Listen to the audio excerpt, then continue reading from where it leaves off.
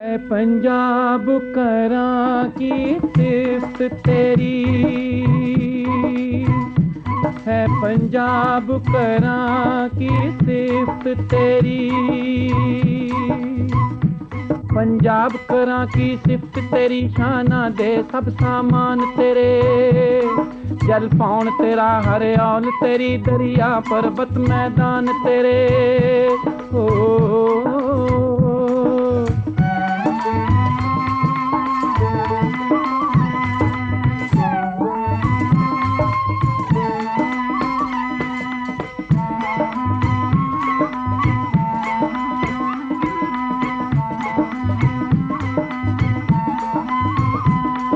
ਤੇਰੀ ਮਾਂ ਕਿਉਂ ਮਿੱਠੀ ਬੋਲੀ ਦੀ ਜੀ ਕਰਦੇ ਆ? ਸਿਫਤ ਨਾ ਰਜਦਾ ਹੈ।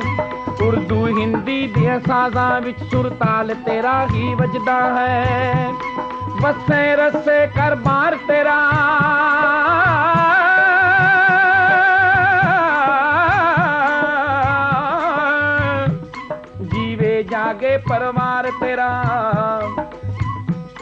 ਮਸਜਿਦ ਮੰਦਰ ਦਰਬਾਰ ਤੇਰਾ ਮੀਆਂ ਲਾਲਾ ਸਰਦਾਰ ਤੇਰਾ ਦੁਨੀਆ ਸਾਰੀ ਵੀ ਸੋਹਣੀ ਹੈ ਓ ਦੁਨੀਆ ਸਾਰੀ ਵੀ ਸੋਹਣੀ ਹੈ ਪਰ ਤੇਰਾ ਰੰਗ ਨਿਆਰਾ ਹੈ ਤੇਰੀ ਮਿੱਟੀ ਦਾ ਕੁੱਲਾ ਵੀ ਸ਼ਾਹੀ ਮਹਿਲਾ ਤੋਂ ਪਿਆਰਾ ਹੈ। ਤੇਰੇ ਜ਼ਰਰੇ ਜ਼ਰਰੇ ਦੇ ਅੰਦਰ ਆਪਣਾ ਤਜਈ ਕੋਈ ਵਸਦੀ ਹੈ। ਗੋਦੀ ਦੇ ਵਿੱਚ ਬੈੰਦਿਆਂ ਹੀ ਦੁਨੀਆ ਦੀ ਚਿੰਤਾ ਨਸਦੀ ਹੈ। ਤੇਰੀ ਗੋਦੀ ਦੇ ਵਿੱਚ ਬੈੰਦਿਆਂ ਹੀ ਦੁਨੀਆ ਦੀ ਚਿੰਤਾ ਨਸਦੀ ਹੈ। ਐ ਪੰਜਾਬ ਕਰਾਂ ਕੀ ਸਿਫਤ ਤੇਰੀ? ਐ ਪੰਜਾਬ ਕਰਾਂ ਕੀ ਸਿਫਤ ਤੇਰੀ? ਐ ਪੰਜਾਬ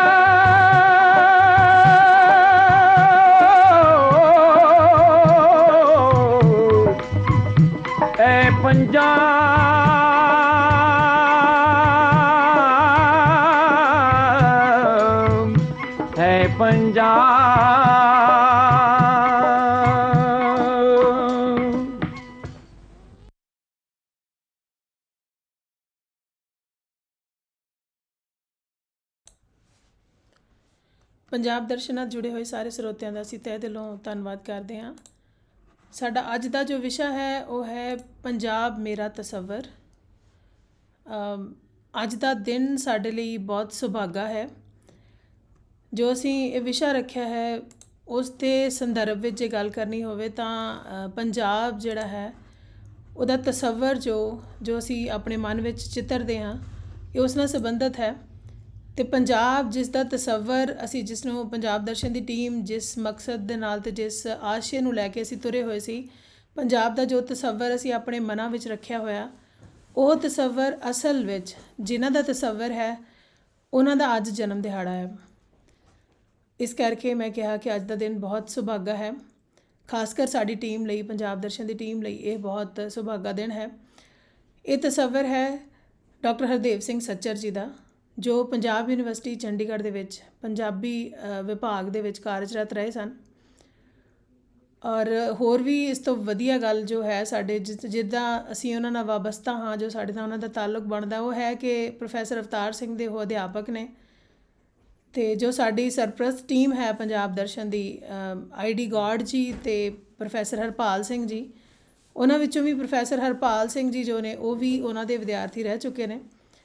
ਇਸ ਕਰਕੇ ਸਾਡਾ ਜੋ ਅੱਜ ਦਾ ਦਿਨ ਹੈ, ਇਹ ਸਾਡੇ ਲਈ ਬਹੁਤ ਵਿਸ਼ੇਸ਼ ਹੈ। ਇਸੇ ਵਿਸ਼ੇਸ਼ਤਾ ਨੂੰ ਜੇ ਅੱਗੇ ਦੱਸਾਂ ਤਾਂ ਇਹ ਸਾਡੇ ਲਈ ਹੋਰ ਵੀ ਵਿਸ਼ੇਸ਼ ਇਹ ਹੈ ਕਿ ਅੱਜ ਦੇ ਸਾਡੇ ਮੁੱਖ ਮਹਿਮਾਨ ਵੀ ਖਾਸਮ ਖਾਸ ਹਨ, ਬਹੁਤ ਹੀ ਵਿਸ਼ੇਸ਼ ਹਨ। ਕਿਸੇ ਵਿਅਕਤੀ ਦੇ ਵਿੱਚ ਕੋਈ ਇੱਕ ਪ੍ਰਤਿਭਾ ਹੋ- ਹੁੰਦੀ ਹੈ, ਦੋ ਪ੍ਰਤਿਭਾਵਾਂ ਹੁੰਦੀਆਂ ਹਨ, ਪਰ ਬਹੁਤ ਸਾਰੀਆਂ ਪ੍ਰਤਿਭਾਵਾਂ ਦਾ ਸੁਮੇਲ ਬਹੁਤ ਘੱਟ ਦੇਖਣ ਨੂੰ ਮਿਲਦਾ ਹੈ। ਇਹਦਾ ਸ਼ਾਇਦ ਕਾਰਨ ਇਹ ਹੈ ਕਿ ਜਿਹੜੇ ਸਾਡੇ ਅੱਜ ਦੇ ਮੁੱਖ ਮਹਿਮਾਨ ਨੇ, ਉਹਨਾਂ ਦੇ ਉਹਨਾਂ ਨੂੰ ਗੁੜਤੀ ਜਿਹੜੀ ਹੈ, ਉਹ ਕੁਝ ਵਿਸ਼ੇਸ਼ ਤੌਰ ਤੇ ਮਿਲੀ ਹੈ। ਉਹਨਾਂ ਦੀ ਹਸਤੀ ਵਿਲੱਖਣ ਹੋਣ ਦਾ ਕਾਰਨ ਸ਼ਾਇਦ ਉਹਨਾਂ ਦੀ ਜਿਹੜੀ ਪਰਵਰਿਸ਼ ਹੈ, ਜਿਸ ਘਰ ਦੇ ਵਿੱਚ, ਜਿਸ ਪਰਿਵਾਰ ਦੇ ਵਿੱਚ ਹੋਈ, ਉਹਨਾਂ ਦੀ ਆਪਣੀ ਇੱਕ ਵੱਡੀ ਖਾਸੀਅਤ ਸੀ। ਉਹ ਹਨ ਪ੍ਰੋਫੈਸਰ ਜੋ ਪ੍ਰੋਫੈਸਰ ਜਾਂ ਡਾਕਟਰ ਹਰਭਜਨ ਸਿੰਘ ਦਿੱਲੀ ਦੇ ਨਾਮ ਨਾਲ ਜਾਣੇ ਜਾਂਦੇ ਨੇ। ਮਹਾਨ ਚਿੰਤਕ, ਪੰਜਾਬੀ ਦੇ ਮਹਾਨ ਆਲੋਚਕ ਤੇ ਇੱਕ ਵਿਸ਼ੇਸ਼ ਤੇ ਵਿਲੱਖਣ ਕਵਿਤਾ ਲਿਖਣ ਵਾਲੇ, ਕਵਿਤਾ ਦੇ ਰਚੇਤਾ। ਜਿਨ੍ਹਾਂ ਨੂੰ ਜੇ ਅਸੀਂ ਕਵਿਤਾ ਦੀ ਇਤਿਹਾਸਕਾਰੀ ਦੀ ਗੱਲ ਕਰੀਏ ਤਾਂ ਉਹਨਾਂ ਦਾ ਨਾਮ ਵਿਸਰਿਆ ਹੋਵੇ ਤਾਂ ਉਹ ਕਵਿਤਾ ਦੀ ਇਤਿਹਾਸਕਾਰੀ ਸੰਪੂਰਨ ਨਹੀਂ ਹੋ ਸਕਦੀ। ਇਸੇ ਤਰ੍ਹਾਂ ਜੇ ਪੰਜਾਬੀ ਆਲੋਚਨਾ ਦੀ ਗੱਲ ਕੀਤੀ ਜਾਵੇ, ਤਾਂ ਪੰਜਾਬੀ ਆਲੋਚਨਾ ਦੇ ਵਿੱਚ ਉਹਨਾਂ ਦਾ ਜੋ ਯੋਗਦਾਨ ਹੈ, ਉਹ ਸ਼ਾਇਦ ਹੀ ਕਿਸੇ ਨੂੰ ਨਾ ਪਤਾ ਹੋਵੇ। ਨਹੀਂ ਤਾਂ ਜੋ ਪੰਜਾਬੀ ਆਲੋਚਨਾ ਦੇ ਵਿੱਚ ਜੋ ਉਹਨਾਂ ਦੀ ਦੇਣ ਹੈ, ਉਹਨੂੰ ਹਰ ਪੰਜਾਬੀ ਆਲੋਚਕ, ਹਰ ਪੰਜਾਬੀ ਦਾ ਪਾਠਕ ਉਹ ਕਦੇ ਵੀ ਉਹਨੂੰ ਅਣਗੌਲਿਆ ਨਹੀਂ ਕਰ ਸਕਦਾ।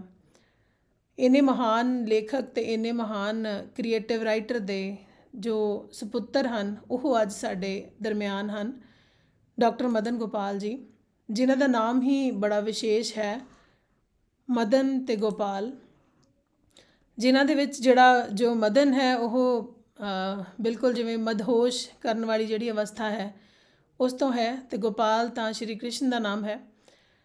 ਅਸੀਂ ਕਹਿ ਸਕਦੇ ਹਾਂ ਕਿ ਉਹਨਾਂ ਦੀ ਜੋ ਪ੍ਰਤਿਭਾ ਅਸੀਂ ਜਿੰਨੀ ਮਹਿਸੂਸ ਕੀਤੀ ਹੈ, ਜੋ ਹੁਣ ਦਰਸ਼ਕ ਮਹਿਸੂਸ ਕਰਨਗੇ, ਉਹਨਾਂ ਦੇ ਵਿੱਚ ਉਹ ਚੀਜ਼ ਜੋ ਹੈ, ਅਸੀਂ ਉਸ ਸੱਚਮੁੱਚ ਆਪਣੇ ਨਾਮ ਨੂੰ ਬਿਲਕੁਲ ਸਾਰਥਕ ਕਰਦੇ ਨੇ, ਉਹਦੇ ਅਰਥਾਂ ਨੂੰ ਬਹੁਤ ਹੀ ਸਾਰਥਕ ਕਰਦੇ ਨੇ। ਇਹਨਾਂ ਦੀ ਇਹ ਖਾਸੀਅਤ ਜਿਹੜੀ ਹੈ, ਉਹ ਇੱਕ ਹੈ ਕਿ ਇੱਕ ਤਾਂ ਇਹ ਜਿਹੜੇ ਡਾਕਟਰ ਹਰਭਜਨ ਸਿੰਘ ਦੇ ਸੁਪੁੱਤਰ ਹਨ, ਦੂਜਾ ਇਹਨਾਂ ਦੀ ਇੱਕ ਹੋਰ ਉਹ ਵਾਲੀ ਵੱਡੀ ਪ੍ਰਾਪਤੀ ਜੋ ਇਹਨਾਂ ਨੂੰ ਨਸੀਬ ਹੋਈ, ਉਹ ਹੈ ਕਿ ਇਹ ਡਾਕਟਰ ਹਰਜੀਤ ਸਿੰਘ ਗਿੱਲ ਦੇ ਵਿਦਿਆਰਥੀ ਹਨ। ਦੋ ਜਿਹੜੇ ਸੁਭਾਗੇ ਕੰਮ ਇਹਨਾਂ ਨਾਲ ਜਿਹੜੇ ਇਹ ਜੇ ਸ਼ਖਸੀਅਤਾਂ ਦਾ ਜੁੜਨਾ, ਉਹ ਆਪਣੇ ਆਪ 'ਚ ਬਹੁਤ ਵੱਡੀ ਗੱਲ ਸੀ। ਤਾਂ ਇਹ ਤਾਂ ਫਿਰ ਜ਼ਾਹਿਰ ਹੈ ਕਿ ਜੇ ਦੋ ਇੰਨੇ ਨੇ ਵੱਡੀਆਂ ਸ਼ਖਸੀਅਤਾਂ ਇਹਨਾਂ ਦੇ ਇੰਨੀਆਂ ਨੇੜੇ ਸਨ, ਤਾਂ ਇਹਨਾਂ ਦੀ ਸ਼ਖਸੀਅਤ ਵਿਲੱਖਣ ਹੋਣੀ ਲਾਜ਼ਮੀ ਬਣਦੀ ਹੈ। ਇਹ ਇੱਕ ਫਿਲਮਕਾਰ ਵੀ ਨੇ, ਗੀਤਕਾਰ ਵੀ ਨੇ, ਤਾਂ ਲੇਖਕ ਵੀ ਨੇ, ਇੱਕ ਵਿਦਵਾਨ ਚਿੰਤਕ, ਉਹ ਵੀ ਇਹ ਨਾਲ ਨਾਲ ਕੰਮ ਕਰਦੇ, ਅਨੁਵਾਦਕ ਵੀ ਨੇ।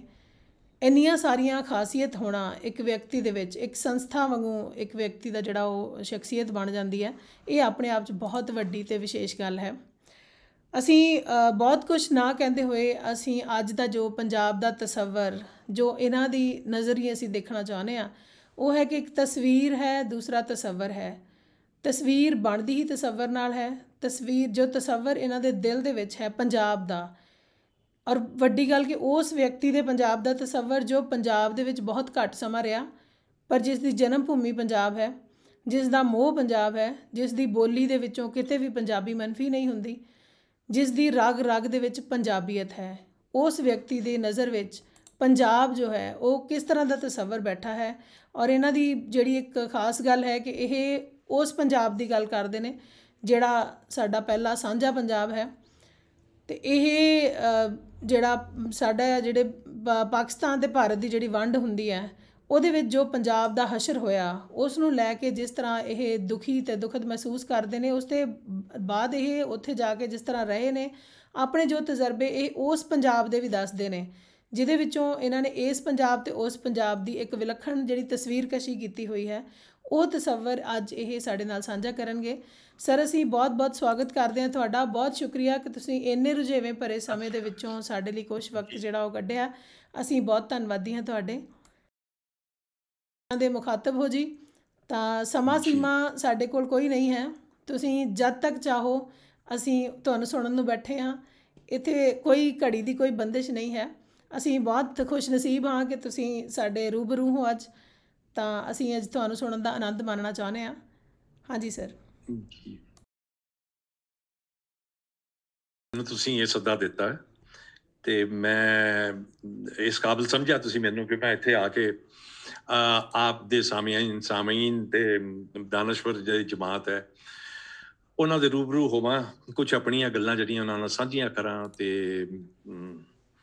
ਬਹਿਰਾਲ ਇਹ ਥੋੜੀ ਜੀ ਜਿਹੜੀ ਹੈ ਜਿਹਨੂੰ ਅੰਗਰੇਜ਼ੀ ਕਹੀਦਾ ਅਨਰਵਿੰਗ ਗੱਲ ਵੀ ਹੈ, ਮੈਨੂੰ ਥੋੜਾ ਜਿਹਾ ਜਿਹੜੀ ਹੈ ਨਾ ਨਰਵਸਨੈਸ ਵੀ ਹੈ। ਕਿਉਂਕਿ ਮੈਂ ਪੰਜਾਬੀ ਜਿਹੜੀ ਇੰਟੈਲੈਕਚੁਅਲ ਕਲਾਸ ਹੈ, ਖਾਸ ਤੌਰ ਤੇ ਜਿਹੜੀ ਪੰਜਾਬੀ ਸਾਹਿਤ ਦੇ ਨਾਲ ਜਿਹੜੀ ਹੈ ਜਿਨ੍ਹਾਂ ਦਾ ਤਾਲਕ ਹੈ।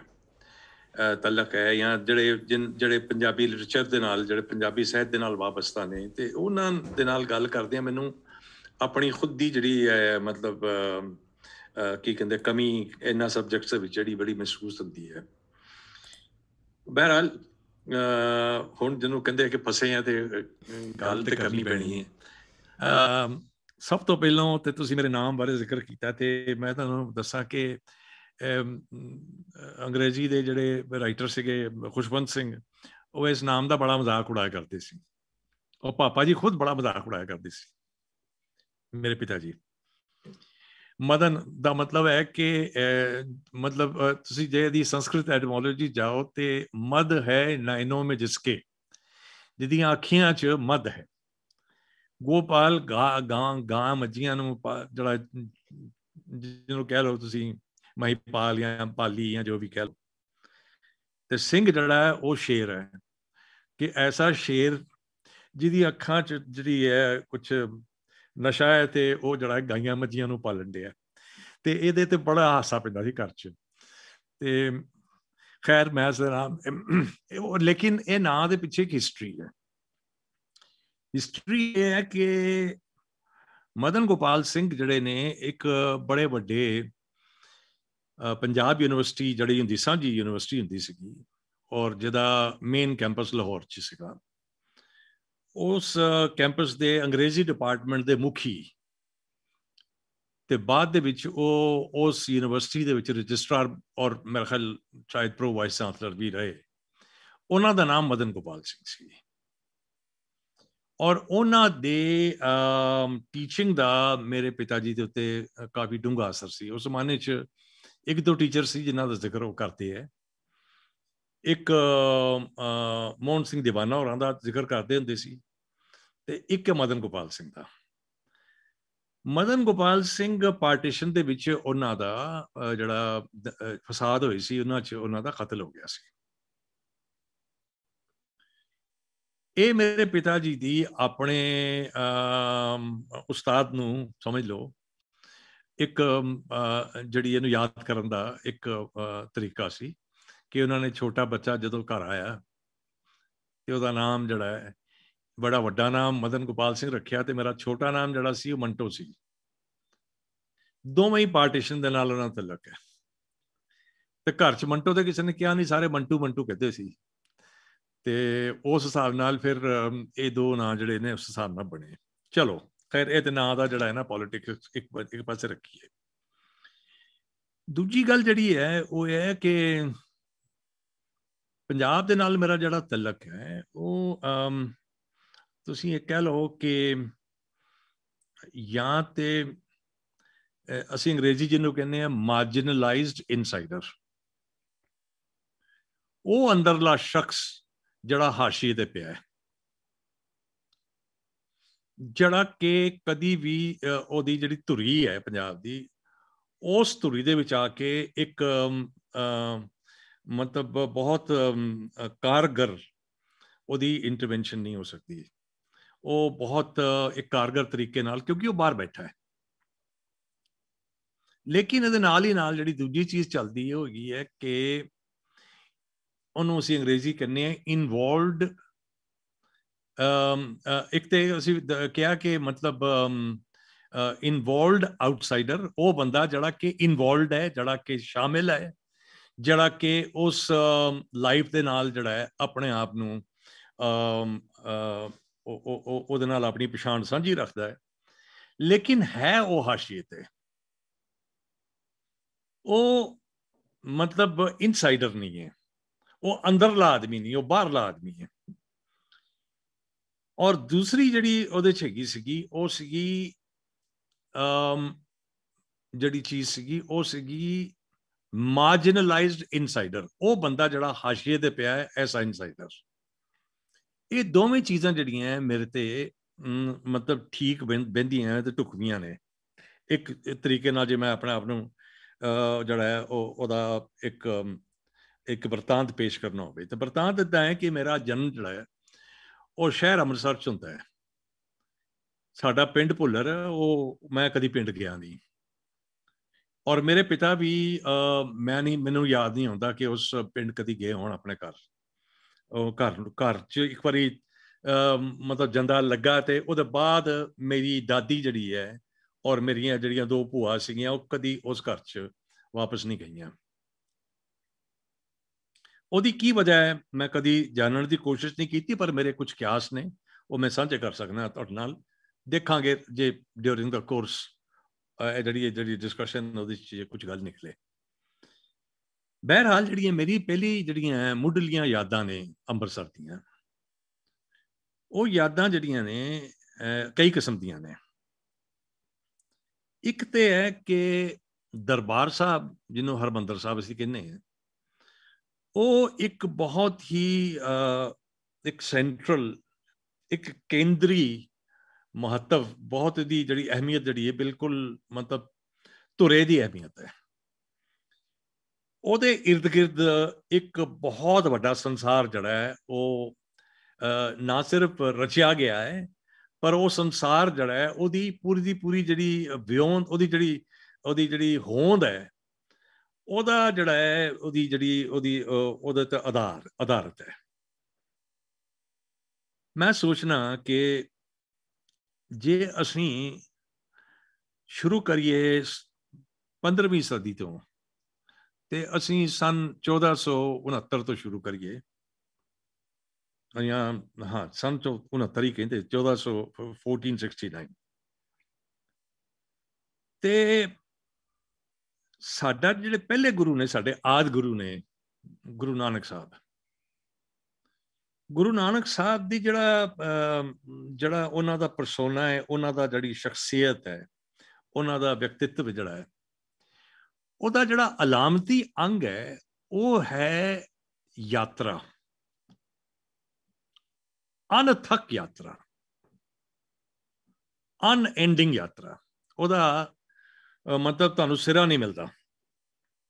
ਇੰਨੀ ਜ਼ਿਆਦਾ ਹੈ। ਲੇਕਿਨ ਆਪਣੇ ਹੀ ਨਜ਼ਦੀਕ ਦੇ ਸਾਥੀ ਭਾਈ ਮਰਦਾਨਾ ਦੇ ਨਾਲ ਉਹ ਯਾਤਰਾਵਾਂ ਦਾ ਸਿਲਸਿਲਾ ਹੈ। ਜਿਨ੍ਹਾਂ 'ਚ ਇੱਕ ਜਿਹੜਾ ਉਹਨਾਂ ਦਾ ਸਾਥੀ ਹੈ ਭਾਈ ਮਰਦਾਨਾ, ਉਹ ਮਤਲਬ ਸਿੱਧੇ ਤੌਰ ਤੇ ਸੰਗੀਤ, ਮੌਸੀਕੀ ਦੇ ਨਾਲ ਇਨਵੋਲਡ ਨੇ, ਉਹਦੇ ਉਹਨਾਂ 'ਚ ਉਹਨਾਂ ਦੀ ਸ਼ਮੂਲੀਅਤ ਹੈ। ਉਹ ਕਿਸੇ ਸੰਗੀਤ, ਸੰਗੀਤਕ ਘਰਾਣੇ ਚੋਂ, ਕਿਸੇ ਮੌਸੀਕੀ ਦੇ ਘਰਾਣੇ ਚੋਂ ਆਉਂਦੇ ਜਾਂ ਨਹੀਂ ਆਉਂਦੇ, ਇਸ ਬਾਰੇ ਸਾਡੇ ਕੋਲ ਕੋਈ ਇਤਿਹਾਸਿਕ ਜਿਹੜੀ ਕੋਈ ਮਤਲਬ ਬਿਉਰੇ ਨਹੀਂ ਮਿਲਦੇ। ਗੁਰੂ ਸਾਹਿਬ ਜਿਹੜੇ ਨੇ, ਉਹ ਇਨਸਪਾਇਰਡ ਸ਼ਾਇਰ ਵੀ ਨੇ, ਉਹਨਾਂ ਨੇ ਇਲਹਾਮ ਵੀ ਹੁੰਦਾ ਹੈ, ਔਰ ਉਹਨਾਂ ਨੂੰ ਮਤਲਬ, ਉਹਨਾਂ ਦੀ ਇਨਸਪੀਰੇਸ਼ਨ ਜਿਹੜੀ ਹੈ ਉਹਦੇ ਚੋਂ ਹੀ ਉਹਨਾਂ ਦਾ ਸੰਗੀਤ ਵੀ ਜਿਹੜਾ ਹੈ ਉਦੈ ਹੁੰਦਾ ਹੈ, ਉਹ ਪੈਦਾ ਹੁੰਦਾ ਹੈ।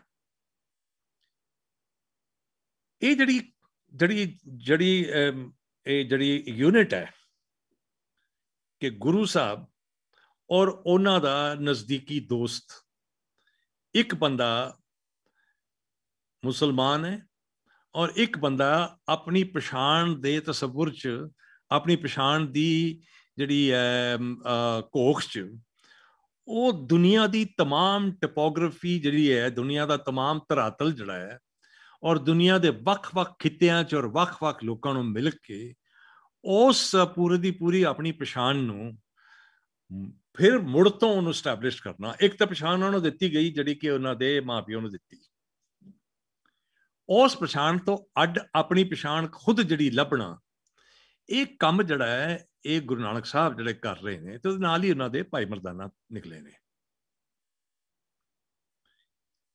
ਇਹ ਸਾਡੇ ਪਹਿਲੇ ਗੁਰੂ ਹੋਰਾਂ ਦੀ ਜਿਹੜੀ ਹੈ ਇੱਕ ਮਤਲਬ, ਜਿਹਨੂੰ ਕਹਿ ਲਓ ਕਿ ਉਹਨਾਂ ਦਾ ਇੱਕ ਚਿੰਨਕ ਪਛਾਣ ਹੈ ਕਿ ਅਣਥਕ ਯਾਤਰੀ। ਦੂਜੇ ਗੁਰੂ ਤੱਕ ਅਸੀਂ ਜਦੋਂ ਆਨੇ ਆ ਤੇ ਦੂਜੇ ਗੁਰੂ ਜਿਹੜੇ ਨੇ ਉਹ ਉਹ ਇੱਕ ਕਮਰੇ 'ਚ ਬੈਠੇ ਨੇ। ਔਰ ਉਹਨਾਂ ਦਾ ਪੂਰਾ ਦਾ ਪੂਰਾ ਜਿਹੜਾ ਕਨਸੈਂਟਰੇਸ਼ਨ ਹੈ, ਉਹ ਸਕਾਲਰਸ਼ਿਪ ਦੇ ਉੱਤੇ ਹੈ ਔਰ ਆਪਣੇ ਅਧਿਐਨ ਦੇ ਉੱਤੇ। ਉਹ ਇੱਕ ਜ਼ਬਾਨ ਨੂੰ ਤਿਆਰ ਕਰ ਰਹੇ ਨੇ, ਇੱਕ ਜਿਹੜੇ ਕਹਿ ਲਓ ਕਿ ਤੁਸੀਂ ਸਟਰਕਚਰਡ ਲੈਵਲ ਦੇ ਉੱਤੇ। ਉਹ ਪੰਜਾਬੀ ਜ਼ਬਾਨ ਨੂੰ ਇੱਕ ਸਟਰਕਚਰਡ ਲੈਵਲ ਦੇ ਉੱਤੇ, ਯਾਨੀ ਕਿ ਉਹਦੀ ਮਤਲਬ ਕੀ ਕਹਿੰਦੇ ਨੇ, ਉਹਦੀ ਲਿਪੀ ਕੀ ਹੋਵੇ, ਉਹਦਾ ਐਲਫਾਬੈਟਸ ਕੀ ਹੋਣ, ਵਗੈਰਾ ਵਗੈਰਾ, ਉਹਦੇ ਤੇ ਉਹਨਾਂ ਦਾ। ਹੁਣ ਇਹ ਬਿਲਕੁਲ ਜਿਹੜਾ ਹੈ, ਇਹ ਤੁਸੀਂ ਸਮਝ ਲਓ ਕਿ ਗੁਰੂ ਅੰਗਦ ਦੇਵ ਜੀ ਜਿਹੜੇ ਨੇ, ਉਹ ਗੁਰੂ ਨਾਨਕ ਦੇਵ ਜੀ ਦਾ ਆਲਟਰ ਈਗੋ ਨੇ। ਇੱਕ ਅਣਥਕ ਯਾਤਰੀ ਹੈ, ਦੂਸਰਾ ਆਪਣੇ ਅੰਦਰ ਦੀ ਜਿਹੜੀ ਹੈ, ਮਤਲਬ, ਪੂਰੀ ਦੀ ਪੂਰੀ ਸਕਾਲਰਸ਼ਿਪ ਨੂੰ ਲੈ ਕੇ ਦਿਨ ਰਾਤ ਲੱਗੇ ਨੇ। ਇੱਕ ਕਲਚਰਲ ਪਛਾਣ, ਉਸ ਪੂਰੀ ਦੀ ਪੂਰੀ ਮਤਲਬ ਉਸ ਲੋਕਾਈ ਦੀ ਜਿਹੜੀ ਕਿ ਨਵੇਂ ਤਰੀਕੇ ਨਾਲ ਆਪਣੇ ਆਪ ਨੂੰ ਰੀਨਿਊ ਕਰਨ ਲਈ ਜਾਂ ਰੀਇਨਵੈਂਟ ਕਰਨ ਲਈ, ਆਪਣੇ ਆਪ ਨੂੰ ਮੁੜ ਤੋਂ ਜਿਹੜਾ ਹੈ ਨਾ ਫਿਰ ਸੇ ਉਸਾਰਨ ਲਈ, ਉਹ ਗੁਰੂ ਨਾਨਕ ਸਾਹਿਬ ਦੇ ਮਗਰ ਜਿਹੜੀ ਹੈ, ਤੁਰੀ ਹੈ। ਉਸੇ ਮਤਲਬ ਵੱਡੇ ਦੀ ਵੱਡੀ ਜਿੰਨੀ ਜ਼ਮੀਨ ਹੈ ਉਸ ਜ਼ਮੀਨ ਜਿਹੜੀ ਕਿ ਸੱਭਿਆਚਾਰਕ ਜ਼ਮੀਨ ਹੈ ਉਸ ਜ਼ਮੀਨ ਨੂੰ ਉਹਦੀ ਸੱਭਿਆਚਾਰਕ ਭਾਸ਼ਾ ਦਾ ਸਟਰਕਚਰਡ ਰੂਪ ਦੇਣਾ, ਸ਼ਕਲ ਦੇਣਾ, ਇਹ ਸਾਡੇ ਸੈਕੰਡ ਗੁਰੂ ਹੋਰਾਂ ਦੀ ਜਿਹੜੀ ਹੈ ਕੰਟਰੀਬਿਊਸ਼ਨ ਹੈ, ਉਹਨਾਂ ਦੀ ਦੇਣ ਹੈ। ਤੀਸਰੇ ਗੁਰੂ ਤੋਂ ਆਨੇ ਹੈ ਤੇ ਤੀਸਰੇ ਗੁਰੂ ਜਿਹੜੇ ਨੇ, ਉਹ ਇਹ ਇਹ ਜਿਹੜੀ ਹੁਣ ਜਿਹੜੀ ਕਮਿਊਨਿਟੀ ਜਿਹੜੀ ਇੱਕ ਸੰਗਤ ਬਣ ਰਹੀ ਹੈ ਔਰ ਕਾਫੀ ਹੱਦ ਤੱਕ ਬਣ ਚੁੱਕੀ ਹੈ। ਉਹ ਸੰਗਤ ਨੂੰ ਗੁਰੂ ਸਾਹਿਬ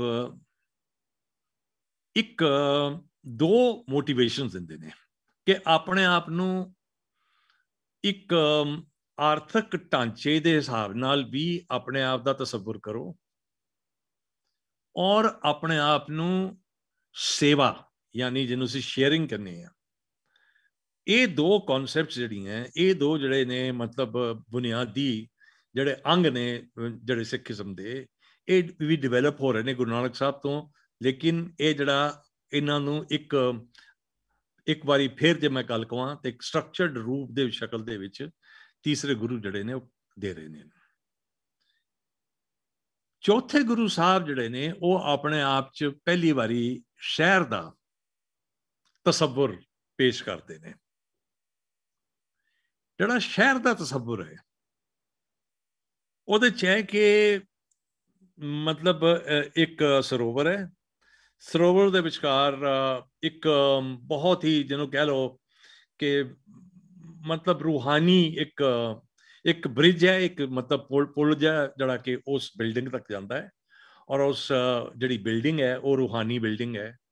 ਉਸ ਬਿਲਡਿੰਗ ਦਾ ਤਸਵੁਰ ਕੀਤਾ ਜਾ ਰਿਹਾ ਹੈ। ਉਸ ਬਿਲਡਿੰਗ ਨੂੰ ਉਸ ਸਿਟੀ ਦਾ ਧੁਰਾ ਬਣਾਇਆ ਜਾ ਰਿਹਾ ਉਸ ਧੁਰੇ ਦੇ ਆਸ ਆਲੇ ਦੁਆਲੇ ਇਹ ਸਾਰੀਆਂ ਐਕਟੀਵਿਟੀਆਂ ਜਿਹੜੀਆਂ, ਇਹ ਸਾਰੇ ਫੰਕਸ਼ਨਸ ਜਿਹੜੇ ਨੇ, ਇਹ ਸਾਰੀਆਂ ਜਿਹੜੇ ਮਤਲਬ ਕੰਮ ਕਰਨ ਦੀਆਂ ਪ੍ਰਣਾਲੀਆਂ ਨੇ, ਇਹਨਾਂ ਨੂੰ ਇੱਕ ਸ਼ਕਲ ਦਿੱਤੀ ਜਾ ਰਹੀ ਹੈ, ਜਿਹਦੇ ਵਿੱਚ ਪੜ੍ਹਾਈ ਲਿਖਾਈ ਵੀ ਹੈ, ਯਾਨੀ ਜਿਹੜੀ, ਜਿਹਦੀ ਗੱਲ ਕੀਤੀ ਕਿ ਪਹਿਲਾਂ ਬਾਣੀ ਸੀਗੀ, ਬਾਣੀ ਦੇ ਬਾਅਦ ਫਿਰ ਅਸੀਂ ਉਹਦੀ ਸਟਰਕਚਰਡ ਲੈਂਗੁਏਜ ਆਈ ਸਟਰਕਚਰਡ ਲੈਂਗੁਏਜ ਦੇ ਬਾਅਦ ਇੱਕ ਅਰਥ ਵਿਵਸਥਾ ਜਿਹਨੂੰ ਕਹਿੰਦੇ ਆ ਆਰਥਿਕ ਢਾਂਚਾ ਤੇ ਇਕਨੋਮੀ ਦਾ ਜਿਹੜਾ ਮਤਲਬ ਇੱਕ ਤਸੱਵੁਰ ਹੈ ਤੇ ਜਿਹੜੀ ਸੇਵਾ ਦਾ ਢਾਂਚਾ ਜਿਹੜਾ ਸ਼ੇਅਰਿੰਗ ਦਾ ਪੂਰਾ ਦਾ ਪੂਰਾ ਪੂਰਾ ਤੇ ਉਹਦੇ ਬਾਅਦ ਇੱਕ ਸਿਟੀ ਦੀ ਜਿਹੜੀ ਜਿਹੜੀ ਕਲਪਨਾ ਉਹਦੀ ਪੂਰੀ ਦੀ ਪੂਰੀ ਜਿਹੜਾ ਤਸੱਵੁਰ ਉਹ ਸਭ ਕੁਝ ਉਹਦੇ ਇਰਦ ਗਿਰਦ ਜਿਹੜਾ ਹੈ ਬੁਣਿਆ ਜਾ ਰਿਹਾ ਹੈ ਔਰ ਉਹਦੇ ਵਿੱਚ ਪਹਿਲੀ ਵਾਰੀ ਟੈਕਸੇਸ਼ਨ ਦੀ ਇੱਕ ਜਿਹੜੀ ਮਿਸਾਲ ਵੀ ਕਾਇਮ ਕੀਤੀ ਜਾ ਰਹੀ ਹੈ ਜਿਹੜੀ ਕਿ ਦਸਵੰਦ ਦਾ ਇੱਕ ਜਿਹੜਾ ਹੈ ਜਿਹੜਾ ਸਾਡੇ ਸਿੱਖੀਜ਼ਮ ਦੇ ਵਿੱਚ ਬੜਾ ਜਿਹੜਾ ਬੜਾ ਹੀ ਅਹਿਮ ਇੱਕ ਜੁਜ਼ ਹੈ ਇੱਕ ਬਹੁਤ ਬੜੀ ਵੱਡੀ ਜਿਹੜੀ ਕਨਸੈਪਟ ਹੈ ਇਹ ਕਨਸੈਪਟ ਟੈਕਸੇਸ਼ਨ ਦੀ ਨਹੀਂ ਹੈ ਯਾਨੀ ਇਹ ਨਹੀਂ ਹੈ ਕਿ ਤੁਹਾਡੇ ਤੋਂ ਕਿਸੇ ਨੇ ਜਿਹੜਾ ਹੈ ਕੋਈ ਟੈਕਸ ਥੋਪਿਆ ਹੈ ਤੁਸੀਂ ਇਹ ਜਿਹੜੀ ਡੋਨੇਸ਼ਨ ਕਰਨਾ ਹੈ ਤਾਂ ਕਰੋ, ਨਹੀਂ ਕਰਨਾ ਤਾਂ ਠੀਕ ਹੈ, ਆ ਕੇ ਇੱਥੇ ਲੰਗਰ ਛਕੋ। ਲੇਕਿਨ ਲੰਗਰ ਨੂੰ ਥਰੂ ਆਊਟ ਜਿਹੜਾ ਹੈ, ਮਤਲਬ ਪੂਰੇ ਸਾਲ 10 ਸਾਲ 5 ਸਾਲ, ਜਿੰਨੀ ਦੇਰ ਵੀ ਹੈ, ਉਹ ਚਲਾਉਣ ਲਈ ਸਰਮਾਇਆ ਦੀ, ਸਰਮਾਏ ਦੀ ਜ਼ਰੂਰਤ ਹੈ। ਸਾਨੂੰ ਅੰਨ ਦੀ, ਫਸਲਾਂ ਦੀ ਜ਼ਰੂਰਤ ਹੈ, ਦਾਲਾਂ ਦੀ ਜ਼ਰੂਰਤ ਹੈ, ਮਸਾਲਿਆਂ ਦੀ ਜ਼ਰੂਰਤ ਹੈ।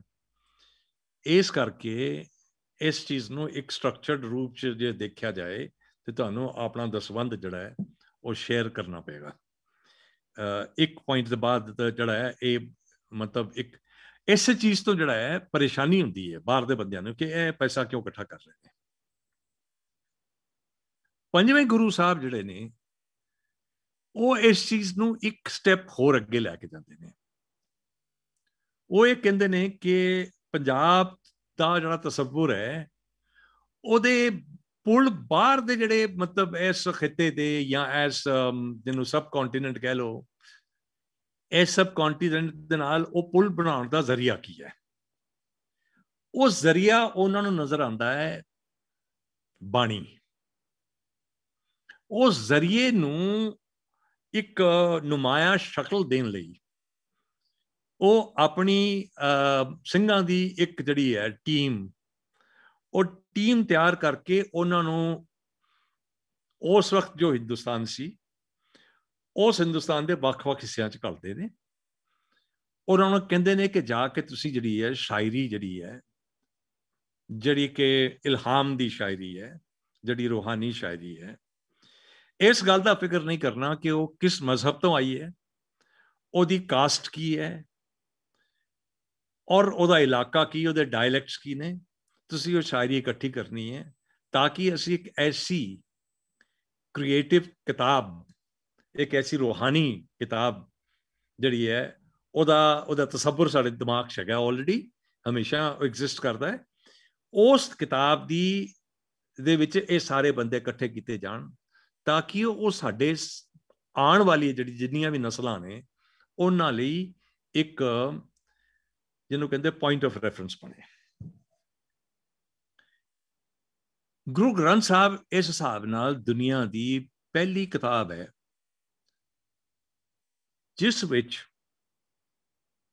ਇਸ ਕਿਸਮ ਦੀ ਕੰਪਾਈਲੇਸ਼ਨ ਹੋ ਰਹੀ ਹੈ। ਯਾਨੀ ਹਿੰਦੁਸਤਾਨ ਦਾ ਸਭ ਤੋਂ ਪਹਿਲਾ ਤਸੱਵੁਰ, ਉਹਦੀ ਕਲਚਰਲ ਨੁਮਾਇੰਦਗੀ ਜੇ ਕੋਈ ਕਰਦੀ ਹੈ ਕੋਈ ਰੂਹਾਨੀ ਕਿਤਾਬ ਤੇ ਉਹ ਸਾਡਾ ਗੁਰੂ ਗ੍ਰੰਥ ਸਾਹਿਬ ਨੇ। ਇਹ ਇੱਕ ਬੜੀ ਆਪਣੇ ਆਪ ਚ ਜਿਹੜੀ ਇੱਕ ਕਮਾਲ ਦੀ ਚੀਜ਼ ਹੈ ਕਿ ਇਹਦੇ ਚ ਇਹ ਨਹੀਂ ਮਤਲਬ ਗੱਲ ਕੀਤੀ ਗਈ ਕਿ ਸਾਡੇ ਔਰ ਉਹਨਾਂ ਦੇ ਜਿਹੜੇ ਬਾਕੀ ਜਿਹੜੇ ਤੁਸੀਂ ਬੰਦੇ ਉਹਦੇ ਚ ਇਕੱਠੇ ਕੀਤੇ ਨੇ, ਉਹਨਾਂ 'ਚ ਹਰ ਹਰ ਮੁੱਦੇ ਤੇ ਸਾਂਝ ਹੈ ਕਿ ਨਹੀਂ ਹੈ ਵਿਚਾਰਕ ਸਾਂਝ ਖਿਆਲਾਂ ਦੀ ਜਿਹੜੀ ਸਾਂਝ ਹੈ ਕਿ ਨਹੀਂ ਹੈ, ਲੇਕਿਨ ਇੱਕ ਗੱਲ ਹੈਗੀ ਹੈ ਕਿ ਅਸੀਂ ਆਪਣੇ ਆਪ ਨੂੰ ਪਹਿਲੀ ਵਾਰੀ ਇਸ ਤਰ੍ਹਾਂ ਦੇਖ ਰਹੇ ਹਾਂ, ਜਿਹਦੇ 'ਚ ਅਸੀਂ ਸਿੰਗੂਲਰ ਤੋਂ ਮਲਟੀਪਲ ਹੋ ਗਏ। ਸਿੱਖੀਜ਼ਮ ਐ, ਉਸ ਵਕਤ ਤਸੱਵੁਰ ਜਿਹੜਾ ਹੈ, ਪੇਸ਼ ਕਰ ਰਿਹਾ ਹੈ ਕਿ ਅਸੀਂ ਸਿੰਗੂਲਰਲੀ ਮਲਟੀਪਲ ਆ ਯਾਨੀ ਮੈਂ ਕੌਣ? ਇਹ ਸਵਾਲ ਹੈ। ਸਵਾਲ ਹੈ ਕਿ ਮੈਂ ਕਈ ਕਿਤਾਬਾਂ ਦਾ, ਯਾਨੀ ਕਈ ਪਾਠਾਂ ਦਾ ਬੁਣਿਆ ਹੋਇਆ, ਬਣਿਆ ਹੋਇਆ ਇੱਕ ਮੁਜਸਮਾ। ਮੈਂ ਆਪਣੇ ਆਪ 'ਚ ਇਹ ਕਹਾਂ ਕਿ ਸਾਹਿਬ ਮੇਰੇ ਤੋਂ ਪਹਿਲਾਂ ਕੋਈ ਦੂਸਰਾ ਬੰਦਾ ਇਦਾਂ ਹੈ ਹੀ ਨਹੀਂ। ਇਹ ਹੋ ਸਕਦਾ ਕਿ ਠੀਕ ਹੋਵੇ। ਇੱਕ ਖਾਸ ਮਤਲਬ ਇੱਕ ਲਿਮਿਟਿਡ ਸ਼ਕਲ 'ਚ ਦੇਖੀ ਜਾਏ। ਇੱਕ ਨੈਰੋ ਸੈਂਸ 'ਚ ਇੱਕ ਮਤਲਬ ਤੰਗ ਨਜ਼ਰੀਏ ਨਾਲ ਦੇਖਿਆ ਜਾਏ ਤੇ ਗੱਲ ਹੋ ਸਕਦਾ ਕਿ ਠੀਕ ਹੋਵੇ। ਹੋ ਸਕਦਾ ਕਿ ਮੈਂ ਬਿਲਕੁਲ ਨਵੇਕ ਲਾਵਾਂ ਲੇਕਿਨ ਮੇਰੇ ਅੰਦਰ ਕਿਹੜੇ ਕਿਹੜੀਆਂ ਕਿਤਾਬਾਂ ਪਈਆਂ ਨੇ? ਮੇਰੇ ਇਹ ਜਿਹੜੇ ਜਿਹੜੇ, ਇਹ ਜਿਹੜੇ ਜਿਸ ਤਰ੍ਹਾਂ ਮੇਰੇ ਹੱਥ ਚੱਲ ਰਹੇ ਨੇ ਇਹ ਜਿਹੜੀ ਮੈਂ ਜ਼ੁਬਾਨ ਬੋਲ ਰਿਹਾ, ਜਿਸ ਤਰੀਕੇ ਨਾਲ ਮੈਂ ਤੁਹਾਨੂੰ ਮੁਖਾਤਬ ਹਾਂ। ਮੇਰੇ ਅੰਦਰ ਕਿਹੜੇ ਕਿਹੜੇ ਪਾਠ ਸੁੱਤੇ ਪਏ ਨੇ ਉਸ ਦਾ ਅੰਦਾਜ਼ਾ ਮੈਨੂੰ ਖੁਦ ਨਹੀਂ ਹੈਗਾ। ਸੋ ਮੈਂ ਸਿੰਗੂਲਰ ਮਦਨ ਗੋਪਾਲ ਸਿੰਘ ਹਾਂ। ਲੇਕਿਨ ਮੈਂ ਮਲਟੀਪਲੀ ਸਿੰਗੂਲਰ ਹਾਂ।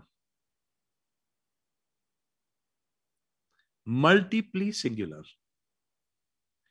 ਜਾਂ ਇਹਨੂੰ ਇਸ ਤਰ੍ਹਾਂ ਵੀ ਕਹਿ ਸਕਦੇ ਹੋ ਤੁਸੀਂ ਕਿ ਮੈਂ ਸਿੰਗੂਲਰਲੀ ਮਲਟੀਪਲ ਆ ਮਲਟੀਪਲੀ ਸਿੰਗੂਲਰ ਜਾਂ ਸਿੰਗੂਲਰਲੀ ਮਲਟੀਪਲ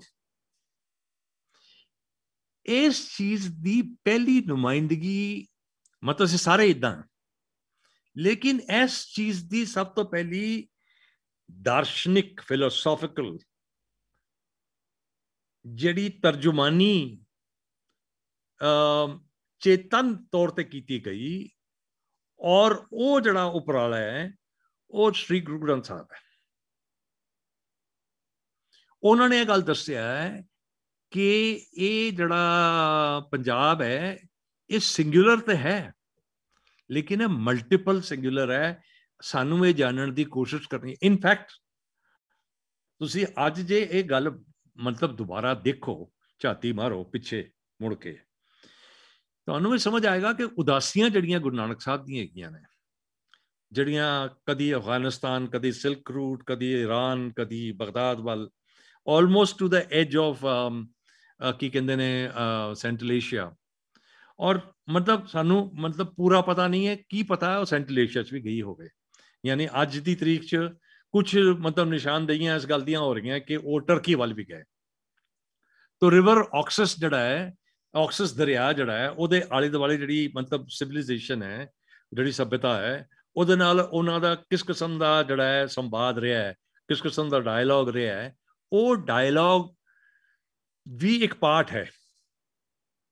ਜਾਂ ਜਦੋਂ ਉਹ ਤਿੱਬਤ ਵੱਲ ਨਿਕਲਦੇ ਨੇ, ਮਤਲਬ ਪੂਰਾ ਦਾ ਪੂਰਾ ਪੂਰਬ ਅੰਗ ਜਿਹੜਾ ਲੈ ਕੇ ਬੰਗਲਾਦੇਸ਼ ਦੇ ਰਾਹੀਂ ਜਿਹੜਾ ਹੈ, ਨੇਪਾਲ ਤੇ ਉਹ ਤਿੱਬਤ ਦੇ ਜਿਹੜਾ ਮਤਲਬ, ਜਿਹਨੂੰ ਸਮਝ ਲਓ ਕਿ ਸਾਊਥ ਤਿੱਬਤ ਦੀ ਜਿਹੜੀ ਜਿਹੜੀ ਬਾਉਂਡਰੀ ਹੈ, ਉਹਦੀ ਜਿਹੜੀ ਸਰਹੱਦ ਹੈ। ਉੱਥੇ ਅੱਜ ਵੀ ਨਾਨਕਸ਼ਾਹੀ ਲਾਮੇ ਰਹਿੰਦੇ ਨੇ। ਮਤਲਬ ਤੁਸੀਂ ਜਾ ਕੇ ਦੇਖੋ ਤਾਂ ਕੇਵਸ ਹੈਗੀਆਂ ਉੱਥੇ ਤੇ ਅੱਜ ਵੀ ਨਾਨਕਸ਼ਾਹੀ ਲਾਮੇ ਹੈਗੇ ਨੇ। ਤੇ ਉਹ ਮਤਲਬ ਪੁੱਛਿਆ ਜਾ ਸਕਦਾ ਕਿ ਨਾਨਕਸ਼ਾਹੀ ਲਾਮੇ ਕੌਣ ਨੇ। ਉਹ ਵੀ ਪਾਠ ਨੇ। ਉਹਨਾਂ ਦੀਆਂ ਸਿੱਧ ਗੋਸ਼ਟਾਂ ਨਾਲ ਵੀ ਜਿਹੜੀਆਂ ਹੈ, ਕਈ ਕਿਸਮ ਦੇ ਸੰਵਾਦ ਨੇ। ਇਹ ਗੱਲ ਵੱਖਰੀ ਹੈ ਕਿ ਉਹ ਸੰਵਾਦ ਦੇ ਵਿੱਚ ਇੱਕ ਜਿਹੜੀ ਪੋਜੀਸ਼ਨ ਹੈਗੀ ਹੈ ਜਿਹੜੀ ਕਿ ਬੜੀ ਫਰਮ ਪੋਜੀਸ਼ਨ ਹੈ। ਇੱਕ ਬੜੀ ਮਤਲਬ ਮਤਲਬ ਜਿਹਨੂੰ ਕਹਿੰਦੇ, ਕਹਿ ਲਓ ਕਿ ਉਹ ਪੁਖਤਾ ਪੋਜੀਸ਼ਨ ਹੈ। ਉਸ ਪੁਖਤਾ ਪੋਜੀਸ਼ਨ ਤੋਂ ਡਾਇਲੌਗ ਹੋ ਰਿਹਾ ਹੈ। ਲੇਕਿਨ ਇਹ ਨਹੀਂ ਹੈ ਕਿ ਉਹ ਡਾਇਲੌਗ 'ਚ ਤੁਸੀਂ ਹਰ ਚੀਜ਼ ਨੂੰ ਨਕਾਰੀ ਜਾਓਗੇ। ਉਹਦੇ ਦੂਸਰੇ ਬੰਦੇ ਦੀ ਗੱਲ ਸੁਣੀ ਜਾ ਰਹੀ ਹੈ। ਇਹ ਜਿਹੜੇ ਪਾਠ ਨੇ, ਇਹ ਸਾਡੇ ਅੰਦਰ ਇੰਬੈਡਡ ਪਾਠ ਨੇ। ਇਹ ਪਾਠ ਤੁਹਾਡੇ ਅੰਦਰੋਂ ਕੋਈ ਕੱਢ ਕੇ ਨਹੀਂ ਲੈ ਕੇ ਜਾ ਸਕਦਾ। ਇਨਫੈਕਟ ਸਾਡੀ ਜਿਹੜੀ ਮੈਮਰੀ ਹੈ, ਜਿਹਨੂੰ ਅਸੀਂ ਯਾਦ ਕਰਨੇ ਆ ਆਪਣੀ ਜਿਹੜੀ ਸਭਿਅਕ, ਸੱਭਿਆਚਾਰਕ ਜਿਹੜੀ ਸਾਡੀ, ਜਿਹੜੀ ਯਾਦ ਹੈ। ਇਸ ਯਾਦ ਦੇ ਅੰਦਰ ਕਈ ਕਿਸਮ ਦੀ ਜਿਹੜੀਆਂ ਨੇ ਗੰਢਾਂ ਨੇ। ਕਈ ਕਿਸਮ ਦੀਆਂ ਨੋਟਸ ਨੇ। ਕਈ ਕਈ ਸੀ, ਦੇਖੋ, ਸ਼ਾਹ ਹੁਸੈਨ ਹੋਰਾਂ ਨੇ ਮੈਂ ਇਸ ਤੋਂ ਪਹਿਲਾਂ ਮੈਂ ਤੁਹਾਨੂੰ ਇਹ ਦੱਸ ਦਿਆਂ ਕਿ ਜੇ ਤੁਸੀਂ 20ਵੀਂ ਸਦੀ ਦਾ ਆਪਣਾ ਬੜਾ ਵੱਡਾ ਦਾਨਸ਼ਵਰ ਹੋਇਆ ਰੂਸ ਦਾ, ਜਿਹਦਾ ਕਿ ਬੜਾ ਨਾਮ ਵੀ ਹੋਇਆ ਮਿਖਾਇਲ ਬਾਖਤਿਨ। ਤੇ ਬਾਖਤਿਨ ਦਾ ਜਿਹੜਾ ਨਾ, ਮਤਲਬ ਪੋਲੀਫੋਨਿਕ ਟੈਕਸਟ ਦੀ ਜੇ ਤੁਸੀਂ ਗੱਲ ਕਰੋ, ਜਾਂ ਕਾਰਨੀਵਲਸ ਜਿਹੜਾ ਉਹਦਾ ਪੂਰਾ ਵਿਜ਼ਨ ਹੈ ਉਹਦੀ ਗੱਲ ਕਰੋ, ਇਹ ਵਿਜ਼ਨ ਕੋਈ ਇੱਕ ਸੈਂਸ ਨਾਲ ਤੇ ਉਹਨੇ ਉਹਨੂੰ ਇੱਕ ਮਤਲਬ ਉਹਨੂੰ ਇੱਕ ਉਹਨੂੰ ਇੱਕ ਜ਼ਬਾਨ ਦਿੱਤੀ ਹੈ। ਉਹਨੂੰ ਇੱਕ ਲੈਵਲ ਦੇ ਉੱਤੇ ਐਸਟੈਬਲਿਸ਼ ਕੀਤਾ ਉਹ ਮਤਲਬ ਕੌਨਸ਼ੀਅਸਲੀ ਲਿਖਿਆ ਉਹਦੇ ਬਾਰੇ। ਲੇਕਿਨ ਇੱਕ ਦੂਸਰੇ ਲੈਵਲ ਤੇ ਦੇਖਿਆ ਜਾਏ ਤੇ ਇਹਦੀ ਪੂਰੀ ਦੀ ਪੂਰੀ ਆਰਟੀਕੂਲੇਸ਼ਨ ਜਿਹੜੀ ਹੈ ਕ੍ਰੀਏਟਿਵ ਔਰ ਲਿਵਡ ਆਰਟੀਕੂਲੇਸ਼ਨ ਯਾਨੀ ਜੋ ਹੰਡਾਈ ਹੋਈ ਆਰਟੀਕੂਲੇਸ਼ਨ ਹੈ, ਉਹ ਤੇ ਗੁਰੂ ਨਾਨਕ ਸਾਹਿਬ ਚ ਬਿਲਕੁਲ ਮਤਲਬ ਸਾਫ਼ ਤੌਰ ਤੇ ਨਜ਼ਰ ਆਉਂਦੀ ਹੈ। ਇਸੇ ਚੀਜ਼ ਦਾ ਜਿਹੜਾ ਹੈ, ਇੱਕ ਪੀਕ ਹੈ, ਇਸੇ ਸੋਚ ਦੀ ਪੀਕ ਹੈ, ਉਹ ਸ੍ਰੀ ਗੁਰੂ ਗ੍ਰੰਥ ਸਾਹਿਬ ਹੈ, ਜਿਹੜਾ ਕਿ ਸਾਡੇ ਪੰਜਵੇਂ ਗੁਰੂ ਗੁਰੂ ਅਰਜਨ ਦੇਵ ਜੀ ਨੇ ਜਿਹੜਾ ਹੈ ਉਹ ਜਿਹੜਾ ਹੈ ਉਹਦੇ ਬਾਰੇ ਉਹਦਾ ਤਸੱਵੁਰ ਕੀਤਾ ਔਰ ਆਪਣੀ ਇੱਕ ਟੀਮ ਬਣਾਈ ਇਹ ਵੀ ਟੀਮ ਵਰਕ ਹੈ ਵੀ ਬੜਾ ਇੰਪੋਰਟੈਂਟ ਹੈ ਇਹਦੇ ਚ ਪੂਰਾ ਦਾ ਪੂਰਾ ਇੱਕ ਮਤਲਬ ਵਨ ਐਂਡ ਮਲਟੀਪਲ ਇਹ ਪੂਰੀ ਦੀ ਪੂਰੀ ਜਿਹੜੀ ਕੰਸਟਰਕਸ਼ਨ ਹੀ ਇੱਕ ਬੜੀ ਕਮਾਲ ਦੀ ਹੈ ਇੱਕ ਔਰ ਬਹੁਤ ਸਾਰੇ ਮਤਲਬ ਮੈਂ ਕਈ ਵਾਰੀ ਸੋਚ ਕੇ ਹੈਰਾਨ ਹੁੰਦਾ ਕਿ ਮਤਲਬ ਕਮਾਲ ਹੈ ਇਸ ਹਿਸਾਬ ਨਾਲ ਦੇਖਿਆ ਜਾਏ ਇਸ ਕਿਸਮ ਦੀ ਸੋਚ 16th ਸੈਂਚੁਰੀ ਵਿੱਚ ਸ਼ਾਹ ਹੁਸੈਨ ਜਿਹੜੇ ਨੇ, ਉਹ ਵੀ ਕਰ ਰਹੇ ਨੇ। ਉਹ ਕੀ ਕਰ ਰਹੇ ਨੇ? ਉਹ ਕਹਿੰਦੇ ਨੇ ਕਿ ਸਾਲੂ ਸਹਿਜ ਹੰਡਾਲ ਹੈ। ਸਾਲੂ ਸਹਿਜ ਹੰਡਾਲ ਹੈ। ਸਾਲੂ ਮੇਰਾ ਕੀਮਤੀ, ਸਾਲੂ ਮੇਰਾ ਕੀਮਤੀ, ਸਲਾਹ ਕੇ ਗਈਆਂ ਤ੍ਰਿਮਤੀ।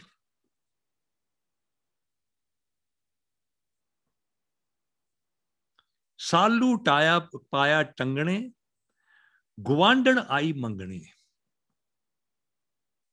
ਦਿੱਤਾ ਕਹੀ ਨਾ ਜਾ। ਕਮਾਲ ਹੈ। ਮਤਲਬ ਤਸੱਵੁਰ ਦੇਖੋ ਤੁਸੀਂ। ਇਹ ਉਸੇ ਜਿਹੜਾ ਵਿਜ਼ਨ ਜਿਹੜਾ ਅਸੀਂ ਗੱਲ ਜਿਹਦੀ ਗੱਲ ਕਰ ਰਹੇ ਹਾਂ, ਜਿਹਦਾ ਇੰਬੈਡਡ ਵਿਜ਼ਨ ਹੈ। ਐਸੋ ਇੰਬੈਡਡ ਵਿਜ਼ਨ ਜਿਹੜਾ ਕਿ ਸ਼ੇਅਰਿੰਗ ਦਾ ਵਿਜ਼ਨ ਹੈ, ਜਿਹੜਾ ਗੁਰੂ ਨਾਨਕ ਸਾਹਿਬ ਤੋਂ ਹੁੰਦਾ ਹੈ। ਮਤਲਬ ਉਹਨਾਂ ਤੋਂ ਪਹਿਲਾਂ ਵੀ ਬੰਦਿਆਂ ਨੇ ਕਿਹਾ ਹੋਏਗਾ, ਲੇਕਿਨ ਇਹ ਜਿਹੜੀ ਕੌਨਸ਼ੀਅਸ ਲੈਵਲ ਦੇ ਉੱਤੇ ਉਹਨੂੰ, ਇਸ ਤਰ੍ਹਾਂ ਆਰਟੀਕੂਲੇਟ ਕਰਨਾ, ਇਹ ਗੁਰੂ ਨਾਨਕ ਸਾਹਿਬ ਨਾਲ ਸ਼ੁਰੂ ਹੁੰਦਾ ਹੈ। ਜਿਹਦਾ ਕਿਰਤ ਦਾ ਜਿਹੜਾ ਪੂਰਾ ਦਾ ਪੂਰਾ ਜਿਹੜਾ ਹੈ, ਔਰ ਜਿਹੜਾ ਹੈ ਵੰਡਨ ਦਾ ਜਿਹੜਾ ਪੂਰਾ ਦਾ ਪੂਰਾ ਸੰਕਲਪ ਹੈ, ਔਰ ਨਾਮ ਦਾ ਜਿਹੜਾ ਸੰਕਲਪ ਹੈ। ਇਹ ਉੱਥੋਂ ਸ਼ੁਰੂ ਹੁੰਦਾ ਹੈ, ਲੇਕਿਨ 16ਵੀਂ ਸਦੀ ਚ ਸ਼ਾਹ ਹੁਸੈਨ ਸਾਹਿਬ ਇਹ ਗੱਲ ਕਹਿੰਦੇ ਨੇ ਕਿ ਸਾਲੂ ਮੇਰਾ ਕੀਮਤੀ, ਹੁਣ ਸਾਲੂ ਹੈ ਕੀ? ਅੱਜ ਕੱਲ ਤੇ ਪੰਜਾਬ ਚ ਸਾਲੂ ਕੋਈ ਮਤਲਬ ਮਤਲਬ ਉਹਦਾ ਚੱਲਣ ਨਹੀਂ ਰਿਹਾ। ਲੇਕਿਨ ਕੋਈ ਜ਼ਮਾਨਾ ਸੀ ਜਦੋਂ ਕਿ ਸਾਲੂ ਘਰੇ ਚ ਬੁਣ ਬੁਣ, ਸਾਡੀਆਂ ਜਿਹੜੀਆਂ ਮਤਲਬ ਮਾਵਾਂ ਐ, ਉਹ ਸਾਲੂ ਜਿਹੜੀਆਂ ਬੁਣਦੀਆਂ ਸੀ। ਫੁਲਕਾਰੀ ਨਹੀਂ, ਸਾਲੂ। ਸਾਲੂ ਕੋਈ ਬਹੁਤ ਜ਼ਿਆਦਾ ਜਿਹਨੂੰ ਕਹਿ ਲਓ ਕਿ ਡੈਕੋਰੇਟਿਵ ਇਲੈਬੋਰੇਟ ਯਾਨੀ ਉਹਦੇ ਚ ਕੋਈ ਜ਼ਿਆਦਾ ਕਸ਼ੀਦਾਕਾਰੀ ਜਿਹੜੀ ਨਹੀਂ ਹੋਈ ਸੀ ਤੇ ਉਹ ਜਿਹੜਾ ਕਪੜਾ ਹੈ, ਉਹ ਲਾਲ ਰੰਗ ਦਾ ਹੁੰਦਾ ਸੀ। ਔਰ ਉਹ ਮਾਂ ਆਪਣੀ ਧੀ ਨੂੰ ਵਿਆਹ ਦੇ ਟਾਈਮ ਦੇ ਉੱਤੇ ਦਿੰਦੀ ਸੀ। ਉਸ ਕੱਪੜੇ ਦੀ ਕੀਮਤ ਇਹ ਨਹੀਂ ਸੀ ਕਿ ਤੁਸੀਂ ਉਹਨੂੰ ਹਰ ਰੋਜ਼ ਪਾਣਾ ਹੈ। ਉਸ ਕੱਪੜੇ ਦੀ ਕੀਮਤ ਇਹ ਸੀ ਕਿ ਤੁਸੀਂ ਇਹਨੂੰ ਤੈਅ ਕਰਕੇ ਤੇ ਉਹ ਵੱਡੇ ਵੱਡੇ ਟਰੰਕ ਜਿਹੜੇ ਤੁਹਾਨੂੰ ਮਿਲਦੇ ਨੇ ਵਿਆਹ ਦੇ ਉੱਤੇ, ਜਿਹੜੇ ਕਿ ਤੁਹਾਨੂੰ ਤੁਹਾਡੇ ਮਾਪਿਓ ਦਿੰਦੇ ਨੇ ਬਤੌਰ ਉਹ ਜ਼ਮਾਨੇ ਜਿਹੜਾ ਹੁੰਦਾ ਸੀ ਕਿ ਧੀ ਜਾ ਰਹੀ ਹੈ ਤੇ ਉਹਨੂੰ ਜਿਹੜਾ ਹੈ ਨਾ ਸਮਾਨ ਦੇਣਾ ਹੈ ਘਰ ਦਾ ਜਿਹੜਾ ਹੈ।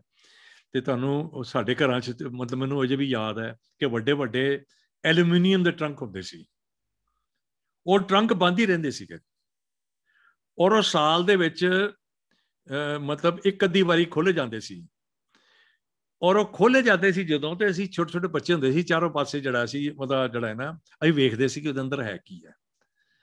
ਲੇਕਿਨ ਮੈਂ ਤੁਹਾਨੂੰ ਇੱਕ ਅਰਜ਼ ਕਰ ਰਿਹਾ ਕਿ ਸਾਨੂੰ ਉਸ ਟਰੰਕ ਦੇ ਅੰਦਰ ਪੂਰੀ ਕਾਇਨਾਤ ਨਜ਼ਰ ਆਉਂਦੀ ਸੀ। ਕਿਉਂਕਿ ਉਸ, ਉਹਦੇ ਅੰਦਰ ਐਸੀਆਂ ਨਾਇਆਬ ਚੀਜ਼ਾਂ ਹੁੰਦੀਆਂ ਸੀ, ਜਿਹੜੀਆਂ ਕਿ ਆਮ ਵਹਿਮ ਇਸਤੇਮਾਲ ਦੀਆਂ ਚੀਜ਼ਾਂ ਨਹੀਂ ਹੈਗੀਆਂ। ਰੋਜ਼ਮਰਰਾ ਦੇ ਇਸਤੇਮਾਲ ਦੀਆਂ ਚੀਜ਼ਾਂ ਨਹੀਂ ਹੈਗੀਆਂ। ਉਹਦੇ ਚ ਕਿਤੇ ਕੁਝ ਚਾਈਨੀਜ਼ ਟੀ ਸੈੱਟ ਪਿਆ ਹੈ। ਹੁਣ ਮੈਨੂੰ ਯਾਦ ਯਾਦ ਆਉਂਦਾ ਹੈ ਕਿ ਉਹ ਚਾਈਨੀਜ਼ ਟੀ ਸੈੱਟ ਜਿਹੜਾ ਮੇਰੀ ਮਾਂ ਨੇ ਰੱਖਿਆ ਸੀ ਇਹਦੇ ਚ। ਉਹ ਗਲੀ ਚੋਂ ਇੱਕ ਕਹਿ ਲਓ ਕਿ ਇੱਕ ਵੈਂਡਰ ਨਿਕਲ ਰਿਹਾ ਹੈ ਔਰ ਉਹ ਹਾਕ ਮਾਰਦਾ ਜਾ ਰਿਹਾ ਹੈ ਉਹ ਉਹਦੇ ਕੋਲ ਟੀ ਸੈਟ ਹੈ ਚਾਈਨੀਜ਼ ਟੀ ਸੈਟ ਹੈ ਬਹੁਤ ਹੀ ਮਹੀਨ ਔਰ ਬਹੁਤ ਹੀ ਉਤੇ ਖੂਬਸੂਰਤ ਕੰਮ ਹੋਇਆ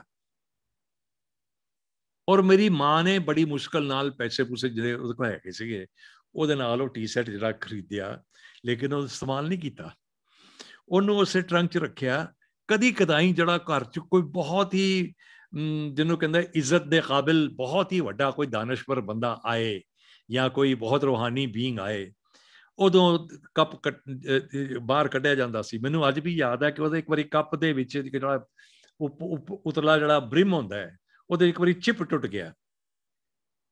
ਮੈਂ ਕਹਿੰਦਾ ਕਿ ਇੱਕ ਕੱਪ ਦੇ ਟੁੱਟਣ ਦੇ ਉੱਤੇ ਇੰਨਾ ਅਫਸੋਸ ਕਿਸੇ ਨੂੰ, ਕਿਸੇ ਨੇ ਕੁਝ ਕਿਹਾ ਨਹੀਂ। ਯਾਨੀ ਚੀਜ਼ ਦੇ ਨਾਲ ਐਸੀ ਮੁਹੱਬਤ।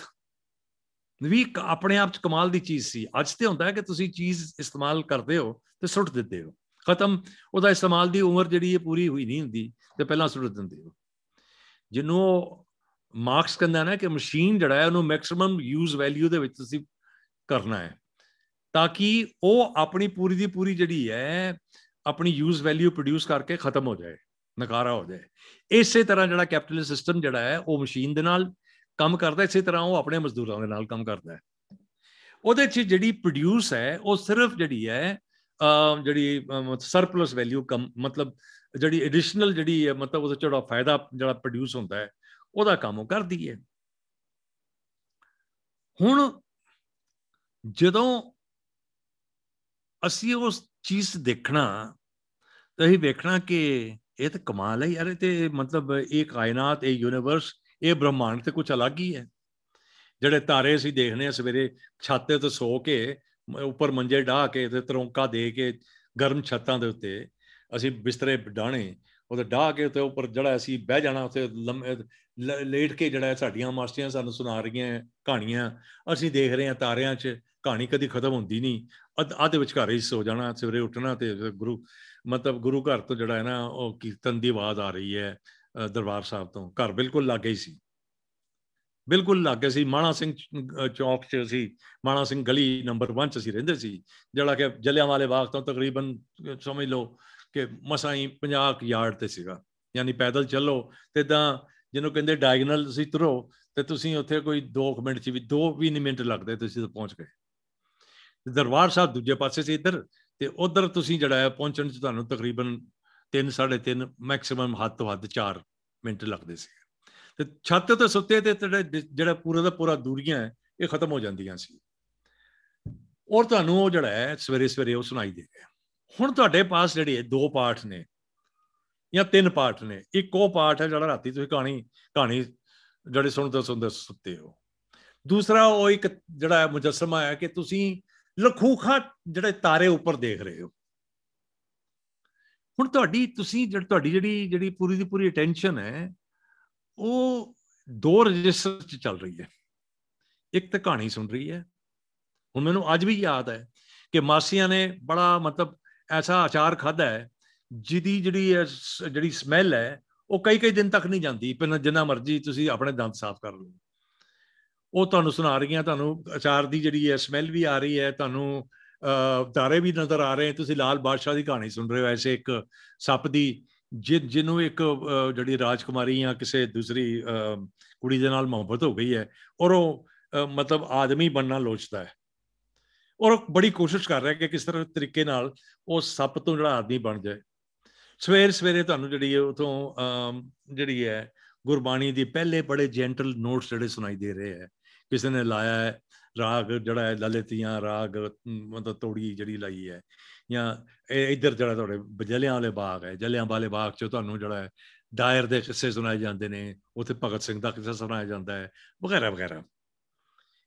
ਜਦੋਂ ਕਹਿੰਦਾ ਹੈ ਕਿ ਸਾਲੂ ਪਾਇਆ ਟੰਗਣੇ, ਕਿ ਮੈਂ ਟਰੰਕ ਚੋਂ ਕੱਢਿਆ, ਉਹਨੂੰ ਮੈਂ ਜਿਹੜਾ ਬਾਹਰ ਤੋਂ ਪਾਣਾ ਹੈ, ਕਿਉਂਕਿ ਇਹਨੂੰ ਮੈਂ, ਇਹਨੇ ਚਿਰ ਤੋਂ ਮੈਂ ਕੱਢਿਆ ਨਹੀਂ। ਸਾਲੂ ਪਾਇਆ ਟੰਗਣੇ ਗਵਾਂਡਣ ਆਈ ਮੰਗਣੇ। ਗਵਾਂਡਣ ਨੇ ਦੇਖਿਆ ਨੇ ਕਿ ਯਾਰ, ਇੰਨਾ ਸੋਹਣਾ ਸਾਲੂ ਇਹਦਾ ਕੁੜੀ ਦਾ। ਉਹਨੇ ਕਿਹਾ, ਤੂੰ ਮੈਨੂੰ ਦੇ ਦੇ। ਤੂੰ ਤੇ ਇਸਤੇਮਾਲ ਕਰਦੀ ਨਹੀਂ ਉਹਦੇ ਅਗਲੇ ਯਾਨੀ ਬੜੀ ਕਮਾਲ ਹੈ। ਦਿੱਤਾ ਕਹੀ ਨਾ ਜਾ। ਇਹਨੂੰ ਦੋ ਤਰੀਕੇ ਨਾਲ ਇੰਟਰਪ੍ਰੀਟ ਕੀਤਾ। ਲੋਕਾਂ ਨੇ ਕੁਝ ਨੇ ਕਿਹਾ ਕਿ ਨਹੀਂ, ਮੈਂ ਨਹੀਂ ਦੇਣਾ। ਦੂਸਰਾ ਹੈ ਕਿ ਮੇਰੇ ਕੋਲੋਂ ਨਾ ਨਹੀਂ ਕਹੀ ਗਈ। ਮੈਂ ਹੀ ਦੇ ਦਿੱਤਾ। ਇਹ ਜਿਹੜੀ ਹੈ ਨਾ, ਇਹਨੂੰ ਕਹਿੰਦੇ ਨੇ ਪਿਓਰ ਐਕਸਚੇਂਜ ਵੈਲਿਊ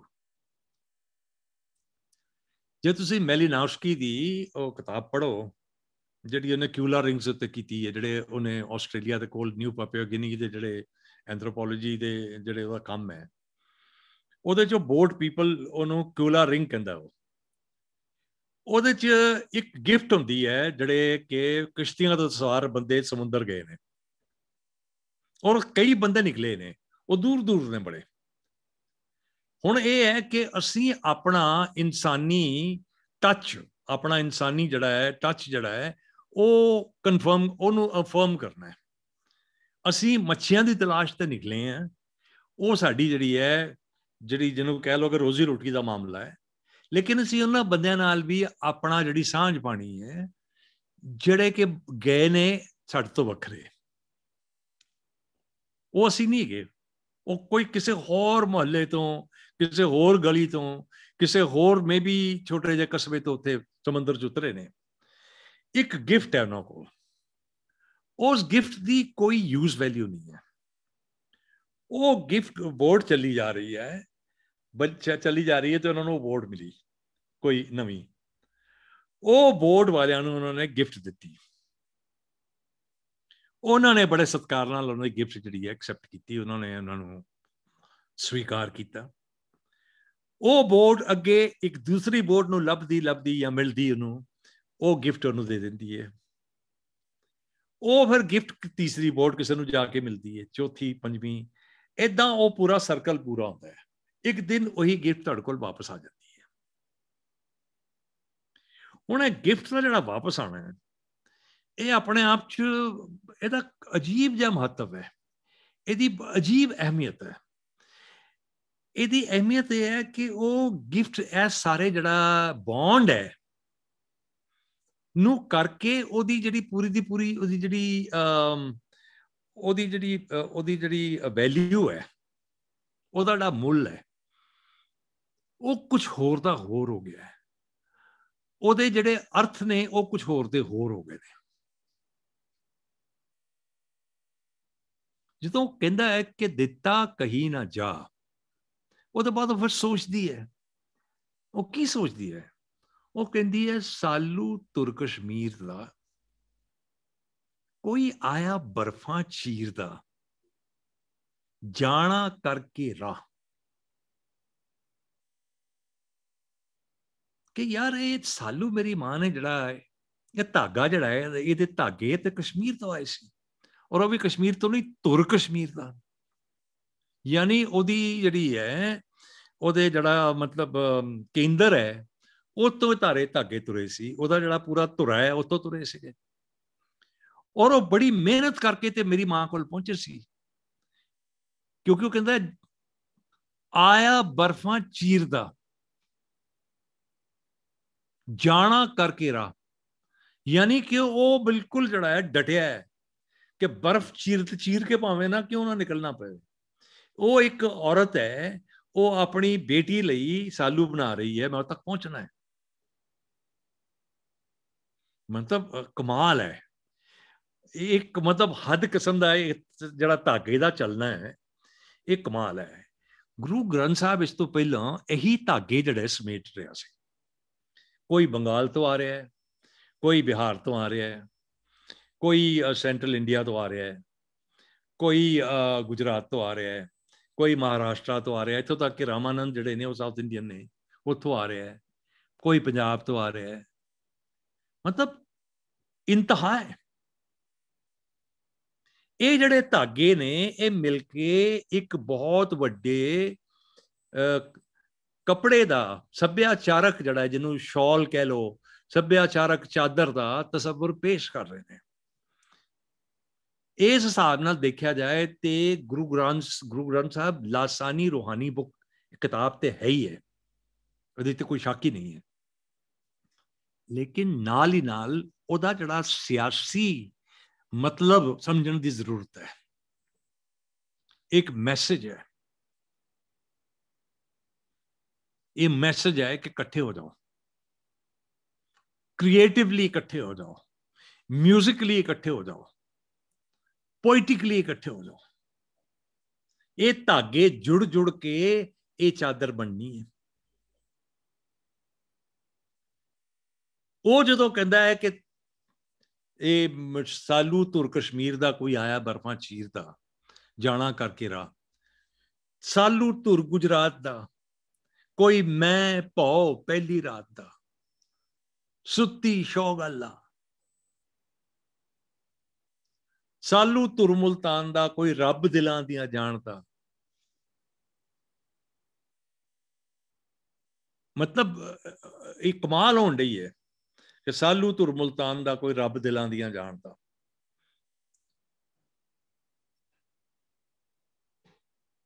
ਅਗਲੀ ਲਾਈਨ ਸ਼ਾਇਦ ਸੀ ਕਿ ਕੋਈ ਰੱਬ ਦਿਲਾਂ ਦੀਆਂ ਜਾਣਦਾ ਕਿਸ ਪੈ ਜਾ ਅੱਖਾਂ ਜਾ?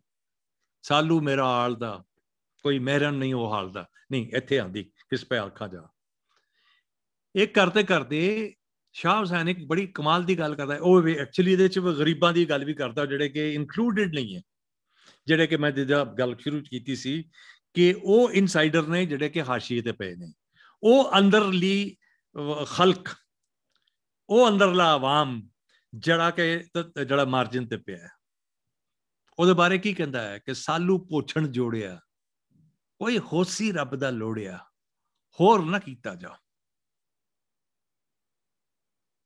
ਇਹ ਕਰਦੇ ਕਰਦੇ ਉਹ ਕਹਿੰਦੇ ਨੇ ਕਿ ਸਾਲੂ ਤੁਸੀਂ ਸਭੇ ਸਾਲੂ ਵਾਲੀਆਂ। ਤੁਸੀਂ ਇੱਕ ਬਿਰਖ ਦੀਆਂ ਡਾਲੀਆਂ। ਤੁਧ ਜਿਹਾ ਕੋਈ ਨਾ। ਮਤਲਬ ਇਹ ਲਾਈਨ, ਇਹ ਪੂਰਾ ਜਿਹੜਾ ਹੈ, ਇਹ ਮਤਲਬ ਤੇ ਪਾਈ ਕਹਿ ਲੋ ਇਹ ਹਾਦੀ ਹੈ ਮਤਲਬ। ਤੁਸਾਂ ਸਭੇ ਸਾਲੂ ਵਾਲੀਆਂ ਤੁਸਾਂ ਇੱਕ ਬਿਰਖ ਦੀਆਂ ਡਾਲੀਆਂ ਤੁਧ ਜਿਹਾ ਕੋਈ ਨਾ ਉਹਦੇ ਬਾਅਦ ਇੱਕ ਮੁਸਲਮਾਨ ਸੂਫੀ ਸ਼ਾਇਰ ਜਿਨੇ तमाम ਜ਼ਿੰਦਗੀ ਸ਼ਾਇਰੀ ਆਪਣੀ ਸ਼ੇਅਰ ਕਰਦੇ ਚਲੇ ਇਹ ਵੀ ਇੱਕ ਪੁਰਾਣੀ ਜਿਹੜੀ ਹੈ ਪ੍ਰਥਾ ਹੈ ਕਿ ਹਰ ਚੀਜ਼ ਆਪਣੇ ਨਾਂ ਤੇ ਨਹੀਂ ਕਹਿਣੀ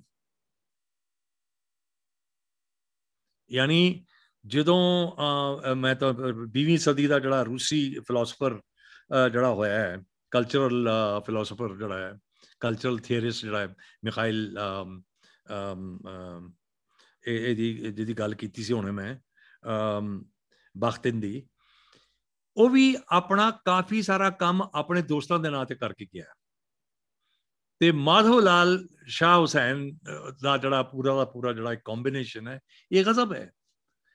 ਤੇ ਇੱਥੇ ਆ ਕੇ ਜਿਹੜਾ ਸ਼ਾਹ ਹੁਸੈਨ ਜਿਹੜੇ ਗੱਲ ਕਰਦੇ ਨੇ, ਤੇ ਕਹਿੰਦੇ ਆ ਕਿ ਸਾਲੂ ਮੇਰਾ ਉਣੀਂਦਾ। ਹੁਣ ਉਣੀਂਦਾ ਨੂੰ ਤੁਸੀਂ ਦੋ ਤਰ੍ਹਾਂ ਨਾਲ ਜਿਹੜਾ ਇੰਟਰਪ੍ਰੀਟ ਕਰ ਸਕਦੇ ਹੋ। ਇਹ ਜਿਹੜਾ ਮੇਰਾ ਸਾਲੂ ਹੈ, ਜਾਂ ਤੇ ਉਹਨਾਂ ਦਾ ਬਣਿਆ ਹੈ। ਤੇ ਜਾਂ ਇਹ ਇਹਨੂੰ ਨੀਂਦ ਜੜੀ ਹੈ। ਉਹਨਾਂ ਦਾ ਬਣਿਆ ਹੋਣ ਨਾਲ ਉਹ ਸੂਫੀਆਂ ਦੇ ਨਾਲ ਜਾ ਕੇ ਰਲਦਾ ਹੈ। ਤੇ ਨੀਂਦ ਚੜੀ ਹੋਣ ਦੇ ਨਾਲ ਉਹ ਜਾ ਕੇ ਆਪਣੇ ਪੂਰਾ ਦਾ ਪੂਰਾ ਇੱਕ ਜਿਹੜਾ ਡ੍ਰੀਮ ਵਰਲਡ ਦੇ ਨਾਲ ਜਿਹੜਾ ਜਾ ਕੇ ਰਲਦਾ ਹੈ। ਉਹਦਾ ਸੁਪਨਾ, ਉਹਦਾ ਅਲਟੀਮੇਟ ਜਿਹੜਾ ਹੈ ਗੋਲ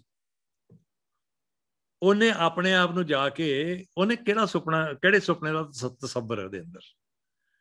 ਸਾਲੂ ਮੇਰਾ ਓਣਿੰਦਾ ਕੋਈ ਸ਼ਾਮ ਬ੍ਰਿੰਦਾਵਨ ਸੁਣੀਂਦਾ।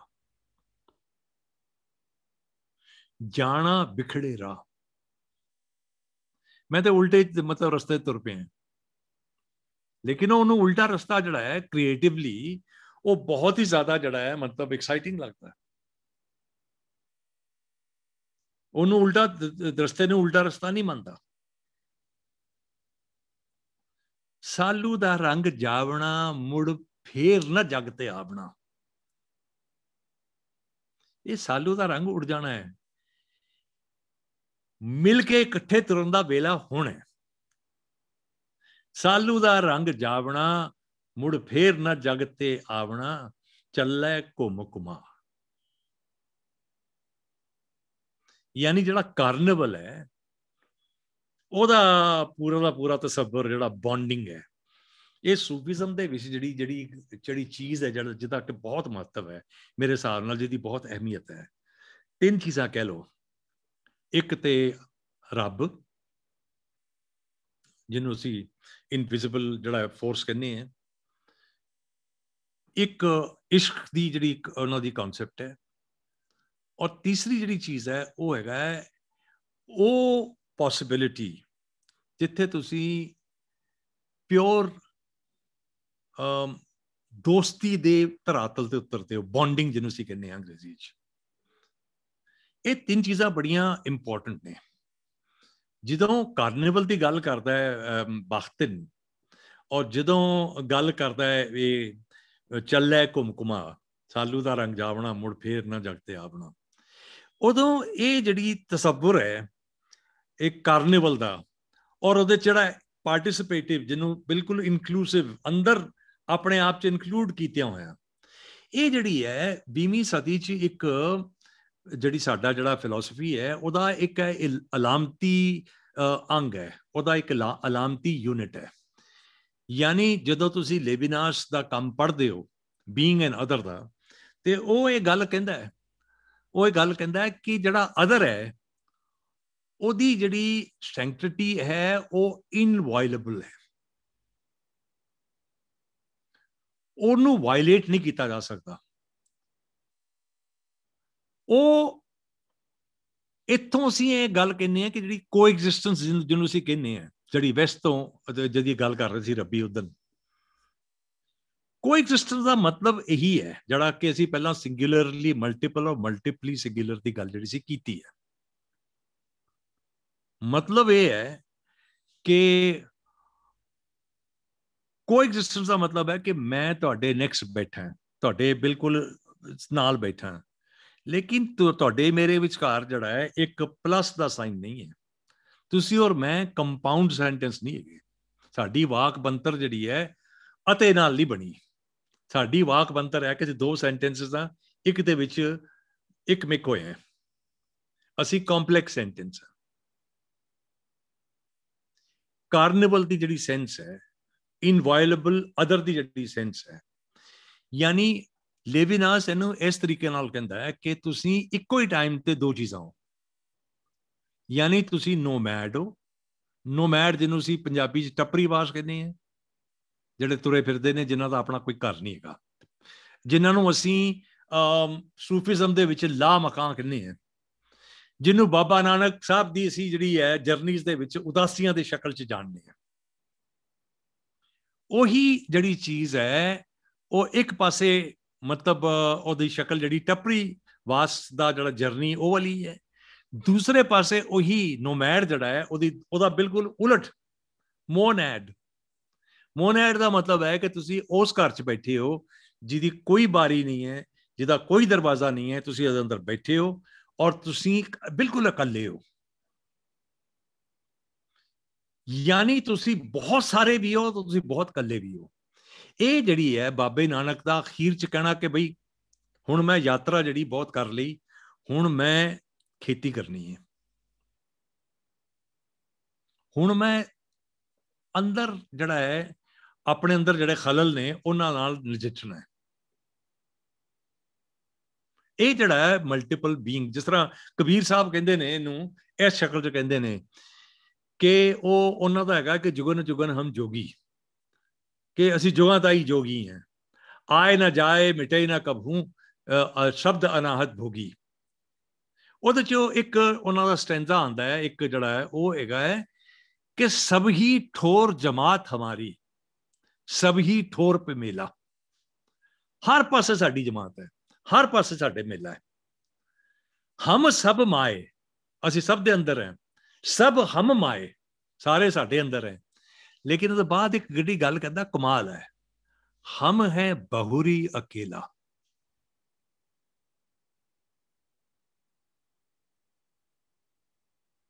ਇਹ ਜਿਹੜੀ ਆਪਣੇ ਆਪ ਜਿਹੜੀ ਚੀਜ਼ ਹੈ, ਇਹ ਗਜ਼ਬ ਹੈ। ਇਹ ਉਹੀ ਚੀਜ਼ ਹੈ ਜਿਹੜੀ ਬਾਬਾ ਬੁੱਲੇ ਸ਼ਾਹ ਜਿਹੜੇ ਨੇ ਪਹਿਲਾਂ ਕਹਿੰਦੇ ਬਾਅਦ ਚ ਕਹਿੰਦੇ ਨੇ ਕਿ 14 ਤਬਕੀ ਸੈਰ ਸਾਡਾ ਕਿਤੇ ਨਾ ਹੁੰਦਾ ਕੈਦ। ਮੈਂ ਬੇਕੈਦ ਮੈਂ ਬੇਕੈਦ, ਨਾ ਰੋਗੀ ਨਾ ਬੈਦ ਇਹ ਜਿਹੜਾ ਨਿਗੇਸ਼ਨ ਚ ਆਪਣੀ ਆਇਡੈਂਟੀਟੀ ਨੂੰ ਸਾਹਮਣੇ ਰੱਖਣਾ। ਇਹ ਮਤਲਬ ਤੁਸੀਂ ਅਰਬਦ ਨਰਬਤ ਤੰਦੂਕਾਰਾ ਦੇਖ ਲਓ ਗੁਰੂ ਨਾਨਕ ਸਾਹਿਬ ਦਾ। ਹੈ ਨਾ? ਵਿਸਮਾਦ ਨਾਥ ਦੇਖ ਲਓ, ਜਿਹਦੇ ਵਿੱਚ ਮਲਟੀਪਲਿਸਿਟੀ ਦਾ ਇੱਕ ਜਿਹੜਾ ਹੈ ਨਾ, ਇੱਕ ਅਜੀਬ ਬੜਾ ਹੀ ਵਸੀ ਤਸੱਵਰ ਹੈ। ਅਰਬਦ ਨਰਬਤ ਦੇਖ ਲਓ ਨਿਗੇਸ਼ਨ ਦੇ ਵਿੱਚ ਆਪਣੇ ਆਪ ਨੂੰ ਆਇਡੈਂਟੀਟੀ ਦਾ, ਉਹਨੂੰ ਉਹ ਨਹੀਂ ਦੱਸਦੇ ਕਿ ਮੈਂ ਕੀ ਹਾਂ। ਉਹ ਤੁਹਾਨੂੰ ਇਹ ਦੱਸਣਗੇ ਕਿ ਮੈਂ ਕੀ ਨਹੀਂ ਹਾਂ ਮੈਂ ਕੀ ਕਦੀ ਵੀ ਨਹੀਂ ਹੋਵਾਂਗਾ।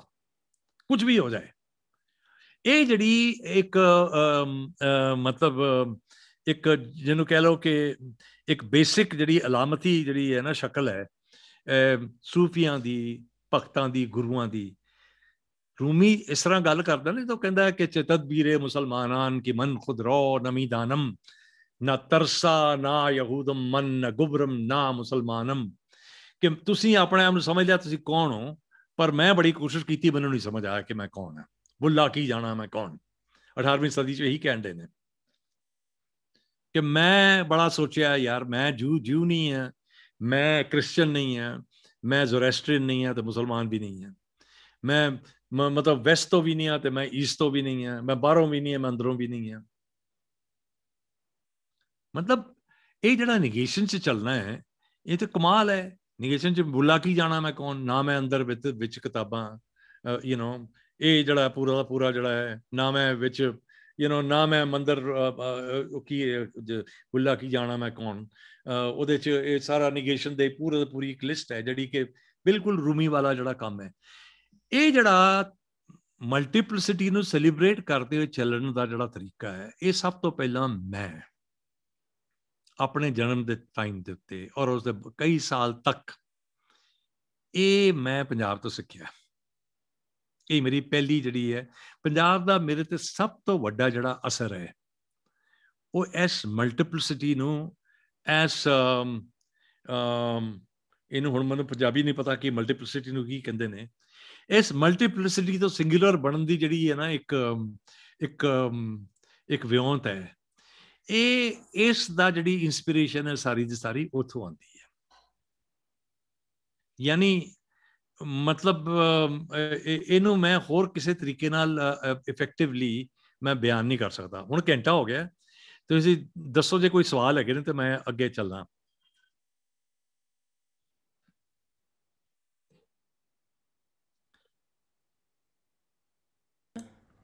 ਅੱਛਾ ਮੈਂ ਕਰਾਂ? ਅੱਗੇ? ਹਾਂਜੀ ਅਸੀਂ ਅਸੀਂ ਤੁਹਾਡੇ ਤੋਂ ਥੋੜਾ ਜਿਹਾ ਹੁਣ ਮੈਂ ਦੂਜੇ ਹਾਂਜੀ। ਮੈਂ ਦੂਜੇ ਪਾਸੇ ਆਉਣਾ। ਹਾਂਜੀ ਹਾਂਜੀ। ਮੇਰੀ ਜ਼ਿੰਦਗੀ 'ਚ ਤਿੰਨ ਸ਼ਹਿਰ ਜਿਹੜੇ ਨੇ ਇੰਪੋਰਟੈਂਟ ਨੇ। ਉਹਨਾਂ ਦਾ ਮਹੱਤਵ ਹੈ ਉਹਨਾਂ ਦੀ ਅਹਿਮੀਅਤ ਹੈ। ਇੱਕ ਅੰਮ੍ਰਿਤਸਰ ਜਿੱਥੇ ਮੇਰੀ ਪਦਾਇਸ਼ ਹੈ ਜਿੱਥੇ ਮੈਂ ਬਾਰ-ਬਾਰ ਜਾਂਦਾ ਰਿਹਾ। ਔਰ ਜਿੱਥੇ ਮੇਰਾ ਅੱਜ ਵੀ ਨਾਨਕਾ ਘਰ ਹੈ। ਹੁਣ ਉਹ ਦਰਬਾਰ ਸਾਹਿਬ ਦੇ ਲਾਗੇ ਨਹੀਂ ਹੈ, ਕਿਉਂਕਿ ਜਦੋਂ ਉਹ 84 ਦਾ ਪੂਰਾ ਹੋਇਆ ਸੀਗਾ ਤੇ ਉਦੋਂ ਦਰਬਾਰ ਸਾਹਿਬ ਦੇ ਲਾਗੇ ਜਿੰਨਾ ਵੀ ਸੀਗਾ, ਉਹ ਪੂਰਾ ਪੂਰਾ ਉਹਨਾਂ ਢਾ ਦਿੱਤੇ ਸੀਗੇ ਸਾਰੇ ਘਰ। ਉਹਨਾਂ ਬੰਦਿਆਂ ਨੂੰ ਫਿਰ ਉਹਨਾਂ ਨੇ ਬਾਹਰ ਸ਼ਹਿਰ ਦੇ ਮਤਲਬ ਜਿਹੜੇ ਹੈਗੇ ਸੀਗੇ ਜ਼ਿਆਦਾ ਜਿਹੜੇ ਮਹਿੰਗੀਆਂ ਮਹਿੰਗੀਆਂ ਕਾਲੋਨੀਆਂ, ਉੱਥੇ ਜਿਹੜਾ ਉਹਨਾਂ ਨੇ ਉਹਨਾਂ ਨੂੰ ਸੈਟਲ ਕੀਤਾ ਸੀਗਾ।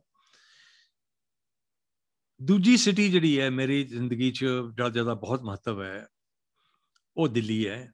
ਤੇ ਤੀਸਰਾ ਜਿਹੜਾ ਹੈ, ਛੋਟਾ ਉਹ ਸਿਟੀ ਨਹੀਂ ਹੈ, ਉਹ ਕਸਬਾ ਹੈ। ਉਹਦਾ ਜਿਹੜਾ ਮਹੱਤਵ ਹੈ, ਉਹ ਇਸ ਕਰਕੇ ਹੈ ਕਿ ਗਰਮੀ ਦੀਆਂ ਛੁੱਟੀਆਂ 'ਚ ਮੇਰੇ ਪਿਤਾ ਪੂਰੇ ਪਰਿਵਾਰ ਨੂੰ ਲੈ ਕੇ 2 ਮਹੀਨੇ ਲਈ ਤੋਂ ਸ਼ਿਫਟ ਹੋ ਜਾਂਦੇ ਸੀ ਉਹਦਾ ਨਾਮ ਸੀ ਡਲਹੌਜ਼ੀ ਉਹ ਪੰਜਾਬ ਦਾ ਹੀ ਉਦੋਂ ਇੱਕ ਛੋਟਾ ਜਿਹਾ ਮਤਲਬ ਹਿਲ ਸਟੇਸ਼ਨ ਸੀ। ਬਾਅਦ ਚ ਹਿਮਾਚਲ ਜਾ ਗਿਆ। ਪੰਜਾਬੀ ਸੂਬਾ ਬਣਨ ਤੋਂ ਬਾਅਦ। ਅਸੀਂ ਉੱਥੇ ਤਕਰੀਬਨ ਉੱਥੇ ਜੰਗਲ ਚੋਂ ਨਿਕਲਦੀ ਹੋਈ ਹਵਾ ਹਵਾ ਨੂੰ ਸੁਣਨਾ, ਉਹ ਹਵਾ ਜਦੋਂ ਪੂਰੇ ਜੰਗਲ 'ਚ ਹਵਾ ਜਿਹੜੀ ਚੱਲਦੀ ਹੈ, ਉਸ ਹਵਾ ਦੀ ਜਿਹੜੀ ਸਾਊਂਡ ਹੈ, ਉਹਦੀ ਜਿਹੜੀ ਉਹਦੀ ਧੁਨੀ ਹੈ, ਉਹ ਉਹ ਇੱਕ ਜਾਦੂਈ ਅਸਰ ਹੈ ਉਹਦਾ। ਉਹਨੂੰ ਬਿਆਨ ਕਰ ਸਕਣਾ ਲਫ਼ਜ਼ਾਂ 'ਚ ਬੜਾ ਔਖਾ ਹੈ। ਉਹ ਮਿਊਜ਼ੀਕਲ ਵੀ ਹੈ, ਉਹਦੇ ਅੰਦਰ ਇੱਕ ਅਜੀਬ ਜਿਹੀ ਮਿਊਜ਼ਿਕ ਵੀ ਭਰਿਆ ਹੈ। ਉਹ ਜੰਗਲਾਂ 'ਚ ਅਸੀਂ ਜਾ ਕੇ ਰਹਿੰਦੇ ਸੀਗੇ, ਮਤਲਬ ਇੱਕ ਘਰ ਲੈਣਾ ਸਸਤਾ ਜਿਹਾ ਪਾਪਾ ਜੀ ਕੋਲ, ਇੰਨਾ ਪੈਸਾ ਨਹੀਂ ਸੀ ਕਿ ਇੱਕ ਬਹੁਤ ਵੱਡੇ ਘਰ 'ਚ, ਬੜਾ ਸ਼ਹਿਰ ਦੇ ਬਿਲਕੁਲ ਸੈਂਟਰ 'ਚ ਘਰ ਲੈ ਸਕਦੇ। ਅਸੀਂ ਜੰਗਲ 'ਚ ਜਾ ਕੇ ਰਹਿਣਾ, ਉੱਥੇ ਇੱਕ ਅਸੀਂ ਸਮਝ ਲਓ ਕਿ ਇੱਕ ਛੋਟਾ ਜਿਹਾ ਘਰ ਲੈ ਲੈਣਾ, ਜਿਹਨੂੰ ਕੁਟਿਆ ਹੀ ਕਹਿ ਲਓ। ਉੱਥੇ ਰਹਿਣਾ ਤੇ ਅਸੀਂ ਉਸ ਹਿਸਾਬ ਨਾਲ ਨੇਚਰ ਦੇ ਬਹੁਤ ਕੋਲ ਹੋ ਜਾਂਦੇ ਸੀ। ਬਹੁਤ ਹੀ ਨੇੜੇ, ਨਜ਼ਦੀਕ ਇੰਨਾ ਕਿ ਕਈ ਵਾਰੀ ਜਿਹੜੇ ਨੇ ਭਾਲੂ ਆ ਜਾਣੇ ਰਾਤੀ। ਤੇ ਉਹਨਾਂ ਨੇ ਦਰਵਾਜ਼ੇ ਤੇ ਆ ਕੇ, ਲੱਕੜੀ ਦੇ ਦਰਵਾਜ਼ੇ ਤੇ ਆਪਣੇ ਨੌ ਜਿਹੜੇ ਨੇ ਖੁਰਚਨੇ। ਤੇ ਮੇਰੀ ਮਾਂ ਨੂੰ ਜਿਹੜਾ ਹੈ ਨਾ ਇੱਕਦਮ ਬੜਾ ਡਰ ਲੱਗਦਾ। ਤੇ ਮੇਰੇ ਪਾਪਾ ਜੀ ਜਾ ਕੇ ਫਿਰ ਨਾ ਉੱਥੇ ਉਹਨਾਂ ਨੂੰ ਉਥੋਂ ਭਜਾਉਂਦੇ। ਉਹ ਬਜਾਮ ਭਜਦੇ ਨਹੀਂ ਸੀ ਉਹ। ਉਹ ਉੱਥੇ ਹੀ ਖੜੇ ਰਹਿੰਦੇ ਸੀ। ਦਰਵਾਜ਼ਾ ਤੇ ਖੋਲਣ ਦਾ ਕੋਈ ਸਵਾਲ ਹੀ ਨਹੀਂ ਸੀ, ਕਿਉਂਕਿ ਦਰਵਾਜ਼ਾ ਖੋਲੋ ਤੇ ਫਿਰ ਉਹ, ਫਿਰ ਤੇ ਮਤਲਬ ਕੋਈ ਬਚੇਗਾ ਹੀ ਨਹੀਂ। ਤੇ ਕਦੀ ਕਈ ਵਾਰੀ ਉੱਥੇ ਜਿਹੜੇ ਵੱਡੇ ਵੱਡੇ ਜਿਹੜੇ ਹਿਰਨ ਹੁੰਦੇ ਨੇ ਉਹ ਆ ਕੇ ਖੜੇ ਹੋਏ ਆ ਨਾ, ਅਡੋਲ, ਬਿਲਕੁਲ। ਇਦਾਂ ਲੱਗੇ ਕਿ ਹਿਰਨ ਹੈ ਹੀ ਨਹੀਂ, ਇੱਕ ਇਹ ਕਿਸੇ ਨੇ ਜਿਹੜਾ ਹੈ ਨਾ, ਉਹ ਕੀ ਕਹਿੰਦੇ ਨੇ ਸਕਲਪਚਰ ਇੱਕ ਜਿਹੜਾ ਹੈ, ਖੜਾ ਕਰ ਦਿੱਤਾ ਹੈ। ਕਦੀ ਧੁੰਦ 'ਚ ਪੂਰਾ ਪੂਰਾ ਜੰਗਲ ਗਾਇਬ ਹੋ ਜਾਣਾ, ਕਦੀ ਫਿਰ ਭਾਰਤੀਆਂ ਟੀਸੀਆਂ ਨਿਕਲ ਆਣੀਆਂ ਮਤਲਬ ਉਹ, ਉਹਦੇ 'ਚ ਪਾਪਾ ਜੀ ਦੀ ਸ਼ਾਇਰੀ ਵੀ ਬੜੀ ਹੋਈ, ਉਹਦੇ ਸਾਡਾ ਜਿਹੜਾ ਹੈ ਉਹ ਮੁੱਢਲਾ ਜਿਹੜੀ ਹੈ ਇੱਕ ਨੇਚਰ ਨੂੰ, ਜਿਹੜੀ ਹੈ ਕੁਦਰਤ ਨੂੰ ਆਪਣੇ ਅੰਦਰ ਜਿਹੜੀ ਹੈ ਮਤਲਬ ਸਮੋਹਿਤ ਕਰਨਾ, ਆਪਣੇ ਅੰਦਰ ਪੂਰਾ ਪਾ ਲੈਣਾ, ਉਹਦਾ ਵੀ ਇੱਕ ਜਿਹੜਾ ਹੈ, ਉੱਥੇ ਫਿਰ ਅਸੀਂ ਫਿਲਮਾਂ ਵੇਖਣੀਆਂ ਸ਼ੁਰੂ ਕੀਤੀਆਂ। ਹਾਲਾਂਕਿ ਫਿਲਮਾਂ ਦਾ ਜਿਹੜਾ ਜਦੋਂ ਅੰਮ੍ਰਿਤਸਰ ਸੀਗੇ, ਉਦੋਂ ਉੱਥੇ ਸਿਨੇਮੇ ਹੁੰਦੇ ਸੀਗੇ, ਜਿਨ੍ਹਾਂ ਦੇ ਨਾਮ ਸੀਗੇ ਸ਼ਾਲੀਮਾਰ ਤੇ ਕੀ ਕਹਿੰਦੇ ਨੇ ਸ਼ਿਰਾਜ਼, ਸ਼ਾਇਦ ਸ਼ਿਰਾਜ਼ ਨਹੀਂ ਸੀ ਸ਼ਾਲੀਮਾਰ ਸੀਗਾ ਤੇ ਇੱਕ ਸੀਗਾ, ਇੱਕ ਨਿਸ਼ਾਤ, ਇੱਕ ਸੀਗਾ ਫਿਰ ਇਹ ਇਹਦੇ, ਇਹ ਜਿਹੜੇ ਸੀਗੇ, ਇਹ ਉਰਦੂ ਦੇ ਨਾਮ ਸੀਗੇ। ਕੁਝ ਸੰਸਕ੍ਰਿਤ ਟਾਈਪ ਨਾਮ ਸੀਗੇ, ਜਿੱਦਾਂ ਕਿ ਚਿਤਰਾ, ਜਿੱਦਾਂ ਪ੍ਰਕਾਸ਼, ਜਿੱਦਾਂ ਇਹ ਇਦਾਂ ਦੇ ਕੁਝ ਅੰਗਰੇਜ਼ੀ ਨਾਮ ਵੀ ਸੀਗੇ। ਜਿੱਦਾਂ ਸਿਟੀ ਲਾਈਟ ਜਿੱਦਾਂ ਨਿਊ ਰਾਇਲਟੋ ਹੁਣ ਮੈਂ ਸੋਚਣਾ ਕਿ ਉਹ ਜਿਹੜਾ, ਇਹ ਜਿਹੜੇ ਤਿੰਨ ਕਿਸਮ ਦੇ ਨਾਂ ਨੇ, ਇਹ ਤਿੰਨ ਕਿਸਮ ਦੇ ਨਾਂ ਰਿਪਰੈਜ਼ੈਂਟ ਕਰਦੇ ਨੇ, ਇਹ ਦਰਸਾਉਂਦੇ ਨੇ, ਦਿਖਾਉਂਦੇ ਨੇ ਕਿ ਉਹਦੇ ਪਾਸਟ ਦੇ ਵਿੱਚ ਸੰਸਕ੍ਰਿਤ ਵੀ ਪਈ ਹੈ, ਉਹਦੇ ਪਾਸਟ ਦੇ ਵਿੱਚ ਉਰਦੂ ਵੀ ਪਈ ਹੈ ਜਾਂ ਪਰਸ਼ੀਅਨ ਵੀ ਪਈ ਹੈ, ਉਹਦੇ ਪਾਸ ਦੇ ਵਿੱਚ ਇੱਕ ਪੂਰਾ ਕਲੋਨੀਅਲ ਪਾਸਟ ਵੀ ਹੈਗਾ। ਅਸੀਂ ਉੱਥੇ ਬੈਠ ਕੇ ਫਿਲਮਾਂ ਵੇਖਦੇ ਸੀ। ਉਹ ਫਿਲਮਾਂ ਵੇਖਦੇ, ਦੋ ਕੰਮ ਹੁੰਦੇ ਸਾਨੂੰ, ਫਿਲਮਾਂ ਵੇਖਣੀਆਂ ਤੇ ਨਾਲ ਹੀ ਅਸੀਂ ਜਦੋਂ ਪੈਦਲ ਜਾਣਾ, ਤੇ ਪੈਦਲ ਜਾਣਾ ਤੇ ਉੱਥੇ ਜਿਹੜੇ ਜਿਹੜੇ ਹੁੰਦੇ ਸੀ ਨਾ, ਅਸੀਂ ਉਹਨਾਂ ਨੂੰ ਭੋਲੇ ਕਹਿੰਦੇ ਸੀ ਪਤਾ ਨਹੀਂ ਉਹ ਮਤਲਬ ਜਿਹਨੂੰ ਅਸੀਂ ਬੇਸਮੈਂਟ ਕਹਿੰਦੇ ਆ ਉਹ ਬੇਸਮੈਂਟਾਂ ਦੇ ਉੱਪਰ ਜਿਹੜੇ ਜਾਲੀਆਂ ਲੱਗੀਆਂ ਹੁੰਦੀਆਂ ਸੀ, ਉਹਨਾਂ ਚੋਂ ਸਾਨੂੰ ਚਾਹ ਦੀ ਬੜੀ ਖੁਸ਼ਬੂ ਆਣੀ ਤੇ ਸਾਨੂੰ ਸਮਝ ਨਾ ਆਇਆ ਕਿ ਚਾਹ ਪੱਤੀ, ਫਿਰ ਸਾਨੂੰ ਪਤਾ ਲੱਗਾ ਕਿ ਇੱਥੇ ਦਾ ਵਪਾਰ ਜਿਹੜਾ ਹੈ, ਇਹ ਤਾਂ ਬੜਾ ਵੱਡਾ ਵਪਾਰਿੰਗ ਮਤਲਬ ਟ੍ਰੇਡਿੰਗ ਸੈਂਟਰ ਹੈ। ਵਪਾਰ ਦਾ ਬਹੁਤ ਵੱਡਾ ਇਹ ਸੈਂਟਰ ਹੈ ਅੰਮ੍ਰਿਤਸਰ। ਫਿਰ ਸਾਨੂੰ ਕਿਸੇ ਨੇ ਦੱਸਿਆ ਕਿ ਇੱਥੇ ਜਿਹੜੇ ਪਾਪੜ ਵੜੀਆਂ ਤੇ ਚਾਹ ਤੇ ਇੱਥੋਂ ਦਾ ਜਿਹੜਾ ਕਪੜਾ ਹੈ, ਉਹਦਾ ਜਿਹੜਾ ਇੰਨਾ ਵੱਡਾ ਟ੍ਰੇਡ ਦਾ ਸੈਂਟਰ ਹੈ, ਇਹਦਾ ਰੂਟ ਜਿਹੜਾ ਸਿੱਧਾ ਸਿੱਧਾ ਉਹ ਸੈਂਟਰਲ ਏਸ਼ੀਆ ਦੇ ਨਾਲ ਜਾਂਦਾ ਸੀਗਾ।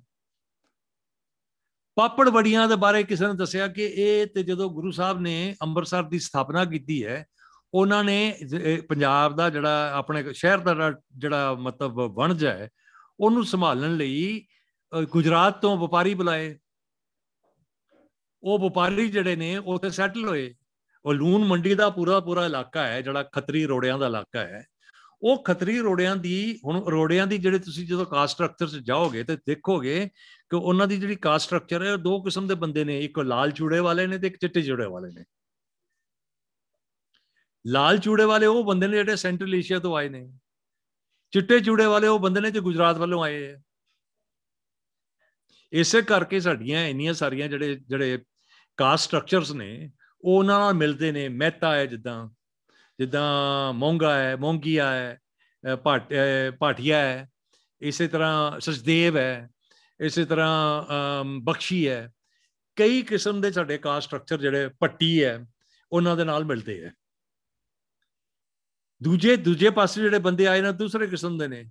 ਉਹਨਾਂ ਦੇ ਵਿੱਚ ਅਜੇ ਵੀ ਦੂਸਰੇ ਮਤਲਬ ਕਿੱਤਿਆਂ ਦੇ ਜਿਹੜੇ ਨੇ ਅਸਰ ਨਜ਼ਰ ਆਉਂਦੇ ਨੇ। ਸੋ ਇਹ ਭਾਵੇਂ ਅਸੀਂ ਅੱਜ ਸਾਨੂੰ ਪੰਜਾਬ ਜਿਹੜੀ ਹੈ, ਹਾਲਾਂਕਿ ਵੈਸੇ ਤੁਸੀਂ ਅੱਜ ਵੀ ਤਰੀਕ ਵੀ ਜਾਓ ਉੱਥੇ, ਉਥਾ ਪੰਜਾਬ ਦੀ ਅੰਮ੍ਰਿਤਸਰ ਦਾ ਖਾਸ ਤੌਰ ਤੇ ਭਾਸ਼ਾ ਵਿਗਿਆਨਿਕ ਜੇ ਤੁਸੀਂ ਉਹਦਾ ਅਧਿਐਨ ਕਰੋ, ਤੁਹਾਨੂੰ ਪਤਾ ਲੱਗੇਗਾ ਕਿ ਜਿਹੜੀ ਲੂਣ ਮੰਡੀ ਦੀ ਪੰਜਾਬੀ ਹੈ ਤੇ ਲੂਣ ਮੰਡੀ ਦੇ ਬਾਹਰ ਦੀ ਜਿਹੜੀ ਪੰਜਾਬੀ ਹੈ, ਉਹਨਾਂ ਦੇ ਆਪਸ ਜਿਹੜੇ ਨੇ ਕਿਸ ਕਿਸਮ ਦੇ ਉਹਨਾਂ ਦੇ ਥੋੜੇ ਥੋੜੇ ਜਿਹੜੇ ਸ਼ਿਫਟ ਨੇ। ਤੇ ਜੇ ਤੁਸੀਂ ਬਿਲਕੁਲ ਬਾਹਰ, ਜਿਹੜਾ ਦਿਹਾਤ ਹੈ, ਅੰਮ੍ਰਿਤਸਰ ਦਾ ਉਹਦੇ ਚਾਹ ਜਾਓ, ਤੁਹਾਨੂੰ ਪਤਾ ਲੱਗੇਗਾ ਕਿ ਦਿਹਾਤ ਦੀ ਪੰਜਾਬੀ ਬਿਲਕੁਲ ਅਲੱਗ ਹੈ। ਸ਼ਹਿਰੀ ਪੰਜਾਬੀ ਦੋ ਕਿਸਮ ਦੀ, ਲੂਣ ਮੰਡੀ ਦੀ ਅਲੱਗ ਹੈ ਬਾਹਰ ਦੇ ਜਿਹੜੇ ਬੰਦੇ ਆਏ ਨੇ, ਉਹਨਾਂ ਦੀ ਅਲੱਗ ਹੈ। ਜਿਹੜੇ ਅੰਮ੍ਰਿਤਸਰ ਦਾ ਦਰਬਾਰ ਸਾਹਿਬ, ਉਹਦੇ ਲਾਗੇ ਜਿਹੜੀ ਜਿਹੜੀ ਹੈਗੀ ਉਹ ਅਲੱਗ ਹੈ। ਸ਼ਹੀਦਾਂ ਅੰਮ੍ਰਿਤਸਰ ਤੇ ਬਾਕੀ ਜਿੰਨੇ ਵੀ ਗੁਰਦੁਆਰੇ ਇਹਨਾਂ ਦੇ ਜਿਹੜੇ ਤੁਸੀਂ ਚਲੇ ਜਾਓ ਕੀ ਕਹਿੰਦੇ ਨੇ, ਆਪਣਾ ਹਾਲ ਬਾਜ਼ਾਰ ਹਾਲ ਬਾਜ਼ਾਰ ਦੀ ਪੰਜਾਬੀ ਅਲੱਗ ਹੈ। ਇਹ ਜਿਹੜੀਆਂ ਅੱਡ ਜਿਹੜੀਆਂ ਚੀਜ਼ਾਂ ਨੇ, ਇਹਨਾਂ ਦਾ ਉਸ ਵੇਲੇ ਸਾਨੂੰ ਸਮਝ ਨਹੀਂ ਸੀ ਆਉਂਦੀ ਕਿ ਹੈ ਕੀ ਹੈ। ਹੌਲੀ ਹੌਲੀ ਪਤਾ ਲੱਗਣਾ ਸ਼ੁਰੂ ਹੋਇਆ ਕਿ ਇਹ ਤੇ ਲਾਹੌਰ, ਜਿੱਥੋਂ ਕਿ ਮੇਰੇ ਪਿਤਾ ਜੀ ਦਾ ਜਿਹੜਾ ਤਲਕ ਹੈ ਇਹ ਜਿਹੜੀਆਂ ਦੋ ਸ਼ਹਿਰ ਨੇ, ਇਹ ਬੜੇ ਵੱਡੇ ਟ੍ਰੇਡਿੰਗ ਸੈਂਟਰ ਸੀਗੇ। ਔਰ ਉਹਨਾਂ ਟ੍ਰੇਡਿੰਗ ਸੈਂਟਰ ਦੀ ਮਲਟੀਪਲਿਸਿਟੀ ਸਾਨੂੰ ਸਮਝ ਆਣੀ ਸ਼ੁਰੂ ਹੋਈ। ਇਸ ਕਰਕੇ ਉਹਨਾਂ ਦੀ ਕਲਚਰਲ ਜਿਹੜੀ ਵਾਈਬ੍ਰੈਂਸੀ ਹੈ, ਉਹ ਸਮਝ ਆਣੀ ਸ਼ੁਰੂ ਹੋਈ। ਕਿਉਂ ਉਹ ਐਜੂਕੇਸ਼ਨ ਦੇ ਨੇ ਵੱਡੇ ਸੈਂਟਰ ਬਣੇ? ਕਿਉਂ ਲਾਹੌਰ ਚ ਜਿਹੜਾ ਸੀ ਗਵਰਨਮੈਂਟ ਕਾਲਜ ਇੰਨਾ ਇੰਪੋਰਟੈਂਟ ਹੋਇਆ, ਇੱਥੇ ਖਾਲਸਾ ਕਾਲਜ ਇੰਨਾ ਇੰਪੋਰਟੈਂਟ ਹੋਇਆ, ਇੱਥੇ ਇੱਥੇ ਲਾਹੌਰ ਦੇ ਵਿੱਚ 뮤직 ਦੇ ਕਿਉਂ ਇੰਨੇ ਵੱਡੇ ਸੈਂਟਰ ਹੋਏ? ਇਥੋਂ ਦਾ ਜਿਹੜਾ ਜਿਹੜਾ ਸੀਗਾ, ਉਹ ਇਹ ਜਿਹੜੀਆਂ ਚੀਜ਼ਾਂ ਸੀ, ਇਹਨਾਂ ਨੇ ਸਾਡੇ ਤੇ ਖਾਸੇ ਅਸਰ ਕੀਤੇ। ਤੇ ਉਸ ਵਕਤ ਅਸੀਂ ਫਿਰ ਅਸੀਂ ਰੇਡੀਓ ਸੁਣਦੇ ਰਹਿਣਾ। ਰੇਡੀਓ ਤੇ ਅਸੀਂ ਬਾਹਰ ਦੇ ਜਿਹੜੇ ਸਟੇਸ਼ਨ ਸੁਣਦੇ ਸੀ, ਉਹਦੇ 'ਚ ਜਿਹੜੀਆਂ ਵੇਵਸ ਆਉਂਦੀਆਂ ਸੀ, ਉਹ ਕਦੀ ਡੁੱਬ ਜਾਣੀਆਂ, ਕਦੀ ਉੱਪਰ ਹੋ ਜਾਣੀਆਂ ਇਦਾਂ ਚੱਲਦੇ ਸੀਗੇ। ਲੇਕਿਨ ਸਾਨੂੰ ਬਚਪਨ ਤੋਂ ਹੀ ਤਰੀ ਤਾਲੀਮ ਇਹੀ ਸੀ ਕਿ ਤੁਸੀਂ ਹਰ ਕਿਸਮ ਦਾ 뮤직 ਸੁਣੋ। ਉਹ ਅਸੀਂ ਸੁਣਦੇ ਸੀ ਤੇ ਰੇਡੀਓ ਪਾਕਿਸਤਾਨ, ਲਾਹੌਰ ਅਸੀਂ ਖਾਸ ਤੌਰ ਤੇ ਸੁਣਦੇ ਸੀ ਉੱਥੇ ਅਸੀਂ ਕਈ ਕਿਸਮ ਦੀਆਂ ਆਮਦਾਂ ਸੁਣਦੇ ਸੀਗੇ।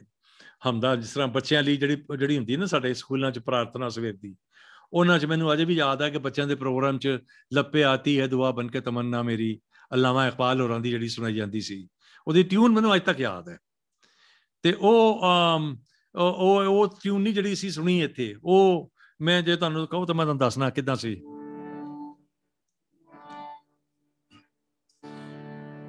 लपिया ते है दुआ बन के तमन्ना मेरी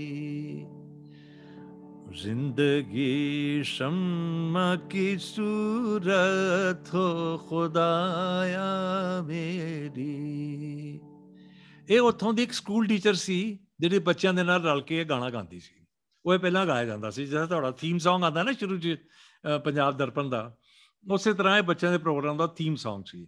ਉੱਥੇ ਮੈਂ ਪਹਿਲੀ ਵਾਰੀ ਕਵਾਲੀ ਸੁਣੀ। ਉਹ ਕਵਾਲੀ ਸੁਣੀ ਤੇ ਮੈਨੂੰ ਪਤਾ ਨਹੀਂ ਸੀ ਕਵਾਲੀ ਹੁੰਦੀ ਕੀ ਹੈ, ਤਾਂ ਮੈਂ ਬੜਾ ਮਤਲਬ ਹੈਰਾਨ ਹੋ ਗਿਆ ਕਿ ਇਹ ਕੀ ਚੀਜ਼ ਹੈ। ਉਹ ਕਵਾਲੀ ਗਾ ਰਹੇ ਸੀਗੇ ਨੁਸਰਤ ਫਤਿਹ ਅਲੀ ਹੋਰਾਂ ਦੇ ਪਿਤਾ ਜੀ ਤੇ ਉਹਨਾਂ ਦੇ ਤਾਇਆ ਜੀ ਫਤਿਹ ਅਲੀ ਮੁਬਾਰਕ ਅਲੀ। ਉਹ ਕਵਾਲੀ ਜਿਹੜੀ ਸੀ, ਕਲਾਮ ਸੀਗਾ ਆਪਣਾ ਬਾਬਾ ਬੁੱਲੇ ਸ਼ਾਹ ਦਾ। ਉਹਦੀ ਵੀ ਕੁਝ ਕੁਝ ਟਿਊਨ ਮੈਨੂੰ ਯਾਦ ਹੈ ਮੈਂ ਪਾਪਾ ਜੀ ਕੋਲ ਗਿਆ ਤਾਂ ਮੈਂ ਪੁੱਛਿਆ, ਕਵਾਲੀ ਕੀ ਹੁੰਦੀ ਹੈ? ਉਹਨਾਂ ਨੇ ਫਿਰ ਮੈਨੂੰ ਬਿਠਾ ਕੇ ਬੜੇ ਮਤਲਬ ਇਤਮਾਨਾਨ ਨਾਲ ਬੜੇ ਜਿਹੜੇ ਧੀਰਜ ਨਾਲ ਸਮਝਾਇਆ ਕਿ ਕਵਾਲੀ ਹੁੰਦੀ ਕੀ ਹੈ। ਉਹ ਮੈਨੂੰ ਉਦੋਂ ਕਵਾਲੀ ਨਹੀਂ ਤੇਜ਼ ਨਹੀਂ ਸੀ ਹੁੰਦੀ।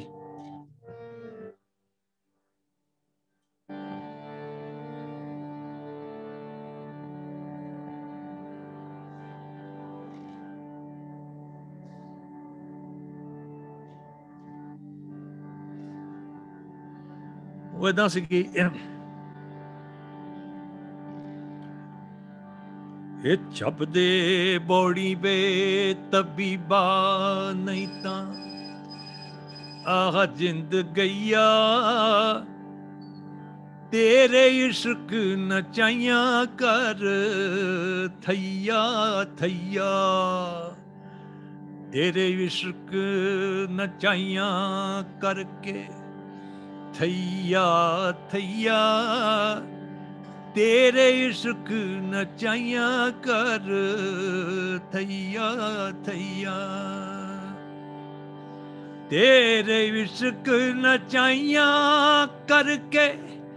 ਥਈਆ ਥਈਆ, ਜਪਦੇ ਬੋੜੀ ਵੇ ਤਬੀਬਾ, ਮੈਂ ਤਾਂ ਨਹੀਂ ਮਰ ਗਈਆਂ। ਤੇਰੇ ਇਸ਼ਕ ਨਚਾਈਆਂ। ਇਹ, ਐਸੇ ਸਲੋ ਕਵਾਲੀ ਮੈਂ ਕਦੀ ਸੁਣੀ ਨਹੀਂ ਸੀ। ਬਾਅਦ ਚ ਮੈਂ ਕਦੀ ਸੁਣੀ ਨਹੀਂ। ਮਤਲਬ ਨੁਸਰਤ ਫਤਿਹ ਅਲੀ ਹੋਰਾਂ ਨੂੰ ਸੁਣੋ ਤੇ ਮਤਲਬ ਕਵਾਲੀ ਸ਼ੁਰੂ ਚ ਜਿਹੜਾ ਉਹਨਾਂ ਦਾ ਤਰਾਨਾ ਹੁੰਦਾ, ਉਹ ਜ਼ਰੂਰ ਸਲੋ ਹੁੰਦਾ ਹੈ। ਉਹਦੇ ਬਾਅਦ ਤੇ ਉਹ ਇੱਕ ਆਪਣੀ ਬੀਟ ਫੜਦੀ ਤੇ ਫਿਰ ਉਹ ਇੱਕ ਲੇਕਿਨ ਇਸ ਕਵਾਲੀ ਦਾ ਇੱਕ ਮਖਸੂਸ ਅੰਗ ਸੀ। ਉਹਦਾ ਮੈਂ ਜ਼ਿਕਰ ਜ਼ਰੂਰ ਕਰਨਾ ਚਾਹਾਂ ਮੈਂ ਇੰਨੇ ਜ਼ਿਆਦਾ ਉਹਨੂੰ ਸੈਂਟਰਲ ਇੰਡੀਅਨ ਕਵਾਲੀ ਚ ਨਹੀਂ ਦੇਖਿਆ। ਉਹਦੇ ਚ ਦੋ ਅੰਗ ਬੜੇ ਮਖਸੂਸ ਸੀਗੇ, ਜਿਹਦਾ ਸ਼ਾਇਦ ਪੰਜਾਬ ਦੇ ਨਾਲ ਕੋਈ ਤਲਕ ਹੈ। ਇੱਕ ਤੇ ਉਹਦੇ ਚ ਲੱਗਦੀ ਸੀ ਗਿਰਹ। ਯਾਨੀ ਗਿਰਹ ਦਾ ਮਤਲਬ ਇਹ ਹੈ ਕਿ ਅਸੀਂ ਕਵਾਲੀ ਜਿਹੜੀ ਹੈ, ਮੰਨ ਲਓ ਮੰਨ ਲਓ ਅਸੀਂ ਬਾਬਾ ਬੁੱਲੇ ਸ਼ਾਹ ਦੀ ਕਵਾਲੀ ਕਰ ਰਹੇ, ਗਾ ਰਹੇ ਹਾਂ। ਉਹ ਬਾਬਾ ਬੁੱਲੇ ਸ਼ਾਹ ਦੀ ਕਵਾਲੀ ਗਾਉਂਦੇ ਗਾਉਂਦੇ ਅਸੀਂ ਉਹ ਪੋਇਮ ਤੋਂ ਬਾਹਰ ਨਿਕਲ ਜਾਂਦੇ ਹਾਂ। ਅਸੀਂ ਕੋਈ ਦੂਸਰੀ ਪੋਇਮ ਜਿਹੜੀ ਹੈ, ਉਹ ਤੋਂ ਪ੍ਰਮਾਣ ਜਿਹੜੇ ਨੇ ਹਾਜ਼ਰ ਕਰਨੇ ਆ। ਉਸੇ ਪੋਇਮ ਦੀ ਜਿਹੜੀ ਹੈ, ਜਿਹੜੀ ਤਰਜਮਾਨੀ ਕਰਦੇ ਹੋਏ, ਲੇਕਿਨ ਉਹਨੂੰ ਪੁਖਤਾ ਕਰਦੇ ਹੋਏ। ਉਹ ਆਪਣੇ ਆਪ ਚ ਬੜੀ ਕਮਾਲ ਦੀ ਚੀਜ਼ ਸੀ। ਉਹਦਾ ਮੈਂ, ਉਹਦੇ ਚ ਤੁਸੀਂ ਇਹ ਵੀ ਹੈ ਕਿ ਲੈਂਗੁਏਜ ਵਿੱਚ ਸ਼ਿਫਟ ਕਰ ਸਕਦੇ ਹੋ। ਮੈਂ ਤੁਹਾਨੂੰ ਦੱਸਣਾ, ਜਿੱਦਾਂ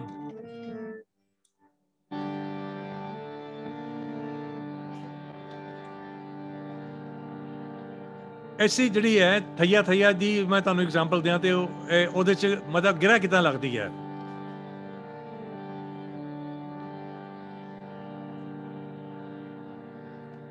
ਰਤਾ ਬੋੜੀ ਵੇ ਤਬੀਬਾ ਨਹੀਂ ਤਾਂ ਵਾਹ ਜਿੰਦ ਗਈਆ ਤੇਰੇ ਇਸ਼ਕ ਨਚਾਈਆਂ ਕਰ ਥਈਆ ਥਈਆ ਤੇਰੇ ਇਸ਼ਕ ਨਚਾਈਆਂ ਕਰ ਥਈਆ ਥਈਆ ਇਹ ਜੋ ਮੁਖੜਾ ਮੁਖੜਾ ਚੱਲ ਰਿਹਾ ਹੈ ਹੁਣ ਆ ਗਏ ਅੰਤਰੇ ਚ ਉਹਦੇ ਚ ਸਮਝ ਲਓ ਅਸੀਂ ਕਹਿ ਰਹੇ ਹਾਂ ਡੁੱਬ ਗਿਆ ਸੂਰਜ ਬਾਦ ਰਹਿ ਗਈ ਲਾਲੀ ਓ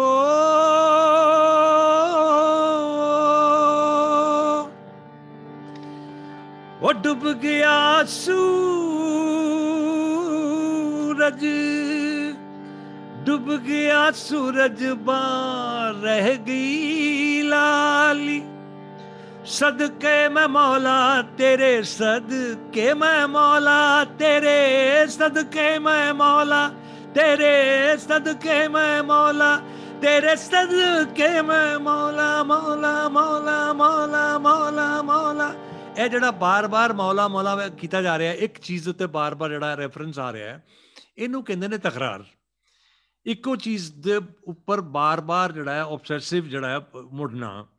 ਯਾਨੀ ਇਸ ਤਰ੍ਹਾਂ ਜਿਹੜਾ ਇੱਕ ਪੁੱਤ ਆਪਣੇ ਪਿਓ ਨਾਲ ਡਾਇਲੌਗ ਕਰ ਰਿਹਾ ਹੈ ਜਾਂ ਇੱਕ ਮੁਰੀਦ ਆਪਣੇ ਮੁਰਸ਼ਦ ਦੇ ਨਾਲ ਜਿਹੜਾ ਹੈ ਉਹ ਡਾਇਲੌਗ ਕਰ ਰਿਹਾ ਹੈ, ਇੱਕ ਸ਼ਰਧਾਲੂ ਆਪਣੇ ਰੱਬ ਨਾਲ ਜਿਹੜਾ ਹੈ ਉਹ ਕਰ ਰਿਹਾ ਹੈ ਜਿਹਦੇ ਕਈ ਕਿਸਮ ਦੀਆਂ ਇਮੋਸ਼ਨਸ ਆ ਸਕਦੀਆਂ ਹੈ ਕਿ ਮੈਂ ਤੇਰੇ ਨਾਲ ਰੁੱਸ ਗਿਆ, ਮੈਂ ਤੈਨੂੰ ਮਨਾ ਰਿਹਾ ਜਾਂ ਮੈਂ ਤੇਰੇ ਨਾਲ ਨਾਰਾਜ਼ ਹਾਂ ਜਾਂ ਤੂੰ ਮੇਰੀ ਪਰਵਾਹ ਨਹੀਂ ਕਰਦਾ, ਵਗੈਰਾ ਵਗੈਰਾ ਕਈ ਕਿਸਮ ਦੀਆਂ ਇਮੋਸ਼ਨਸ ਆ ਸਕਦੀਆਂ ਇਹ ਤਕਰਾਰ ਬੜਾ ਮਤਲਬ, ਜਿਹਨੂੰ ਕਹਿ ਲਓ ਕਿ ਸੈਂਟਰਲ ਅੰਗ ਹੈ।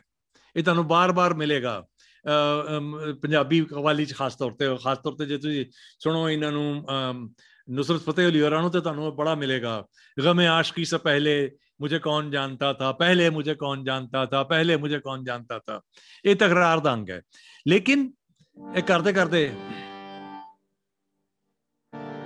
सदके मैं मौला तेरे सदके मैं मौला तेरे सदके मैं मौला ਹੁਣ ਉਹਨੇ ਆਪਣਾ ਅੰਤਰਾ ਪੂਰਾ ਨਹੀਂ ਕੀਤਾ ਕਵਾਲ ਨੇ ਉਹ ਇੱਥੋਂ ਬਾਹਰ ਨਿਕਲ ਗਿਆ ਸਪੋਜ਼ ਮੈਂ ਬਾਬਾ ਬੁੱਲੇ ਸ਼ਾਹ ਦੀ ਕਵਾਲੀ ਗਾ ਰਹੇ ਹਾਂ ਤੇ ਬਾਬਾ ਬੁੱਲੇ ਸ਼ਾਹ ਦੀ ਕੋਈ ਹੋਰ ਪੋਇਮ ਲਾਇਆ ਉਹ ਕੀ ਹੈ ਉਹ ਖੋਰੀ ਖੇਲੂੰਗੀ ਹੋਰੀ ਹੋਰੀ खेलूंगी कहे बिस्मिल्लाह नाम नबी की रतन चढ़ी बूंद पड़ी अल्लाह अल्लाह तेरे सदके मैं मौला तेरे ਸਦਕੇ ਮੈਂ ਮੌਲਾ ਮੌਲਾ ਮੌਲਾ ਹੁਣ ਇਹਦੇ ਚ ਹੋ ਕੀ ਰਿਹਾ ਹੈ ਕਿ ਬਾਬਾ ਬੁੱਲੇ ਸ਼ਾਹ ਨੇ ਦੀ ਕਵਾਲੀ ਚ ਅਸੀਂ ਉਹਨਾਂ ਦਾ ਲਿੰਗੁਇਸਟਿਕ ਕੋਡ ਬਦਲਤਾ ਉਹਨਾਂ ਦੀ ਹੀ ਪੋਇਮ ਲੈ ਆਏ ਹਾਂ ਅਸੀਂ ਜਿਹੜੀ ਕਿ ਉਹ ਉਹਨਾਂ ਦਾ तमाम ਕਲਾਮ ਜਿਹੜਾ ਹੈ ਉਹ ਪੰਜਾਬੀ ਚ ਹੈ ਲੇਕਿਨ ਕਿਤੇ ਕਿਤੇ ਉਹ ਆਪਣਾ ਜਿਹਨੂੰ ਕਹਿੰਦੇ ਖਰਾਜੇ ਅਕੀਦਤ ਜਿਹੜਾ ਹੈ ਖਰਾਜੇ ਅਕੀਦਤ ਜਿਹੜਾ ਪੇਸ਼ ਕਰਦੇ ਹੋਏ ਆਪਣੇ ਮੁਰਸ਼ਦ ਕਹਿ ਲੋ ਹਾਲਾਂਕਿ ਉਹਨਾਂ ਦੇ ਮੁਰਸ਼ਦ ਤੇ ਡਾਇਰੈਕਟ ਤੇ ਸ਼ਾਹ ਇਨਾਇਤ ਸੀਗੇ, ਲੇਕਿਨ ਹਜ਼ਰਤ ਅਮੀਰ ਖੁਸਰੋ ਦੇ ਟੂਣਿਆਂ ਦੀ ਯਾਦ ਕਰਦੇ ਹੋਏ ਉਹ ਉਹਦੇ ਚ ਆਪਣਾ ਜਿਹੜਾ ਹੈ, ਉਹਦੇ ਚਾਹੁੰਦੇ ਕਿ ਮਤਲਬ ਹੋਰੀ ਖੇਲੂੰਗੀ ਕਿ ਬਿਸਮਿਲ੍ਲਾ ਯਾਨੀ ਮੁਸਲਮਾਨ ਹੈ, ਉਹ ਕਹਿ ਰਿਹਾ ਕਿ ਮੈਂ ਹੋਰੀ ਖੇਡਾਂਗੀ। होरी खेडूंगी खेलूंगी क्या बिस्मिल्ला नाम नबी की रतन चढ़ी बूंद पड़ी ਅੱਲਾ ਅੱਲਾ ਆਈ ਮੀਨ ਮਤਲਬ ਤੁਸੀਂ ਦੇਖੋ ਕਿ ਪੰਜਾਬ ਦੀ ਜਿਹੜੀ ਮਲਟੀਪਲਿਸਿਟੀ ਹੈ ਉਹਦੇ ਕਈ ਰਜਿਸਟਰ ਨੇ ਉਹ ਜਦੋਂ ਮਤਲਬ ਆਪਣੇ ਜਿਹੜੇ ਨੇ ਉਹ ਲਿਖਦੇ ਨੇ ਅਮ 12 ਮਾਸਾ ਜਿਹਨੂੰ ਕਹਿ ਲੋ ਬਾਬਾ ਬੁੱਲੇ ਸ਼ਾਹ ਉਹਦੇ ਚ ਕੀ ਕਰਦੇ ਨੇ ਉਹ ਕਿ ਹੋਲੀ ਖੇਡਣ ਸਈਆਂ ਫੱਗਣ ਮੇਰੇ ਨੈਣ ਝਲਾਰੀ ਵਗਣ ਔਖੇ ਜਿਉਂਦਿਆਂ ਦੇ ਤੇ ਤੱਗਣ ਨਸੀਨੇ ਬਾਣ ਪ੍ਰੇਮ ਦੇ ਵਜਨ ਹੋਰੀ ਹੋ ਰਹੀ। ਆਈ ਮੀਨ ਅਮੇਜ਼ਿੰਗ ਇਹ ਕੋਈ ਐਵੇਂ ਵਨ ਆਫ ਨਹੀਂ ਹੈ ਕਿ ਇਹ ਤੁਹਾਨੂੰ ਕਿਤੇ ਕੋਈ ਜਿਹੜੀ ਨਾ ਮਤਲਬ ਕੋਈ ਐਕਸੈਪਸ਼ਨ ਹੈ। ਐਕਸੈਪਸ਼ਨ ਨਹੀਂ ਹੈਗੀ। ਇਹ ਕਿਦਾਂ ਐਕਸੈਪਸ਼ਨ ਹੈ? ਐਕਸੈਪਸ਼ਨ ਹੈ ਹੀ ਨਹੀਂ। ਮਤਲਬ ਤੁਸੀਂ ਜਦੋਂ ਕਰਦੇ ਹੋ ਗੱਲ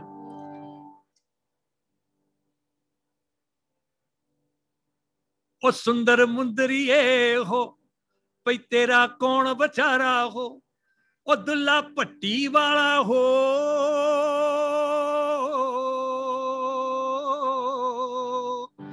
ਭਈ ਦੁੱਲਾ ਭੱਟੀ ਵਾਲਾ ਹੋ ਭਈ ਦੁੱਲੇ ਤੀ ਵਿਆਈ ਹੋ ਉਹ ਸ਼ੇਰ ਚੱਕਰ ਪਾਈ ਹੋ ਮਤਲਬ ਇਦਾਂ ਚੱਲਦਾ ਹੈ। ਹੁਣ ਇਹ ਸਵਾਲ ਹੈ ਕਿ ਇਹ ਜਿਹੜਾ ਫੈਸਟੀਵਲ ਹੈ, ਇਹ ਜਿਹੜਾ ਤਿਉਹਾਰ ਹੈ ਇਹ ਤਿਉਹਾਰ ਜਿਹੜਾ ਹੈ ਮਤਲਬ ਮਨਾਉਂਦੇ ਤੇ ਆਮ ਤੌਰ ਤੇ ਇਹਨੂੰ ਸਿੱਖ ਤੇ ਹਿੰਦੂ ਨੇ।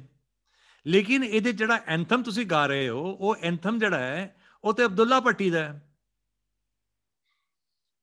ਯਾਨੀ ਉਹ ਮਤਲਬ ਮਸਲਾ ਇਹ ਪੈਦਾ ਹੁੰਦਾ ਹੈ ਕਿ, ਅੱਛਾ, ਇਹਦਾ ਮਤਲਬ ਹੈ ਕਿ ਕੋਈ ਮੋਨੋਲਿਥ ਨਹੀਂ ਹੈ। ਯਾਨੀ ਤੁਸੀਂ ਇਹ ਕਹੋ ਕਿ ਹੁਣ ਮਤਲਬ ਅਬਦੁੱਲਾ ਪੱਟੀ ਜਿਹੜਾ ਹੈ, ਉਹਦਾ ਮੁਗਲ ਅੰਪਾਇਰ ਨਾਲ ਇੱਟ ਵੱਟੇ ਦਾ ਵੈਰ ਹੈ।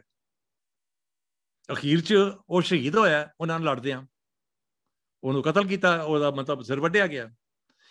ਲੇਕਿਨ ਉਹ ਸਿਰ ਵੱਢਿਆ ਗਿਆ ਕਿਸ ਕਰਕੇ? ਕਿਉਂਕਿ ਉਹ ਆਮ ਜਿਹੜੀ ਖਲਕ ਹੈ, ਪੰਜਾਬ ਦੀ, ਉਹਨਾਂ ਦੇ ਨਾਲ ਖੜਾ ਹੈ। ਔਰ ਉਹ ਕਹਿੰਦਾ ਕਿ ਮੈਂ ਤੁਹਾਡੀ ਚੱਲਣੀ ਨਹੀਂ ਤੁਸੀਂ ਹਰ ਸਾਲ ਇੱਥੋਂ ਆਪਣਾ ਲਸ਼ਕਰ ਲੈ ਕੇ ਨਿਕਲਦੇ ਹੋ, ਕਸ਼ਮੀਰ ਜਾਂਦੇ ਹੋ। ਸਾਡੇ ਲਈ ਇਹ ਪ੍ਰੋਬਲਮ ਜਿਹੜੀਆਂ ਤੁਹਾਡੇ ਲਈ ਦੀ ਕਈ ਕਈ ਕਈ ਮਤਲਬ ਪਰੇਸ਼ਾਨੀਆਂ ਦਾ ਤੁਸੀਂ ਬਾਇਸ ਬਣਦੇ ਹੋ। ਤੇ ਇਹ ਤੇ ਗੱਲ ਜਿਹੜੀ ਸਾਨੂੰ ਗਵਾਰਾ ਨਹੀਂ ਹੈ ਨਾ ਅਸੀਂ ਸਿੱਧੇ ਸਾਦੇ ਬੰਦੇ ਆ ਭਾਈ, ਅਸੀਂ ਐਸਾ ਕਿਸਾਨੀ ਕਰਨੇ ਆ। ਆਪਸ ਸਾਡਾ ਭਾਈਚਾਰਾ ਹੈ। ਸਾਨੂੰ ਇਹਨਾਂ ਪੈਸਾ ਨਾ ਦਿਖਾਓ ਭਾਈ ਸਾਡੀ ਬੜੀ ਸਿੰਪਲ ਜ਼ਿੰਦਗੀ ਹੈ। ਸਾਨੂੰ ਇਹਨਾਂ ਪੈਸਾ ਨਹੀਂ ਚਾਹੀਦਾ। ਤੁਸੀਂ ਆਪਣਾ ਜੋ ਕਰਨਾ ਕਰੋ। ਤੇ ਸਾਨੂੰ ਇੱਥੇ ਹੋਰ ਆਪਣੀ ਆਰਾਮ ਨਾਲ ਜ਼ਿੰਦਗੀ ਕੱਟਣ ਦਿਓ ਤੇ ਪਰ ਜੇ ਤੁਸੀਂ ਇਹਨਾਂ ਪੈਸਾ ਲੈ ਕੇ ਜਾਓਗੇ ਤੇ ਅਸੀਂ ਤੁਹਾਨੂੰ ਲੁੱਟ ਲਾਂਗੇ। ਉਹ ਲੁੱਟ ਕੇ ਉਹ ਪੈਸਾ ਵੰਡ ਦਿੰਦਾ ਸੀ। ਉਹ ਸਾਡਾ origignal ਜਿਹੜਾ ਰੋਬਿਨ ਹੁੱਡ ਤੇ ਉਹ ਹੈ। ਅਸੀਂ ਉਹਦਾ ਜਿਹੜਾ ਹੈ, ਗਾਉਣ ਕਰਨੇ ਆ ਆਪਣੀ ਲੋਹੜੀ ਦੇ ਉੱਤੇ। ਬਾਬਾ ਬੁੱਲੇ ਸ਼ਾਹ ਹੋਰੀ ਦਾ ਤਿਉਹਾਰ ਮਨਾ ਰਿਹਾ। ਇੱਕ ਜਗ੍ਹਾ ਤੇ ਨਹੀਂ, ਕਈ ਜਗ੍ਹਾ ਤੇ ਕਰ ਰਿਹਾ ਸ਼ਾਹ ਹੁਸੈਨ, ਜੇਤੀ ਜੇਤੀ ਦੁਨੀਆ ਤੇਰੀ ਰਾਮ ਜੀ, ਮੈਂ ਤਾਂ ਉਹ ਮੰਗਦੀ। ਮਤਲਬ, ਔਰ ਕਿੰਨਾ ਮਤਲਬ ਬਰਤਾਂਤ ਹੈ, ਤੁਸੀਂ ਜੇ ਮਤਲਬ ਵਾਰਿਸ ਸ਼ਾਹ ਦੀ ਪੜ੍ਹ ਲਓ, ਕਿ ਉਹਦੇ ਚ ਮਤਲਬ ਆਪਣਾ ਰਾਮ ਤੇ ਸ਼ਿਵ ਜੀ ਤੇ ਵਿਸ਼ਨੂੰ ਤੇ ਆਪਣਾ ਮਤਲਬ ਸੀਤਾ ਲੈ ਤੇ ਲక్ష్మణ ਤੇ ਇਹਨਾਂ ਸਾਰਿਆਂ ਦਾ ਜ਼ਿਕਰ ਹੈ। ਇਹ ਇਹ ਜਿਹੜੇ ਸਾਡੇ, ਇਹ ਜਿਹੜਾ ਸਾਡੀ, ਇਹ ਸਾਡਾ ਇਥੋਸ ਹੈ। ਇਹਨੂੰ ਤੁਸੀਂ ਜੇ ਮਤਲਬ ਤੋੜਨ ਦੀ ਕੋਸ਼ਿਸ਼ ਕਰੋਗੇ, ਇਹ ਜਿਹੜੀ ਹੁਣ ਜਿਹੜਾ ਮੈਂ ਇਹ ਗੱਲ ਕਹਿਣ ਡਿਆ ਕਿ ਜਿਹੜਾ ਹੁਣ ਜਿਹੜਾ ਇਹ ਇਹ ਸਾਡੇ ਬਾਰਡਰ ਜਿਹੜੇ ਸੀ ਆਰਾਮ ਨਾਲ ਲੰਘਦੇ ਆ ਇਹ ਲੰਘੇ ਨੇ, ਕਈ ਵਾਰੀ ਲੰਘੇ ਨੇ। ਗੁਰੂ ਨਾਨਕ ਸਾਹਿਬ ਜਦੋਂ ਨਿਕਲੇ ਨੇ, ਤੁਹਾਨੂੰ ਵੀ ਲੱਗਦਾ ਕਿ ਉਹ ਸੇਫ ਜਰਨੀਆਂ ਸੀਗੀਆਂ? ਉਹ ਜਰਨੀ ਉਹ ਕੋਈ ਵੀ ਸੇਫ ਜਰਨੀ ਨਹੀਂ ਸੀ। ਉਹਨਾਂ ਨੇ ਆਪਣਾ ਜਿਹੜੀ ਹੈ ਜਿਹੜੀ ਹੋਂਦ ਹੈ, ਉਹਨਾਂ ਨੂੰ, ਉਹਨਾਂ ਨੇ ਜਿਹੜਾ ਜਿਹੜਾ ਐਕਚੁਅਲੀ ਜਿਹਨੂੰ ਕਹਿੰਦੇ ਸਿਰ, ਧਰ, ਤਲੀ, ਗਲੀ ਮੇਰੀ ਆਓ ਇਹ ਜਰਨੀ ਉਹੀ ਹੈ ਕਿ ਜੇ ਦੁਨੀਆ ਨਾਲ ਡਾਇਲੌਗ ਕਰਨਾ ਹੈ, ਜੇ ਦੁਨੀਆ ਨਾਲ ਤੁਸੀਂ ਇਸ਼ਕ ਦਾ ਰਿਸ਼ਤਾ ਕਾਇਮ ਕਰਨਾ ਹੈ, ਉਸ ਰਿਸ਼ਤੇ ਨੂੰ ਕਾਇਮ ਕਰਨ ਲਈ ਤੁਹਾਨੂੰ ਇਹ ਕਰਨਾ ਹੀ ਪੈਣਾ ਹੈ। ਇਹ ਕਦਮ ਤੁਹਾਨੂੰ ਪੁੱਟਣਾ ਪੈਣਾ ਹੈ। ਇਸ ਕਦਮ ਪੁੱਟੇ ਬਗੈਰ ਤੁਹਾਡੀ ਜਿਹੜੀ ਹੈ ਨਾ, ਮਤਲਬ ਮਤਲਬ, ਉਹ ਨਹੀਂ ਹੈਗਾ, ਤੁਹਾਡਾ ਕੋਈ ਨਿਰਮਾਣ ਨਹੀਂ ਹੈਗਾ। ਇਹ ਤੁਹਾਨੂੰ ਕਰਨਾ ਪੈਣਾ ਹੈ ਤੇ ਉਹ ਗੁਰੂ ਨਾਨਕ ਸਾਹਿਬ ਨੇ ਕੀਤਾ ਨੇ 25 ਸਾਲ ਕੀਤਾ। ਔਰ ਉਹ ਆਪਣੀ ਇੱਕ ਮੁਸਲਮਾਨ ਦੋਸਤ ਦੇ ਨਾਲ ਕੀਤਾ। ਉਹਨੂੰ ਨਾਲ ਲੈ ਕੇ ਤੁਰੇ ਨੇ ਹਮੇਸ਼ਾ। ਉਹ ਵੀ ਕਮਾਲ ਆਦਮੀ, ਤੁਰਿਆ ਫਿਰਿਆ ਹਮੇਸ਼ਾ ਗੁਰੂ ਨਾਨਕ ਸਾਹਿਬ ਦੇ ਨਾਲ ਹੀ। ਉਹਨੇ ਕਿਹਾ, ਤੁਸੀਂ ਚੱਲੋਗੇ ਤੇ ਮੈਂ ਵੀ ਹਾਂ। ਉਹਨਾਂ ਨੇ ਇਸ ਗੱਲ ਦੀ ਪਰਵਾਹ ਨਹੀਂ ਕੀਤੀ ਕਿ ਸਾਡਾ ਕੈਰੀਅਰ ਕੀ ਹੈ। ਹੁਣ ਉਹ ਕੈਰੀਅਰ ਬਾਰੇ ਸੋਚਦੇ ਤੇ ਜਰਨੀਜ਼ ਹੁੰਦੀਆਂ, ਕਦੀ ਵੀ ਨਹੀਂ ਹੁੰਦੀਆਂ। ਔਰ ਉਹ ਸਮਾਨੇ ਤੇ ਮਤਲਬ ਰਸਤੇ ਵੀ ਨਹੀਂ ਸਕੇ ਪਹਾੜ ਦੇ ਉੱਤੇ ਚੜ ਕੇ ਦੇਖ ਰਹੇ ਹੋ ਕਿ ਹੈ ਕੀ ਹੈ। ਹੁਣ ਜੋ ਕਹਿੰਦਾ, ਗਗਨ ਮੈਂ ਥਾਲ ਰਵਿ ਚੰਦ ਦੀਪਕ ਬਨੇ ਤਾਰਿਕਾ ਮੰਡਲ ਜਨਕ ਮੂਰਤੀ ਧੂਪ ਮਲਿਆਨ ਲੋ ਪਵਨ ਚਵਰੋ ਕਰੇ। ਛਗਲ ਬਨ ਰਾਏ ਫੁਲੰਤ ਜੋਤੀ, ਕੈਸੀ ਆਰਤੀ ਹੋਵੇ ਭਵ ਖੰਡਨਾ। ਤੇਰੀ ਆਰਤੀ ਅਨਹਤਾ ਸ਼ਬਦ ਵਾਜੰਤ ਭੇਰੀ ਇਹ ਵੰਡਰਮੈਂਟ ਦੀ ਪੋਇਮ ਹੈ। ਇਹ ਜਿਹੜਾ ਸ਼ਬਦ ਹੈ, ਇਹ ਪੂਰਾ ਜਿਹਨੂੰ ਕਹਿੰਦੇ ਵਿਸਮਾਦ ਨਾਥ ਦਾ ਜਿਹੜਾ ਹੈ ਨਾ, ਇਹ ਇਹ ਇਹ ਇਹ ਇਹ ਸ਼ਬਦ ਹੈ। ਔਰ ਇਹ ਇੰਨੀ ਵਸੀ ਔਰ ਇੰਨੀ ਫੈਲੀ ਜਰਨੀ ਔਰ ਉਸ ਤਜਰਬੇ ਦੇ ਬਗੈਰ ਇੰਨਾ ਕੁਝ ਬੰਦੇ ਨੇ ਆਪਣੇ ਸੀਨੇ 'ਚ ਸਮੋਇਆ ਉਹਦੇ ਬਗੈਰ ਪੋਸੀਬਲ ਨਹੀਂ ਹੈ। ਇਸੇ ਕਰਕੇ ਜਦੋਂ ਟਿਗੋਰ ਆਂਦੇ ਨੇ ਇੱਥੇ ਆਪਣੇ ਬਚਪਨ ਚ ਪੰਜਾਬ ਚ ਆਉਂਦੇ ਨੇ, ਦਰਬਾਰ ਸਾਹਿਬ ਆ ਕੇ ਬਹਿ ਜਾਂਦੇ ਨੇ ਉਹ। 12 ਸਾਲ ਦਾ 11 ਸਾਲ ਦਾ ਬੱਚਾ ਆ 6 ਮਹੀਨੇ ਉਹ ਅੰਮ੍ਰਿਤਸਰ ਰਹਿੰਦਾ ਉਹਦੇ ਤੇ ਬਾਬੇ ਦੀ ਆਰਤੀ ਦਾ ਜੋ ਅਸਰ ਹੋਇਆ ਹੈ, ਉਹ ਅਸਰ ਤੇ ਬਿਆਨ ਤੋਂ ਬਾਹਰ ਹੈ, ਉਹਦੀ ਸ਼ਾਇਰੀ 'ਚ ਨਜ਼ਰ ਆਉਂਦਾ ਹੈ ਉਹਦੀ। ਮੈਂ ਤੁਹਾਨੂੰ ਦੱਸਣਾ, ਇਹ ਆਕਾਸ਼ ਭੋਰਾ সূর্য তারা বিশ্বভরা প্রাণ তাহারে মাঝখানে আমি পেয়েছি আমি পেয়েছি মোর স্থান। বেশ नोए ताए जागे जागे आमार गान आकाश भरा। টেগোর गगन में थाल रव, चंद दीपक बने।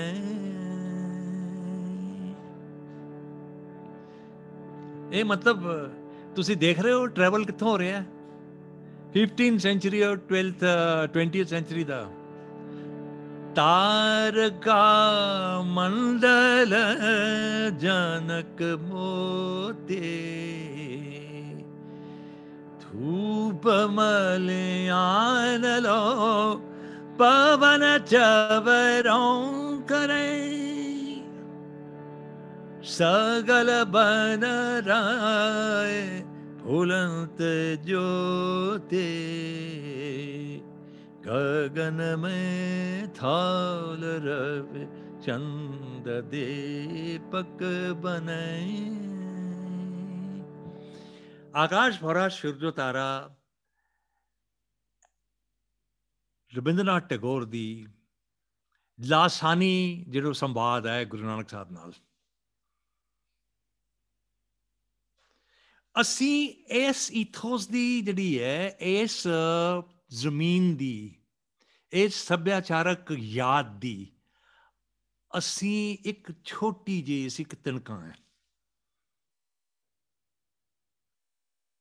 ਇਹਦੇ ਵਿੱਚ ਸਾਡੀ ਹੋਂਦ ਜਿਹੜੀ ਹੈ, ਉਹ ਮਤਲਬ ਸੋਚ ਸੋਚ ਕੇ ਕਈ ਵਾਰੀ ਲੱਗਦਾ ਹੈ, ਯਾਰ, ਮਤਲਬ ਅਸੀਂ I mean we are really lucky ਇਹ ਜਿਹੜਾ ਬਾਰਡਰ ਤੇ ਹੋ ਰਿਹਾ ਹੈ, ਇਹ ਜਿੱਥੇ ਆ ਕੇ ਕਿਸਾਨੀ ਸਾਡੀ ਜੁੜੀ ਹੈ, ਇਹ ਇਹ ਕੋਈ ਛੋਟੀ ਮੋਟੀ ਚੀਜ਼ ਥੋੜੀ ਹੈ। ਇਹ ਠੀਕ ਹੈ ਕਿ ਤੁਹਾਨੂੰ ਇੱਕ ਲੈਵਲ ਦੇ ਉੱਤੇ ਤੁਸੀਂ ਇਹ ਗੱਲ ਕਹਿ ਸਕਦੇ ਹੋ ਕਿ ਹਾਂ, ਇਹ ਸਾਡੀ ਜਿਹੜੀ ਹੈ ਹੋਣ ਦੀ ਲੜਾਈ ਹੈ, ਸਾਡੀ ਐਗਜ਼ਿਸਟੈਂਸ ਦੀ ਲੜਾਈ ਹੈ। ਇਹ ਠੀਕ ਹੈ, ਪਰ ਸਾਡੀ ਐਗਜ਼ਿਸਟੈਂਸ ਸਿਰਫ ਐਮਐਸਪੀ ਨਹੀਂ ਹੈ। ਇਹ ਉਸ ਤੋਂ ਕਿਤੇ ਵੱਡੀ ਚੀਜ਼ ਹੈ। ਇਹ ਇਹ ਲੜਾਈ ਜਿਹੜੀ ਹੈ ਇੱਕ ਪੂਰੀ, ਇਹ ਸਾਰੀ ਯਾਦ ਨੂੰ ਬਚਾਉਣ ਦੀ ਲੜਾਈ ਹੈ। ਇਹ ਉਸ ਪਾਣੀ ਨੂੰ ਦੁਬਾਰਾ ਲੱਭਣ ਦੀ ਲੜਾਈ ਹੈ, ਜਿਹੜਾ ਪਾਣੀ ਸਾਡੇ ਖੇਤਾਂ ਚੋਂ ਮਤਲਬ ਸੁੱਕ ਗਿਆ ਹੈ। ਇਹ ਉਸ ਯਾਦ ਦੀ ਲੜਾਈ ਹੈ, ਜਿਹਦੇ ਜਿਦ ਜਿਹਨੂੰ ਮਤਲਬ ਬੜੇ ਮਤਲਬ ਕਹਿ ਲੋ ਕਿ ਅਫਸੋਸ ਨਾਲ ਸਾਡੇ ਕਈ ਯਾਰ ਬੇਲੀ ਬੜੇ ਅਫਸੋਸ ਨਾਲ ਦੁੱਖ ਨਾਲ ਹੋ ਗਏ ਤੋਂ ਇਹ ਪੰਜਾਬ ਛੱਡ ਕੇ ਗਏ ਹੈ। ਉਹ ਦੂਰ ਦੂਰ ਮਤਲਬ ਜਾ ਕੇ ਬੈਠੇ ਹੈ। ਲੇਕਿਨ ਉਹਨਾਂ ਦਾ ਵੀ ਤੁਸੀਂ ਤਸੱਵੁਰ ਦੀ ਗੱਲ ਕੀਤੀ ਸ਼ੁਰੂ ਚ, ਤੇ ਮੈਂ ਉਹਦੇ ਵੱਲ ਮੁੜਨਾ। ਸਾਡੇ ਕੋਲ ਜਿਹੜੇ ਅਸੀਂ ਬਾਹਰ ਬੈਠੇ ਆ ਨਾ ਬੰਦੇ, ਦਿੱਲੀ। ਸਾਡੇ ਕੋਲ ਪੰਜਾਬ ਜਿਹੜਾ ਹੈ, ਉਹਦਾ ਇੱਕ ਇਮੇਜਿਨਰੀ ਹੈ। ਤੁਹਾਡੇ ਵਾਂਗ ਸਾਡੇ ਕੋਲ ਜਿਹੜਾ ਨਾ ਹੰਡਾਇਆ ਹਰ ਰੋਜ਼ ਦਾ ਜਿਹੜਾ ਨਾ, ਹਰ ਰੋਜ਼ ਦਾ ਹੰਡਾਇਆ ਪੰਜਾਬ ਨਹੀਂ ਹੈਗਾ। ਸਾਡੇ ਕੋਲ ਜਿਹੜਾ ਹੈ, ਇੱਕ ਇਮੇਜਿਨਰੀ ਹੈ। ਜਿਹੜੀ ਦੁੱਖ ਤਕਲੀਫਾਂ ਔਰ ਉਹਨਾਂ ਦੁੱਖ ਤਕਲੀਫਾਂ 'ਚ ਖੁਸ਼ੀਆਂ ਪੈਦਾ ਕਰਨ ਵਾਲਾ ਪੰਜਾਬ ਹੈ, ਉਹ ਤਾਂ ਤੁਹਾਡੇ ਕੋਲ ਹੈ। ਔਰ ਇਹ ਜਿਹੜੇ ਬੰਦੇ ਇੱਥੇ ਇਕੱਠੇ ਹੋਏ ਨੇ, ਮੈਂ ਜਦੋਂ ਆਪਣਾ, ਜਦੋਂ ਪਹਿਲਾ ਮੈਸੇਜ ਪਾਇਆ ਕਿ ਮੈਂ ਆਪ ਸੋਲੀਡੈਰਿਟੀ 'ਚ ਤੁਹਾਡੇ ਨਾਲ ਖੜਾ ਤੇ ਇੱਕ ਬੀਬੀ ਨੇ ਮੈਨੂੰ ਕਿਹਾ ਕਿ ਸੋਲੀਡੈਰਿਟੀ ਕਾਫੀ ਨਹੀਂ ਹੈ। ਇਹ ਸੋਲੀਡੈਰਿਟੀ ਦਾ ਮਤਲਬ ਤੁਸੀਂ ਇਹ ਬਣਾਤਾ ਕਿ ਤੁਸੀਂ ਬਾਹਰ ਖੜੇ ਹੋ। ਤੁਸੀਂ ਜਦੋਂ ਤੱਕ ਬਾਹਰ ਖੜੇ ਹੋ, ਉਦੋਂ ਤੱਕ ਤੁਹਾਡੀ ਸੋਲੀਡੈਰਿਟੀ ਦਾ ਕੋਈ ਮਤਲਬ ਹੀ ਨਹੀਂ ਹੈ। ਤੁਸੀਂ ਇਸ ਜਿਹੜੀ ਮੁਹਿੰਮ ਹੈ, ਇਹਦਾ ਇੱਕ ਹਿੱਸਾ ਹੋ। ਤੁਸੀਂ ਉਸੇ ਤਰ੍ਹਾਂ ਧਾਗਾ ਬਣੋ, ਜਿਸ ਤਰ੍ਹਾਂ ਸਾਲੂ ਦੇ ਧਾਗੇ ਜਿਹੜੇ ਸੀ ਬੁਣੇ ਸੀਗੇ, ਸ਼ਾਹ ਹੁਸੈਨ ਨੇ। ਉਸੇ ਤਰ੍ਹਾਂ ਧਾਗਾ ਬਣੋ ਜਿਸ ਤਰ੍ਹਾਂ ਗੁਰੂ ਨਾਨਕ ਸਾਹਿਬ ਦੀਆਂ ਉਦਾਸੀਆਂ ਨੇ। ਉਸੇ ਤਰ੍ਹਾਂ ਧਾਗਾ ਬਣੋ ਜਿਸ ਤਰ੍ਹਾਂ ਇੱਕ ਸਿਟੀ ਦਾ ਔਰ ਜਾਂ ਇੱਕ ਹੋਲੀ ਬੁੱਕ ਦਾ ਜਿਹੜਾ ਹੈ, ਤਸੱਬੁਰ ਜਿਹੜਾ ਸਾਡੇ ਚੌਥੇ ਔਰ ਪੰਜਵੇਂ ਗੁਰੂ ਨੇ ਕੀਤਾ। ਤਾਂ ਤੇ ਗੱਲ ਬਣਦੀ ਹੈ। ਦੂਜੀ ਜਿਹੜੀ ਮੈਂ ਅਖੀਰਲੀ ਗੱਲ ਹੁਣ ਕਰਾਂਗਾ, ਕਾਫੀ ਟਾਈਮ ਹੋ ਗਿਆ ਹੈ। ਉਹ ਇਹ ਹੈ ਕਿ ਓਵਰ ਅ ਪੀਰੀਅਡ ਮੈਂ ਗੱਲ ਦੇਖੀ ਹੈ, ਔਰ ਇਹ ਗੱਲ ਅਹਿਮ ਹੈ। ਇਹ ਜਿਹੜਾ ਅੱਜ ਦੇ ਪੰਜਾਬ ਦੇ ਵਿੱਚ ਮੈਨੂੰ ਜਿਹੜੀ ਸਭ ਤੋਂ ਜ਼ਿਆਦਾ ਹੋਪ ਦੀਆਂ ਜਿਹੜੀਆਂ ਦੋ ਜਿਹੜੀਆਂ ਜਿਹੜੀਆਂ ਮਤਲਬ ਸਪੇਸਿਸ ਜਿਹੜੀਆਂ ਨਜ਼ਰ ਆਉਂਦੀਆਂ, ਜਿਹੜੇ ਦੋ ਖਿੱਤੇ ਨਜ਼ਰ ਆਉਂਦੇ ਨੇ। ਇੱਕ ਤੇ ਹੈ ਕਿ ਜਿਸ ਤਰ੍ਹਾਂ ਇੱਥੋਂ ਦੀਆਂ ਜਿਹੜੀਆਂ ਕੁੜੀਆਂ ਹੈ, ਉਹ ਇਸ ਕ੍ਰੀਏਟਿਵ ਸੈਲਫ ਰਿਕਵਰੀ ਜਿਹਨੂੰ ਅਸੀਂ ਕਹਿੰਦੇ ਹਾਂ, ਆਪਣੇ ਸਵੈ ਨੂੰ ਜਿਹਨੂੰ ਪੁਨः ਸਥਾਪਿਤ ਕਰਨਾ। ਉਹਨੂੰ ਦੁਬਾਰਾ ਜਿਹੜਾ ਹੈ ਆਪਣਾ ਜਿਹੜਾ ਹੈ ਨਾ ਇੱਕ ਖਿੱਤੇ 'ਚ ਆਪਣਾ ਇੱਕ ਖਾਸ ਸਪੇਸ ਦੇ ਵਿੱਚ ਆਪਣੇ ਆਪ ਨੂੰ ਲੋਕੇਟ ਕਰਨਾ। ਮੈਂ ਉਹਨਾਂ ਦੀ ਜਿਹੜੀ ਆਰਟੀਕੂਲੇਸ਼ਨ ਹੈ, ਉਹਨਾਂ ਦਾ ਐਕਸਪ੍ਰੈਸ਼ਨ ਹੈ, ਉਹਨਾਂ ਦਾ ਜਿਹੜਾ ਸੰਵਾਦ ਹੈ, ਉਹਨੂੰ ਸੁਣ ਕੇ ਮੈਂ ਤੇ ਮੈਂ ਤੁਹਾਨੂੰ ਕਹਿੰਦਾ ਕਿ ਮੈਂ ਬਲਹਾਰੀ ਹਾਂ ਜੀ। ਕਮਾਲ ਨੇ ਕੁੜੀਆਂ ਨੇ ਕੰਮ ਕੀਤਾ। ਉਹ ਜਦੋਂ ਗੱਲ ਕਰਦੀਆਂ ਉਹਨਾਂ ਭਾਵੇਂ ਅਰਥ ਵਿਵਸਥਾ ਤੇ ਜਿਹੜੀ ਇਕਨੋਮਿਕ ਜਿਹੜੀ ਆਰਡਰ ਉੱਤੇ ਗੱਲ ਕਰਦੀਆਂ ਹੋਣ ਭਾਵੇਂ ਉਹ ਗੱਲ ਕਰਦੀਆਂ ਹੋਣ, ਸੱਭਿਆਚਾਰਕ ਜਿਹੜੇ ਮਸਲੇ ਉਹਨਾਂ ਤੇ ਗੱਲ ਗੱਲ ਕਰਦੀਆਂ ਭਾਵੇਂ ਖੇਤੀ ਨਾਲ ਜੁੜੇ ਜਿਹੜੇ ਡਾਇਰੈਕਟ ਮਸਲੇ ਨੇ, ਉਹਨਾਂ ਦੀਆਂ ਗੱਲ ਕਰਦੀਆਂ ਹੋਣ। ਉਹ, ਉਹਨਾਂ ਦੀ ਕੰਟਰੀਬਿਊਸ਼ਨ ਲਾਸਾਨੀ ਹੈ। ਉਹਨਾਂ ਨੇ ਇਹਨਾਂ ਕੈਂਪਾਂ ਦੇ ਵਿੱਚ ਆ ਕੇ ਛੋਟੇ ਛੋਟੇ ਜਿਹੜੇ ਨੇ ਗਰੁੱਪਸ ਦੇ ਵਿੱਚ ਜਿਸ ਤਰ੍ਹਾਂ ਤੇ ਜਿਹਨੂੰ ਕਹ ਲਓ ਵਰਕਸ਼ਾਪਸ ਲਾਈਆਂ। ਉਹ ਗਜ਼ਬ ਨੇ। ਉਹਨਾਂ ਦਾ ਕੋਈ, ਉਹਨਾਂ ਦਾ ਕੋਈ ਤੋੜ ਨਹੀਂ ਹੈ। ਔਰ ਇਹ ਕੁੜੀਆਂ ਦਾ ਕੰਮ, ਮਤਲਬ ਇਹ ਯਾਦ ਕੀਤਾ ਜਾਏਗਾ ਹਮੇਸ਼ਾ ਲਈ। ਇਸ ਕਰਕੇ ਵੀ ਕਿਉਂਕਿ ਸਾਡੀ ਜਿਹੜੀ ਜਿਹੜੀ ਸੱਭਿਆਚਾਰਕ ਜਿਹੜੀ ਇਤਿਹਾਸ ਹੈ ਜਿਹੜਾ ਲਿਖਿਆ ਗਿਆ ਹੈ, ਉਹਨਾਂ ਚੋਂ ਉਹਨਾਂ ਦੀ ਜਿਹੜੀ ਗੈਰ ਹਾਜ਼ਰੀ ਹੈ, ਉਹ ਕਈ ਵਾਰੀ ਮੈਨੂੰ ਸਮਝ ਨਹੀਂ ਆਉਂਦੀ। ਕਈ ਵਾਰੀ ਮੈਨੂੰ ਇਹ ਸਮਝ ਨਹੀਂ ਆਉਂਦਾ ਕਿ ਅਸੀਂ ਬੀਬੀਆਂ ਦਾ ਜਿਹੜਾ ਗੁਰਬਾਣੀ ਕੀਰਤਨ ਨੂੰ ਜਿਹੜਾ ਕੰਟਰੀਬਿਊਸ਼ਨ ਹੈ, ਉਹਨੂੰ ਲੈ ਕੇ ਇੰਨੇ ਸੰਜੀਦਾ ਕਿਉਂ ਨਹੀਂ ਹੈਗੇ ਆਪਣੇ ਐਕੈਡੈਮਿਕ ਜਿਹੜਾ ਫੀਲਡ ਉਹਦੇ ਚ। ਕਿਉਂ ਉਹਨਾਂ ਦੇ ਕੀਰਤਨ ਜਿਹੜਾ ਘਰਾਂ ਚ ਕਰਦੀਆਂ ਆਮ। ਉਹ ਕੀਰਤਨ ਨੂੰ ਲੈ ਕੇ ਅਸੀਂ ਇੰਨਾ ਜ਼ਿਆਦਾ ਮਤਲਬ ਕਿਉਂ ਨਹੀਂ ਸੋਚਦੇ? ਇਹ ਮੂਵਮੈਂਟ ਨੂੰ ਸੋਚਦੇ ਹੋਏ ਮੈਨੂੰ ਨਜ਼ਰ ਆਇਆ ਕਿ ਇਸ ਮੂਵਮੈਂਟ ਨੇ ਦੋ ਗੱਲਾਂ ਕੀਤੀਆਂ। ਇਹ ਭਾਵੇਂ ਸ਼ੁਰੂ ਹੋਈ ਸੀਗੀ ਪੰਜਾਬ ਤੋਂ, ਸ਼ੁਰੂ ਪੰਜਾਬੀ ਸਵਾਲ ਸੀ, ਪੰਜਾਬੀਆਂ ਤੋਂ ਸਿੱਖਾਂ ਦਾ ਸਵਾਲ ਸੀ, ਸਿੱਖਾਂ ਤੋਂ ਜੱਟਾਂ ਦਾ ਸਵਾਲ ਸੀ। ਇਹ ਸ਼ੁਰੂ ਉੱਥੋਂ ਹੋਈ ਸੀ, ਲੇਕਿਨ ਇਹਨੂੰ ਫੈਲਾਣ ਦਾ ਜਿਹੜਾ ਤਸੱਵੁਰ ਹੈ ਸਾਡੇ ਜਿਹੜੇ ਕਲਚਰਲ ਜਿਹੜੇ ਐਕਟਿਵਿਸਟ ਨੇ ਉਹਨਾਂ 'ਚ ਬੀਬੀਆਂ ਦਾ ਵੀ ਹਿੱਸਾ ਬੜਾ ਵੱਡਾ ਹੈ, ਉਹਨਾਂ ਸਾਡੇ ਸਿੰਗਰਸ ਦਾ ਵੀ ਬੜਾ ਵੱਡਾ ਹਿੱਸਾ ਹੈ।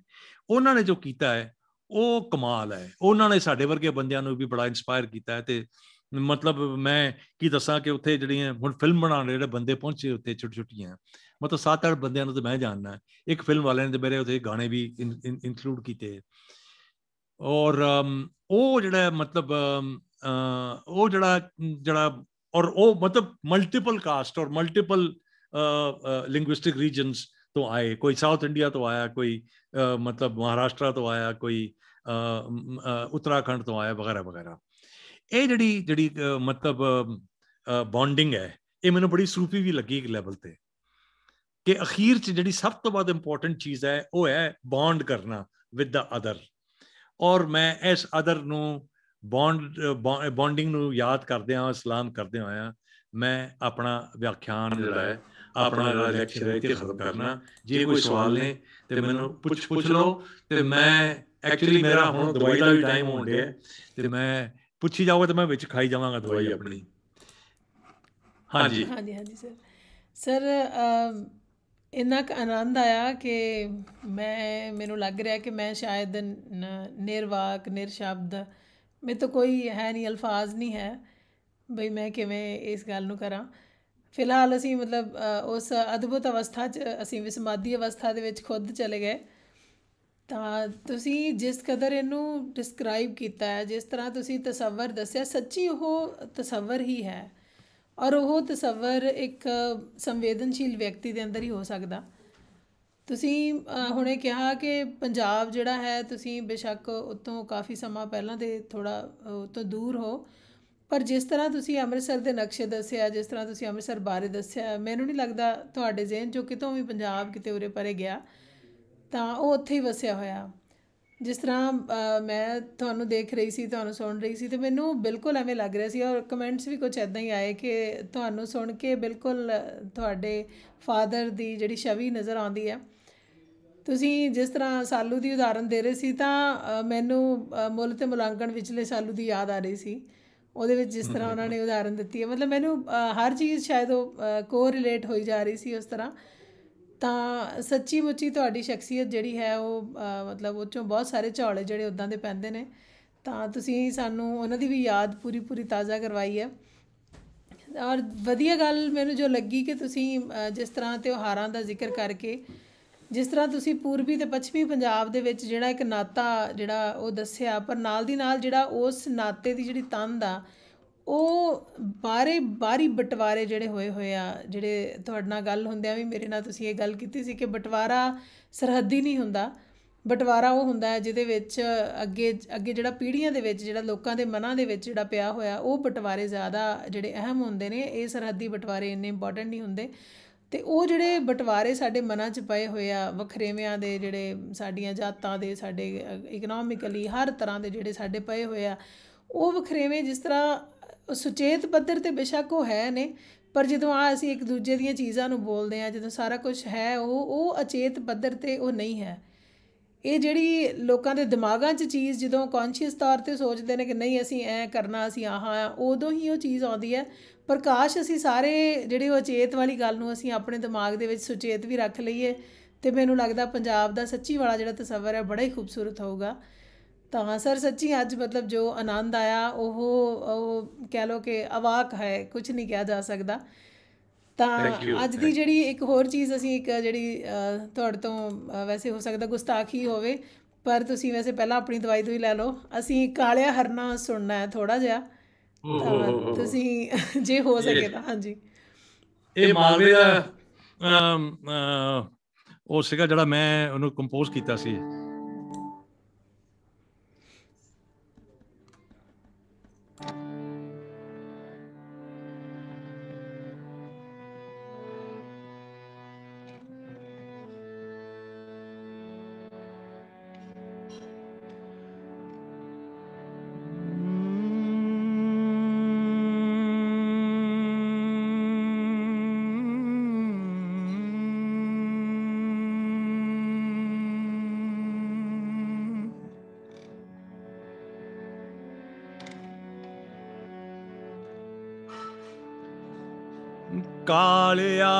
करना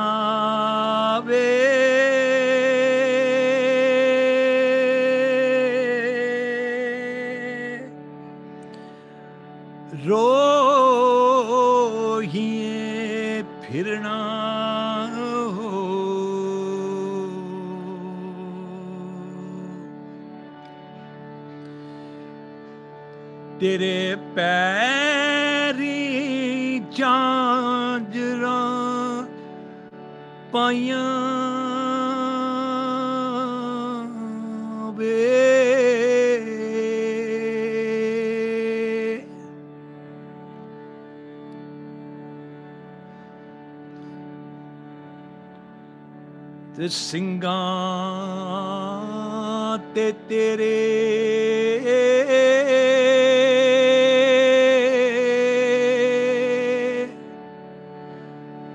ਕੀ ਕੁਝ ਲਿਖਿਆ ਹੋ?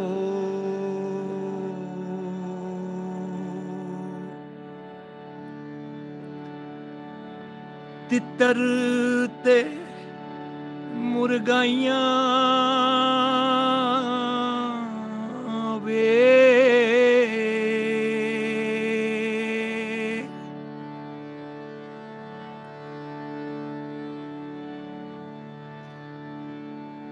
ਇਹ ਚੱਬਣ ਨੂੰ ਤੇਰੇ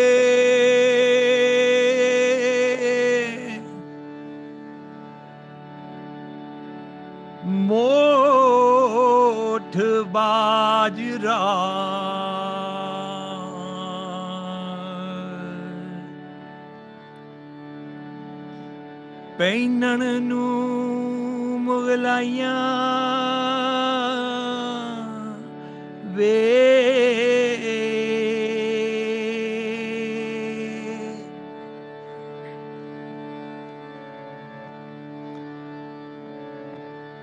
ਪਹਿਲੋਂ ਤਾਂ ਟੱਪਦਾ ਸੈਂ ਨੋ ਨੋ ਕੋਠੇ ਹੁਣ ਨਹੀਂ ਟਪੀਂਦੀਆਂ ਖਾਈਆਂ ਵੇ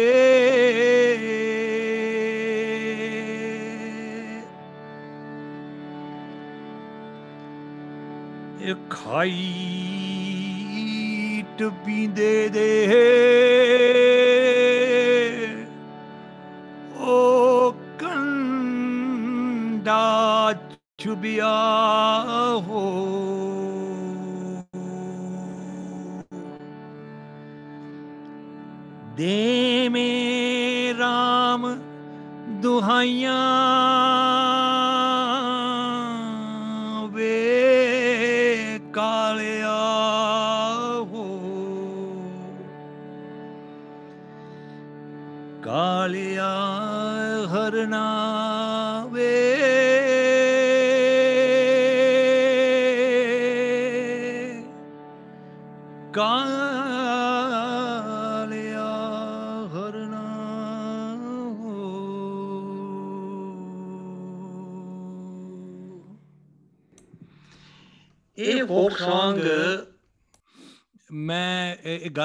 ਇਨਕੰਪਲੀਟ ਰਹੇਗੀ, ਪੂਰੀ ਨਹੀਂ ਹੋਏਗੀ, ਜੇ ਮੈਂ ਡਾਕਟਰ ਨਾਰ ਸਿੰਘ ਦਾ ਨਾਮ ਨਾ ਲਾਵਾਂ ਇਹਦੇ ਚ।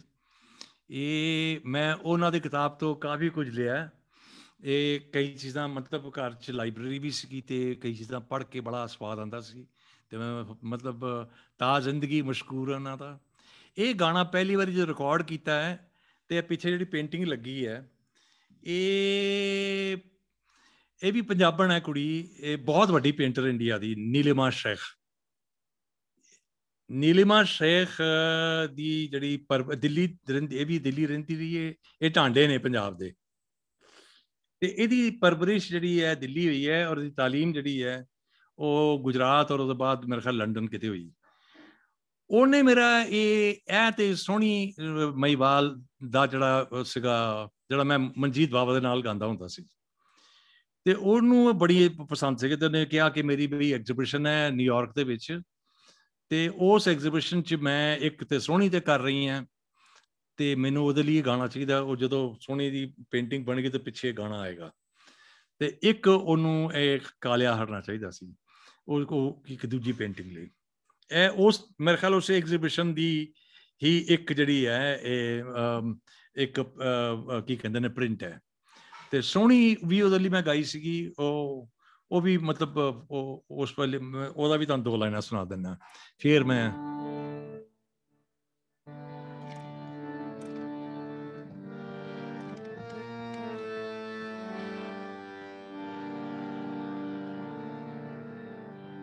ਸੋਹਣੀ ਸੋਹਣੀ ਸ਼ਾਇਦ ਮੈਂ ਬੜਾ ਨੀਵੇਂ ਗਾਣ ਡਿਆ ਸੋਹਣੀ ਜੰਮੀ ਬੋੜ ਦੀ ਛਾਵੇਂ ਕਰ ਕੁਮਿਆਰਾਂ ਦੇ ਹੋ।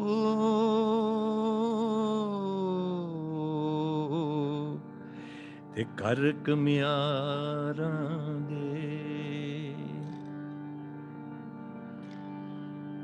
ਸੋਹਣੀ ਲੰਮੀ ਸਰੂਰ ਦਾ ਬੂਟਾ, ਸੋਹਣੀ ਲੰਮੀ ਸਰੂਰ ਦਾ ਬੂਟਾ, ਸੋਹਣੀ ਲੰਮੀ ਸਰੂਰ ਦਾ ਬੂਟਾ ਕਰ ਕੁਮਿਆਰਾਂ ਦੇ ਓ।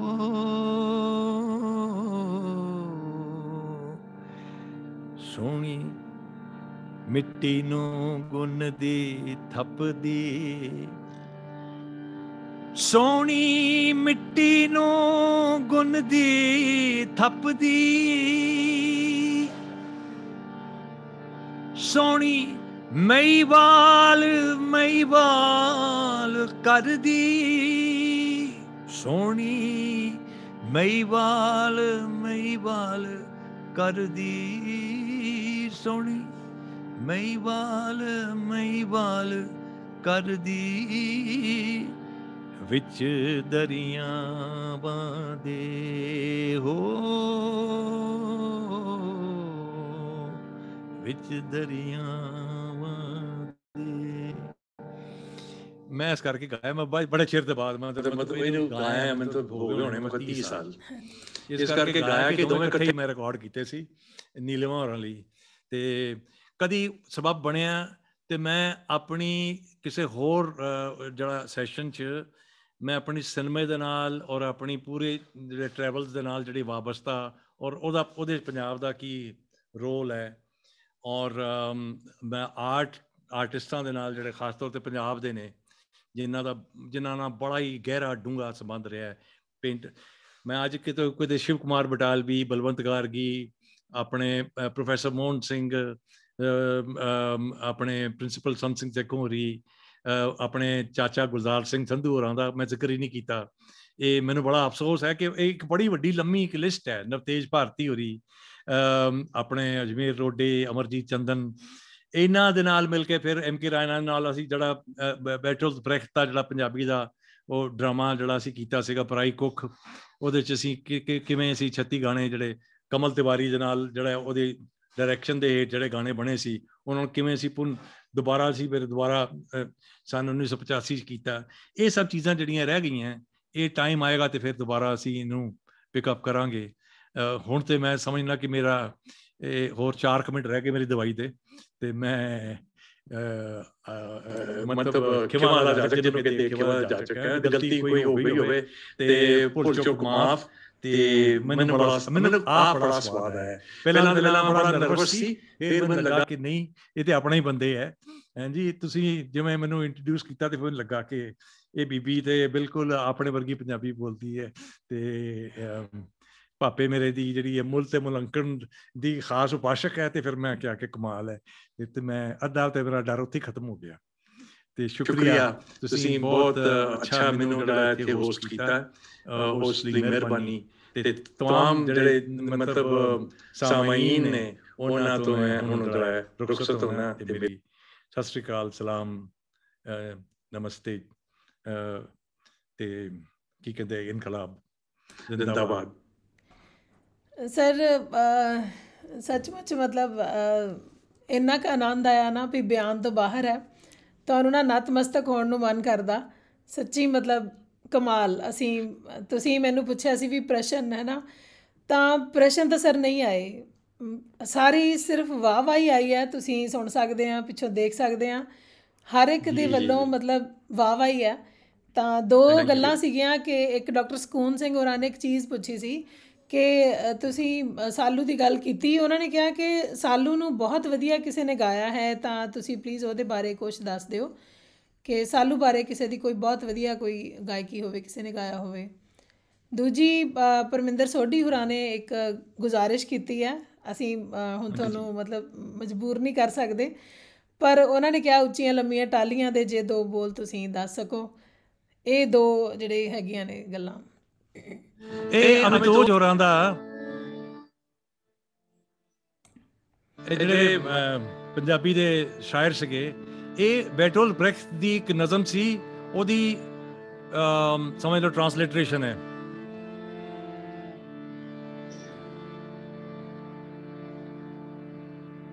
ਵਿੱਚ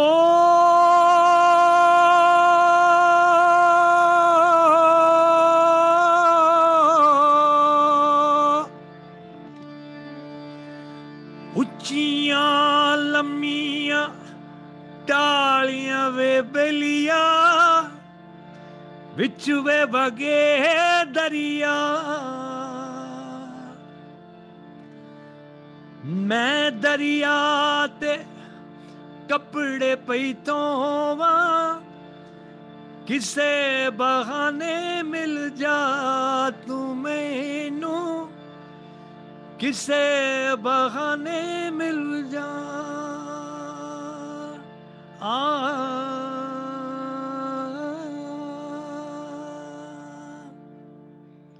ਲੰਮਾ ਗਾਣਾ ਹੈ। ਮੈਂ ਬਸ ਇਹ ਕੀ ਗਾ ਸਕਣਾ ਹੁਣ ਮੈਂ। ਬਿਲਕੁਲ 2 ਮਿੰਟ ਦੂਰ ਹੈ ਆਪਣੀ ਦਵਾਈ ਤੋਂ ਤੇ ਮੈਂ ਬਿਲਕੁਲ ਜੀ ਬਿਲਕੁਲ ਸਰ। ਅਸੀਂ ਮੈਂ ਬਸ 1 ਮਿੰਟ ਲਾਉਂਗੀ ਤੁਹਾਡਾ। ਅਸੀਂ ਜਿਹੜੇ ਸਾਡੇ ਨਾਲ ਕੁਝ ਦੋਸਤ ਜਿਹੜੇ ਜੁੜੇ ਹੋਏ ਨੇ ਮੈਂ ਸਿਰਫ ਉਹਨਾਂ ਦੇ ਨਾਮ ਦੱਸਣਾ ਚਾਹੁੰਦੀ ਹਾਂ ਤੁਹਾਨੂੰ।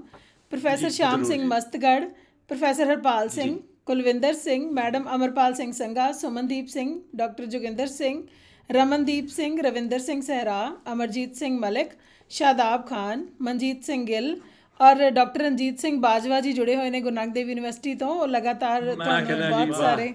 ਬਾਜਵਾ ਜੀ ਸਤਿ ਸ੍ਰੀ ਅਕਾਲ, ਕਮਾਲ ਹੈ। ਇਹਨਾਂ ਨਾਲ ਸਾਡੀ ਇਹ ਸਾਡੇ ਮੁਰਸ਼ਦ ਨੇ ਜੀ। ਹਾਂਜੀ। ਅਸੀਂ ਦੋਵੇਂ ਸਟੂਡੈਂਟ ਅਸੀਂ ਉਹਨਾਂ ਦੇ ਰਹੇ ਹਾਂ ਗਿੱਲ ਸਾਹਿਬ ਦੇ। ਸਰ ਮੈਂ ਵੀ ਉਹਨਾਂ ਦੀ ਵਿਦਿਆਰਥਣ ਜੀ ਮੈਂ ਖੁਦ ਮੈਨੂੰ ਬਹੁਤ ਮੈਂ ਤੁਹਾਨੂੰ ਵੀ ਨਤਮਸਤਕ ਹਾਂ ਜੀ। ਸਰ। ਹਰ ਉਹਨਾਂ ਸਟੂਡੈਂਟ ਨੂੰ ਮੇਰਾ ਪ੍ਰਣਾਮ ਹੈ। ਗਿੱਲ ਸਾਹਿਬ ਤੇ ਮਤਲਬ ਬਾਬੇ ਬੋਰਡ ਨੇ ਸਾਡੇ। ਹਾਂਜੀ। ਪ੍ਰਹਾਰ ਜੀ। ਪਰਮਿੰਦਰ ਸਿੰਘ ਡਾਕਟਰ ਸਕੂਨ ਸਿੰਘ ਜੀ ਨੈਨ ਸੁਖ ਜੀ ਜੁੜੇ ਹੋਏ ਨੇ ਜੀ ਅਰੇ ਵਾਹ ਜੀ ਵਾਹ ਕੀ ਬਾਤ ਹੈ ਵਾਹ। ਦੀ ਤਾਰੀਫ ਕੀਤੀ ਹੈ ਤੇ ਅਸੀਂ ਬਹੁਤ ਉਹਨਾਂ ਦੇ ਸ਼ੁਕਰਗੁਜ਼ਾਰ ਹਾਂ ਸਾਡੇ ਨਾਲ ਜੁੜੇ ਹੋਏ ਨੇ। ਗੁਰਦਾਸ ਟਡਵਾਲ ਜੀ ਮੁਪਿੰਦਰ ਸਿੰਘ ਹਰਮੇਲ ਸਿੰਘ ਮਦਨ ਵੀਰਾ ਅ, ਮਨਭਾਵਨ ਕਾਲੋਂ ਪਰਮਿੰਦਰ ਸੋਢੀ ਜੀ।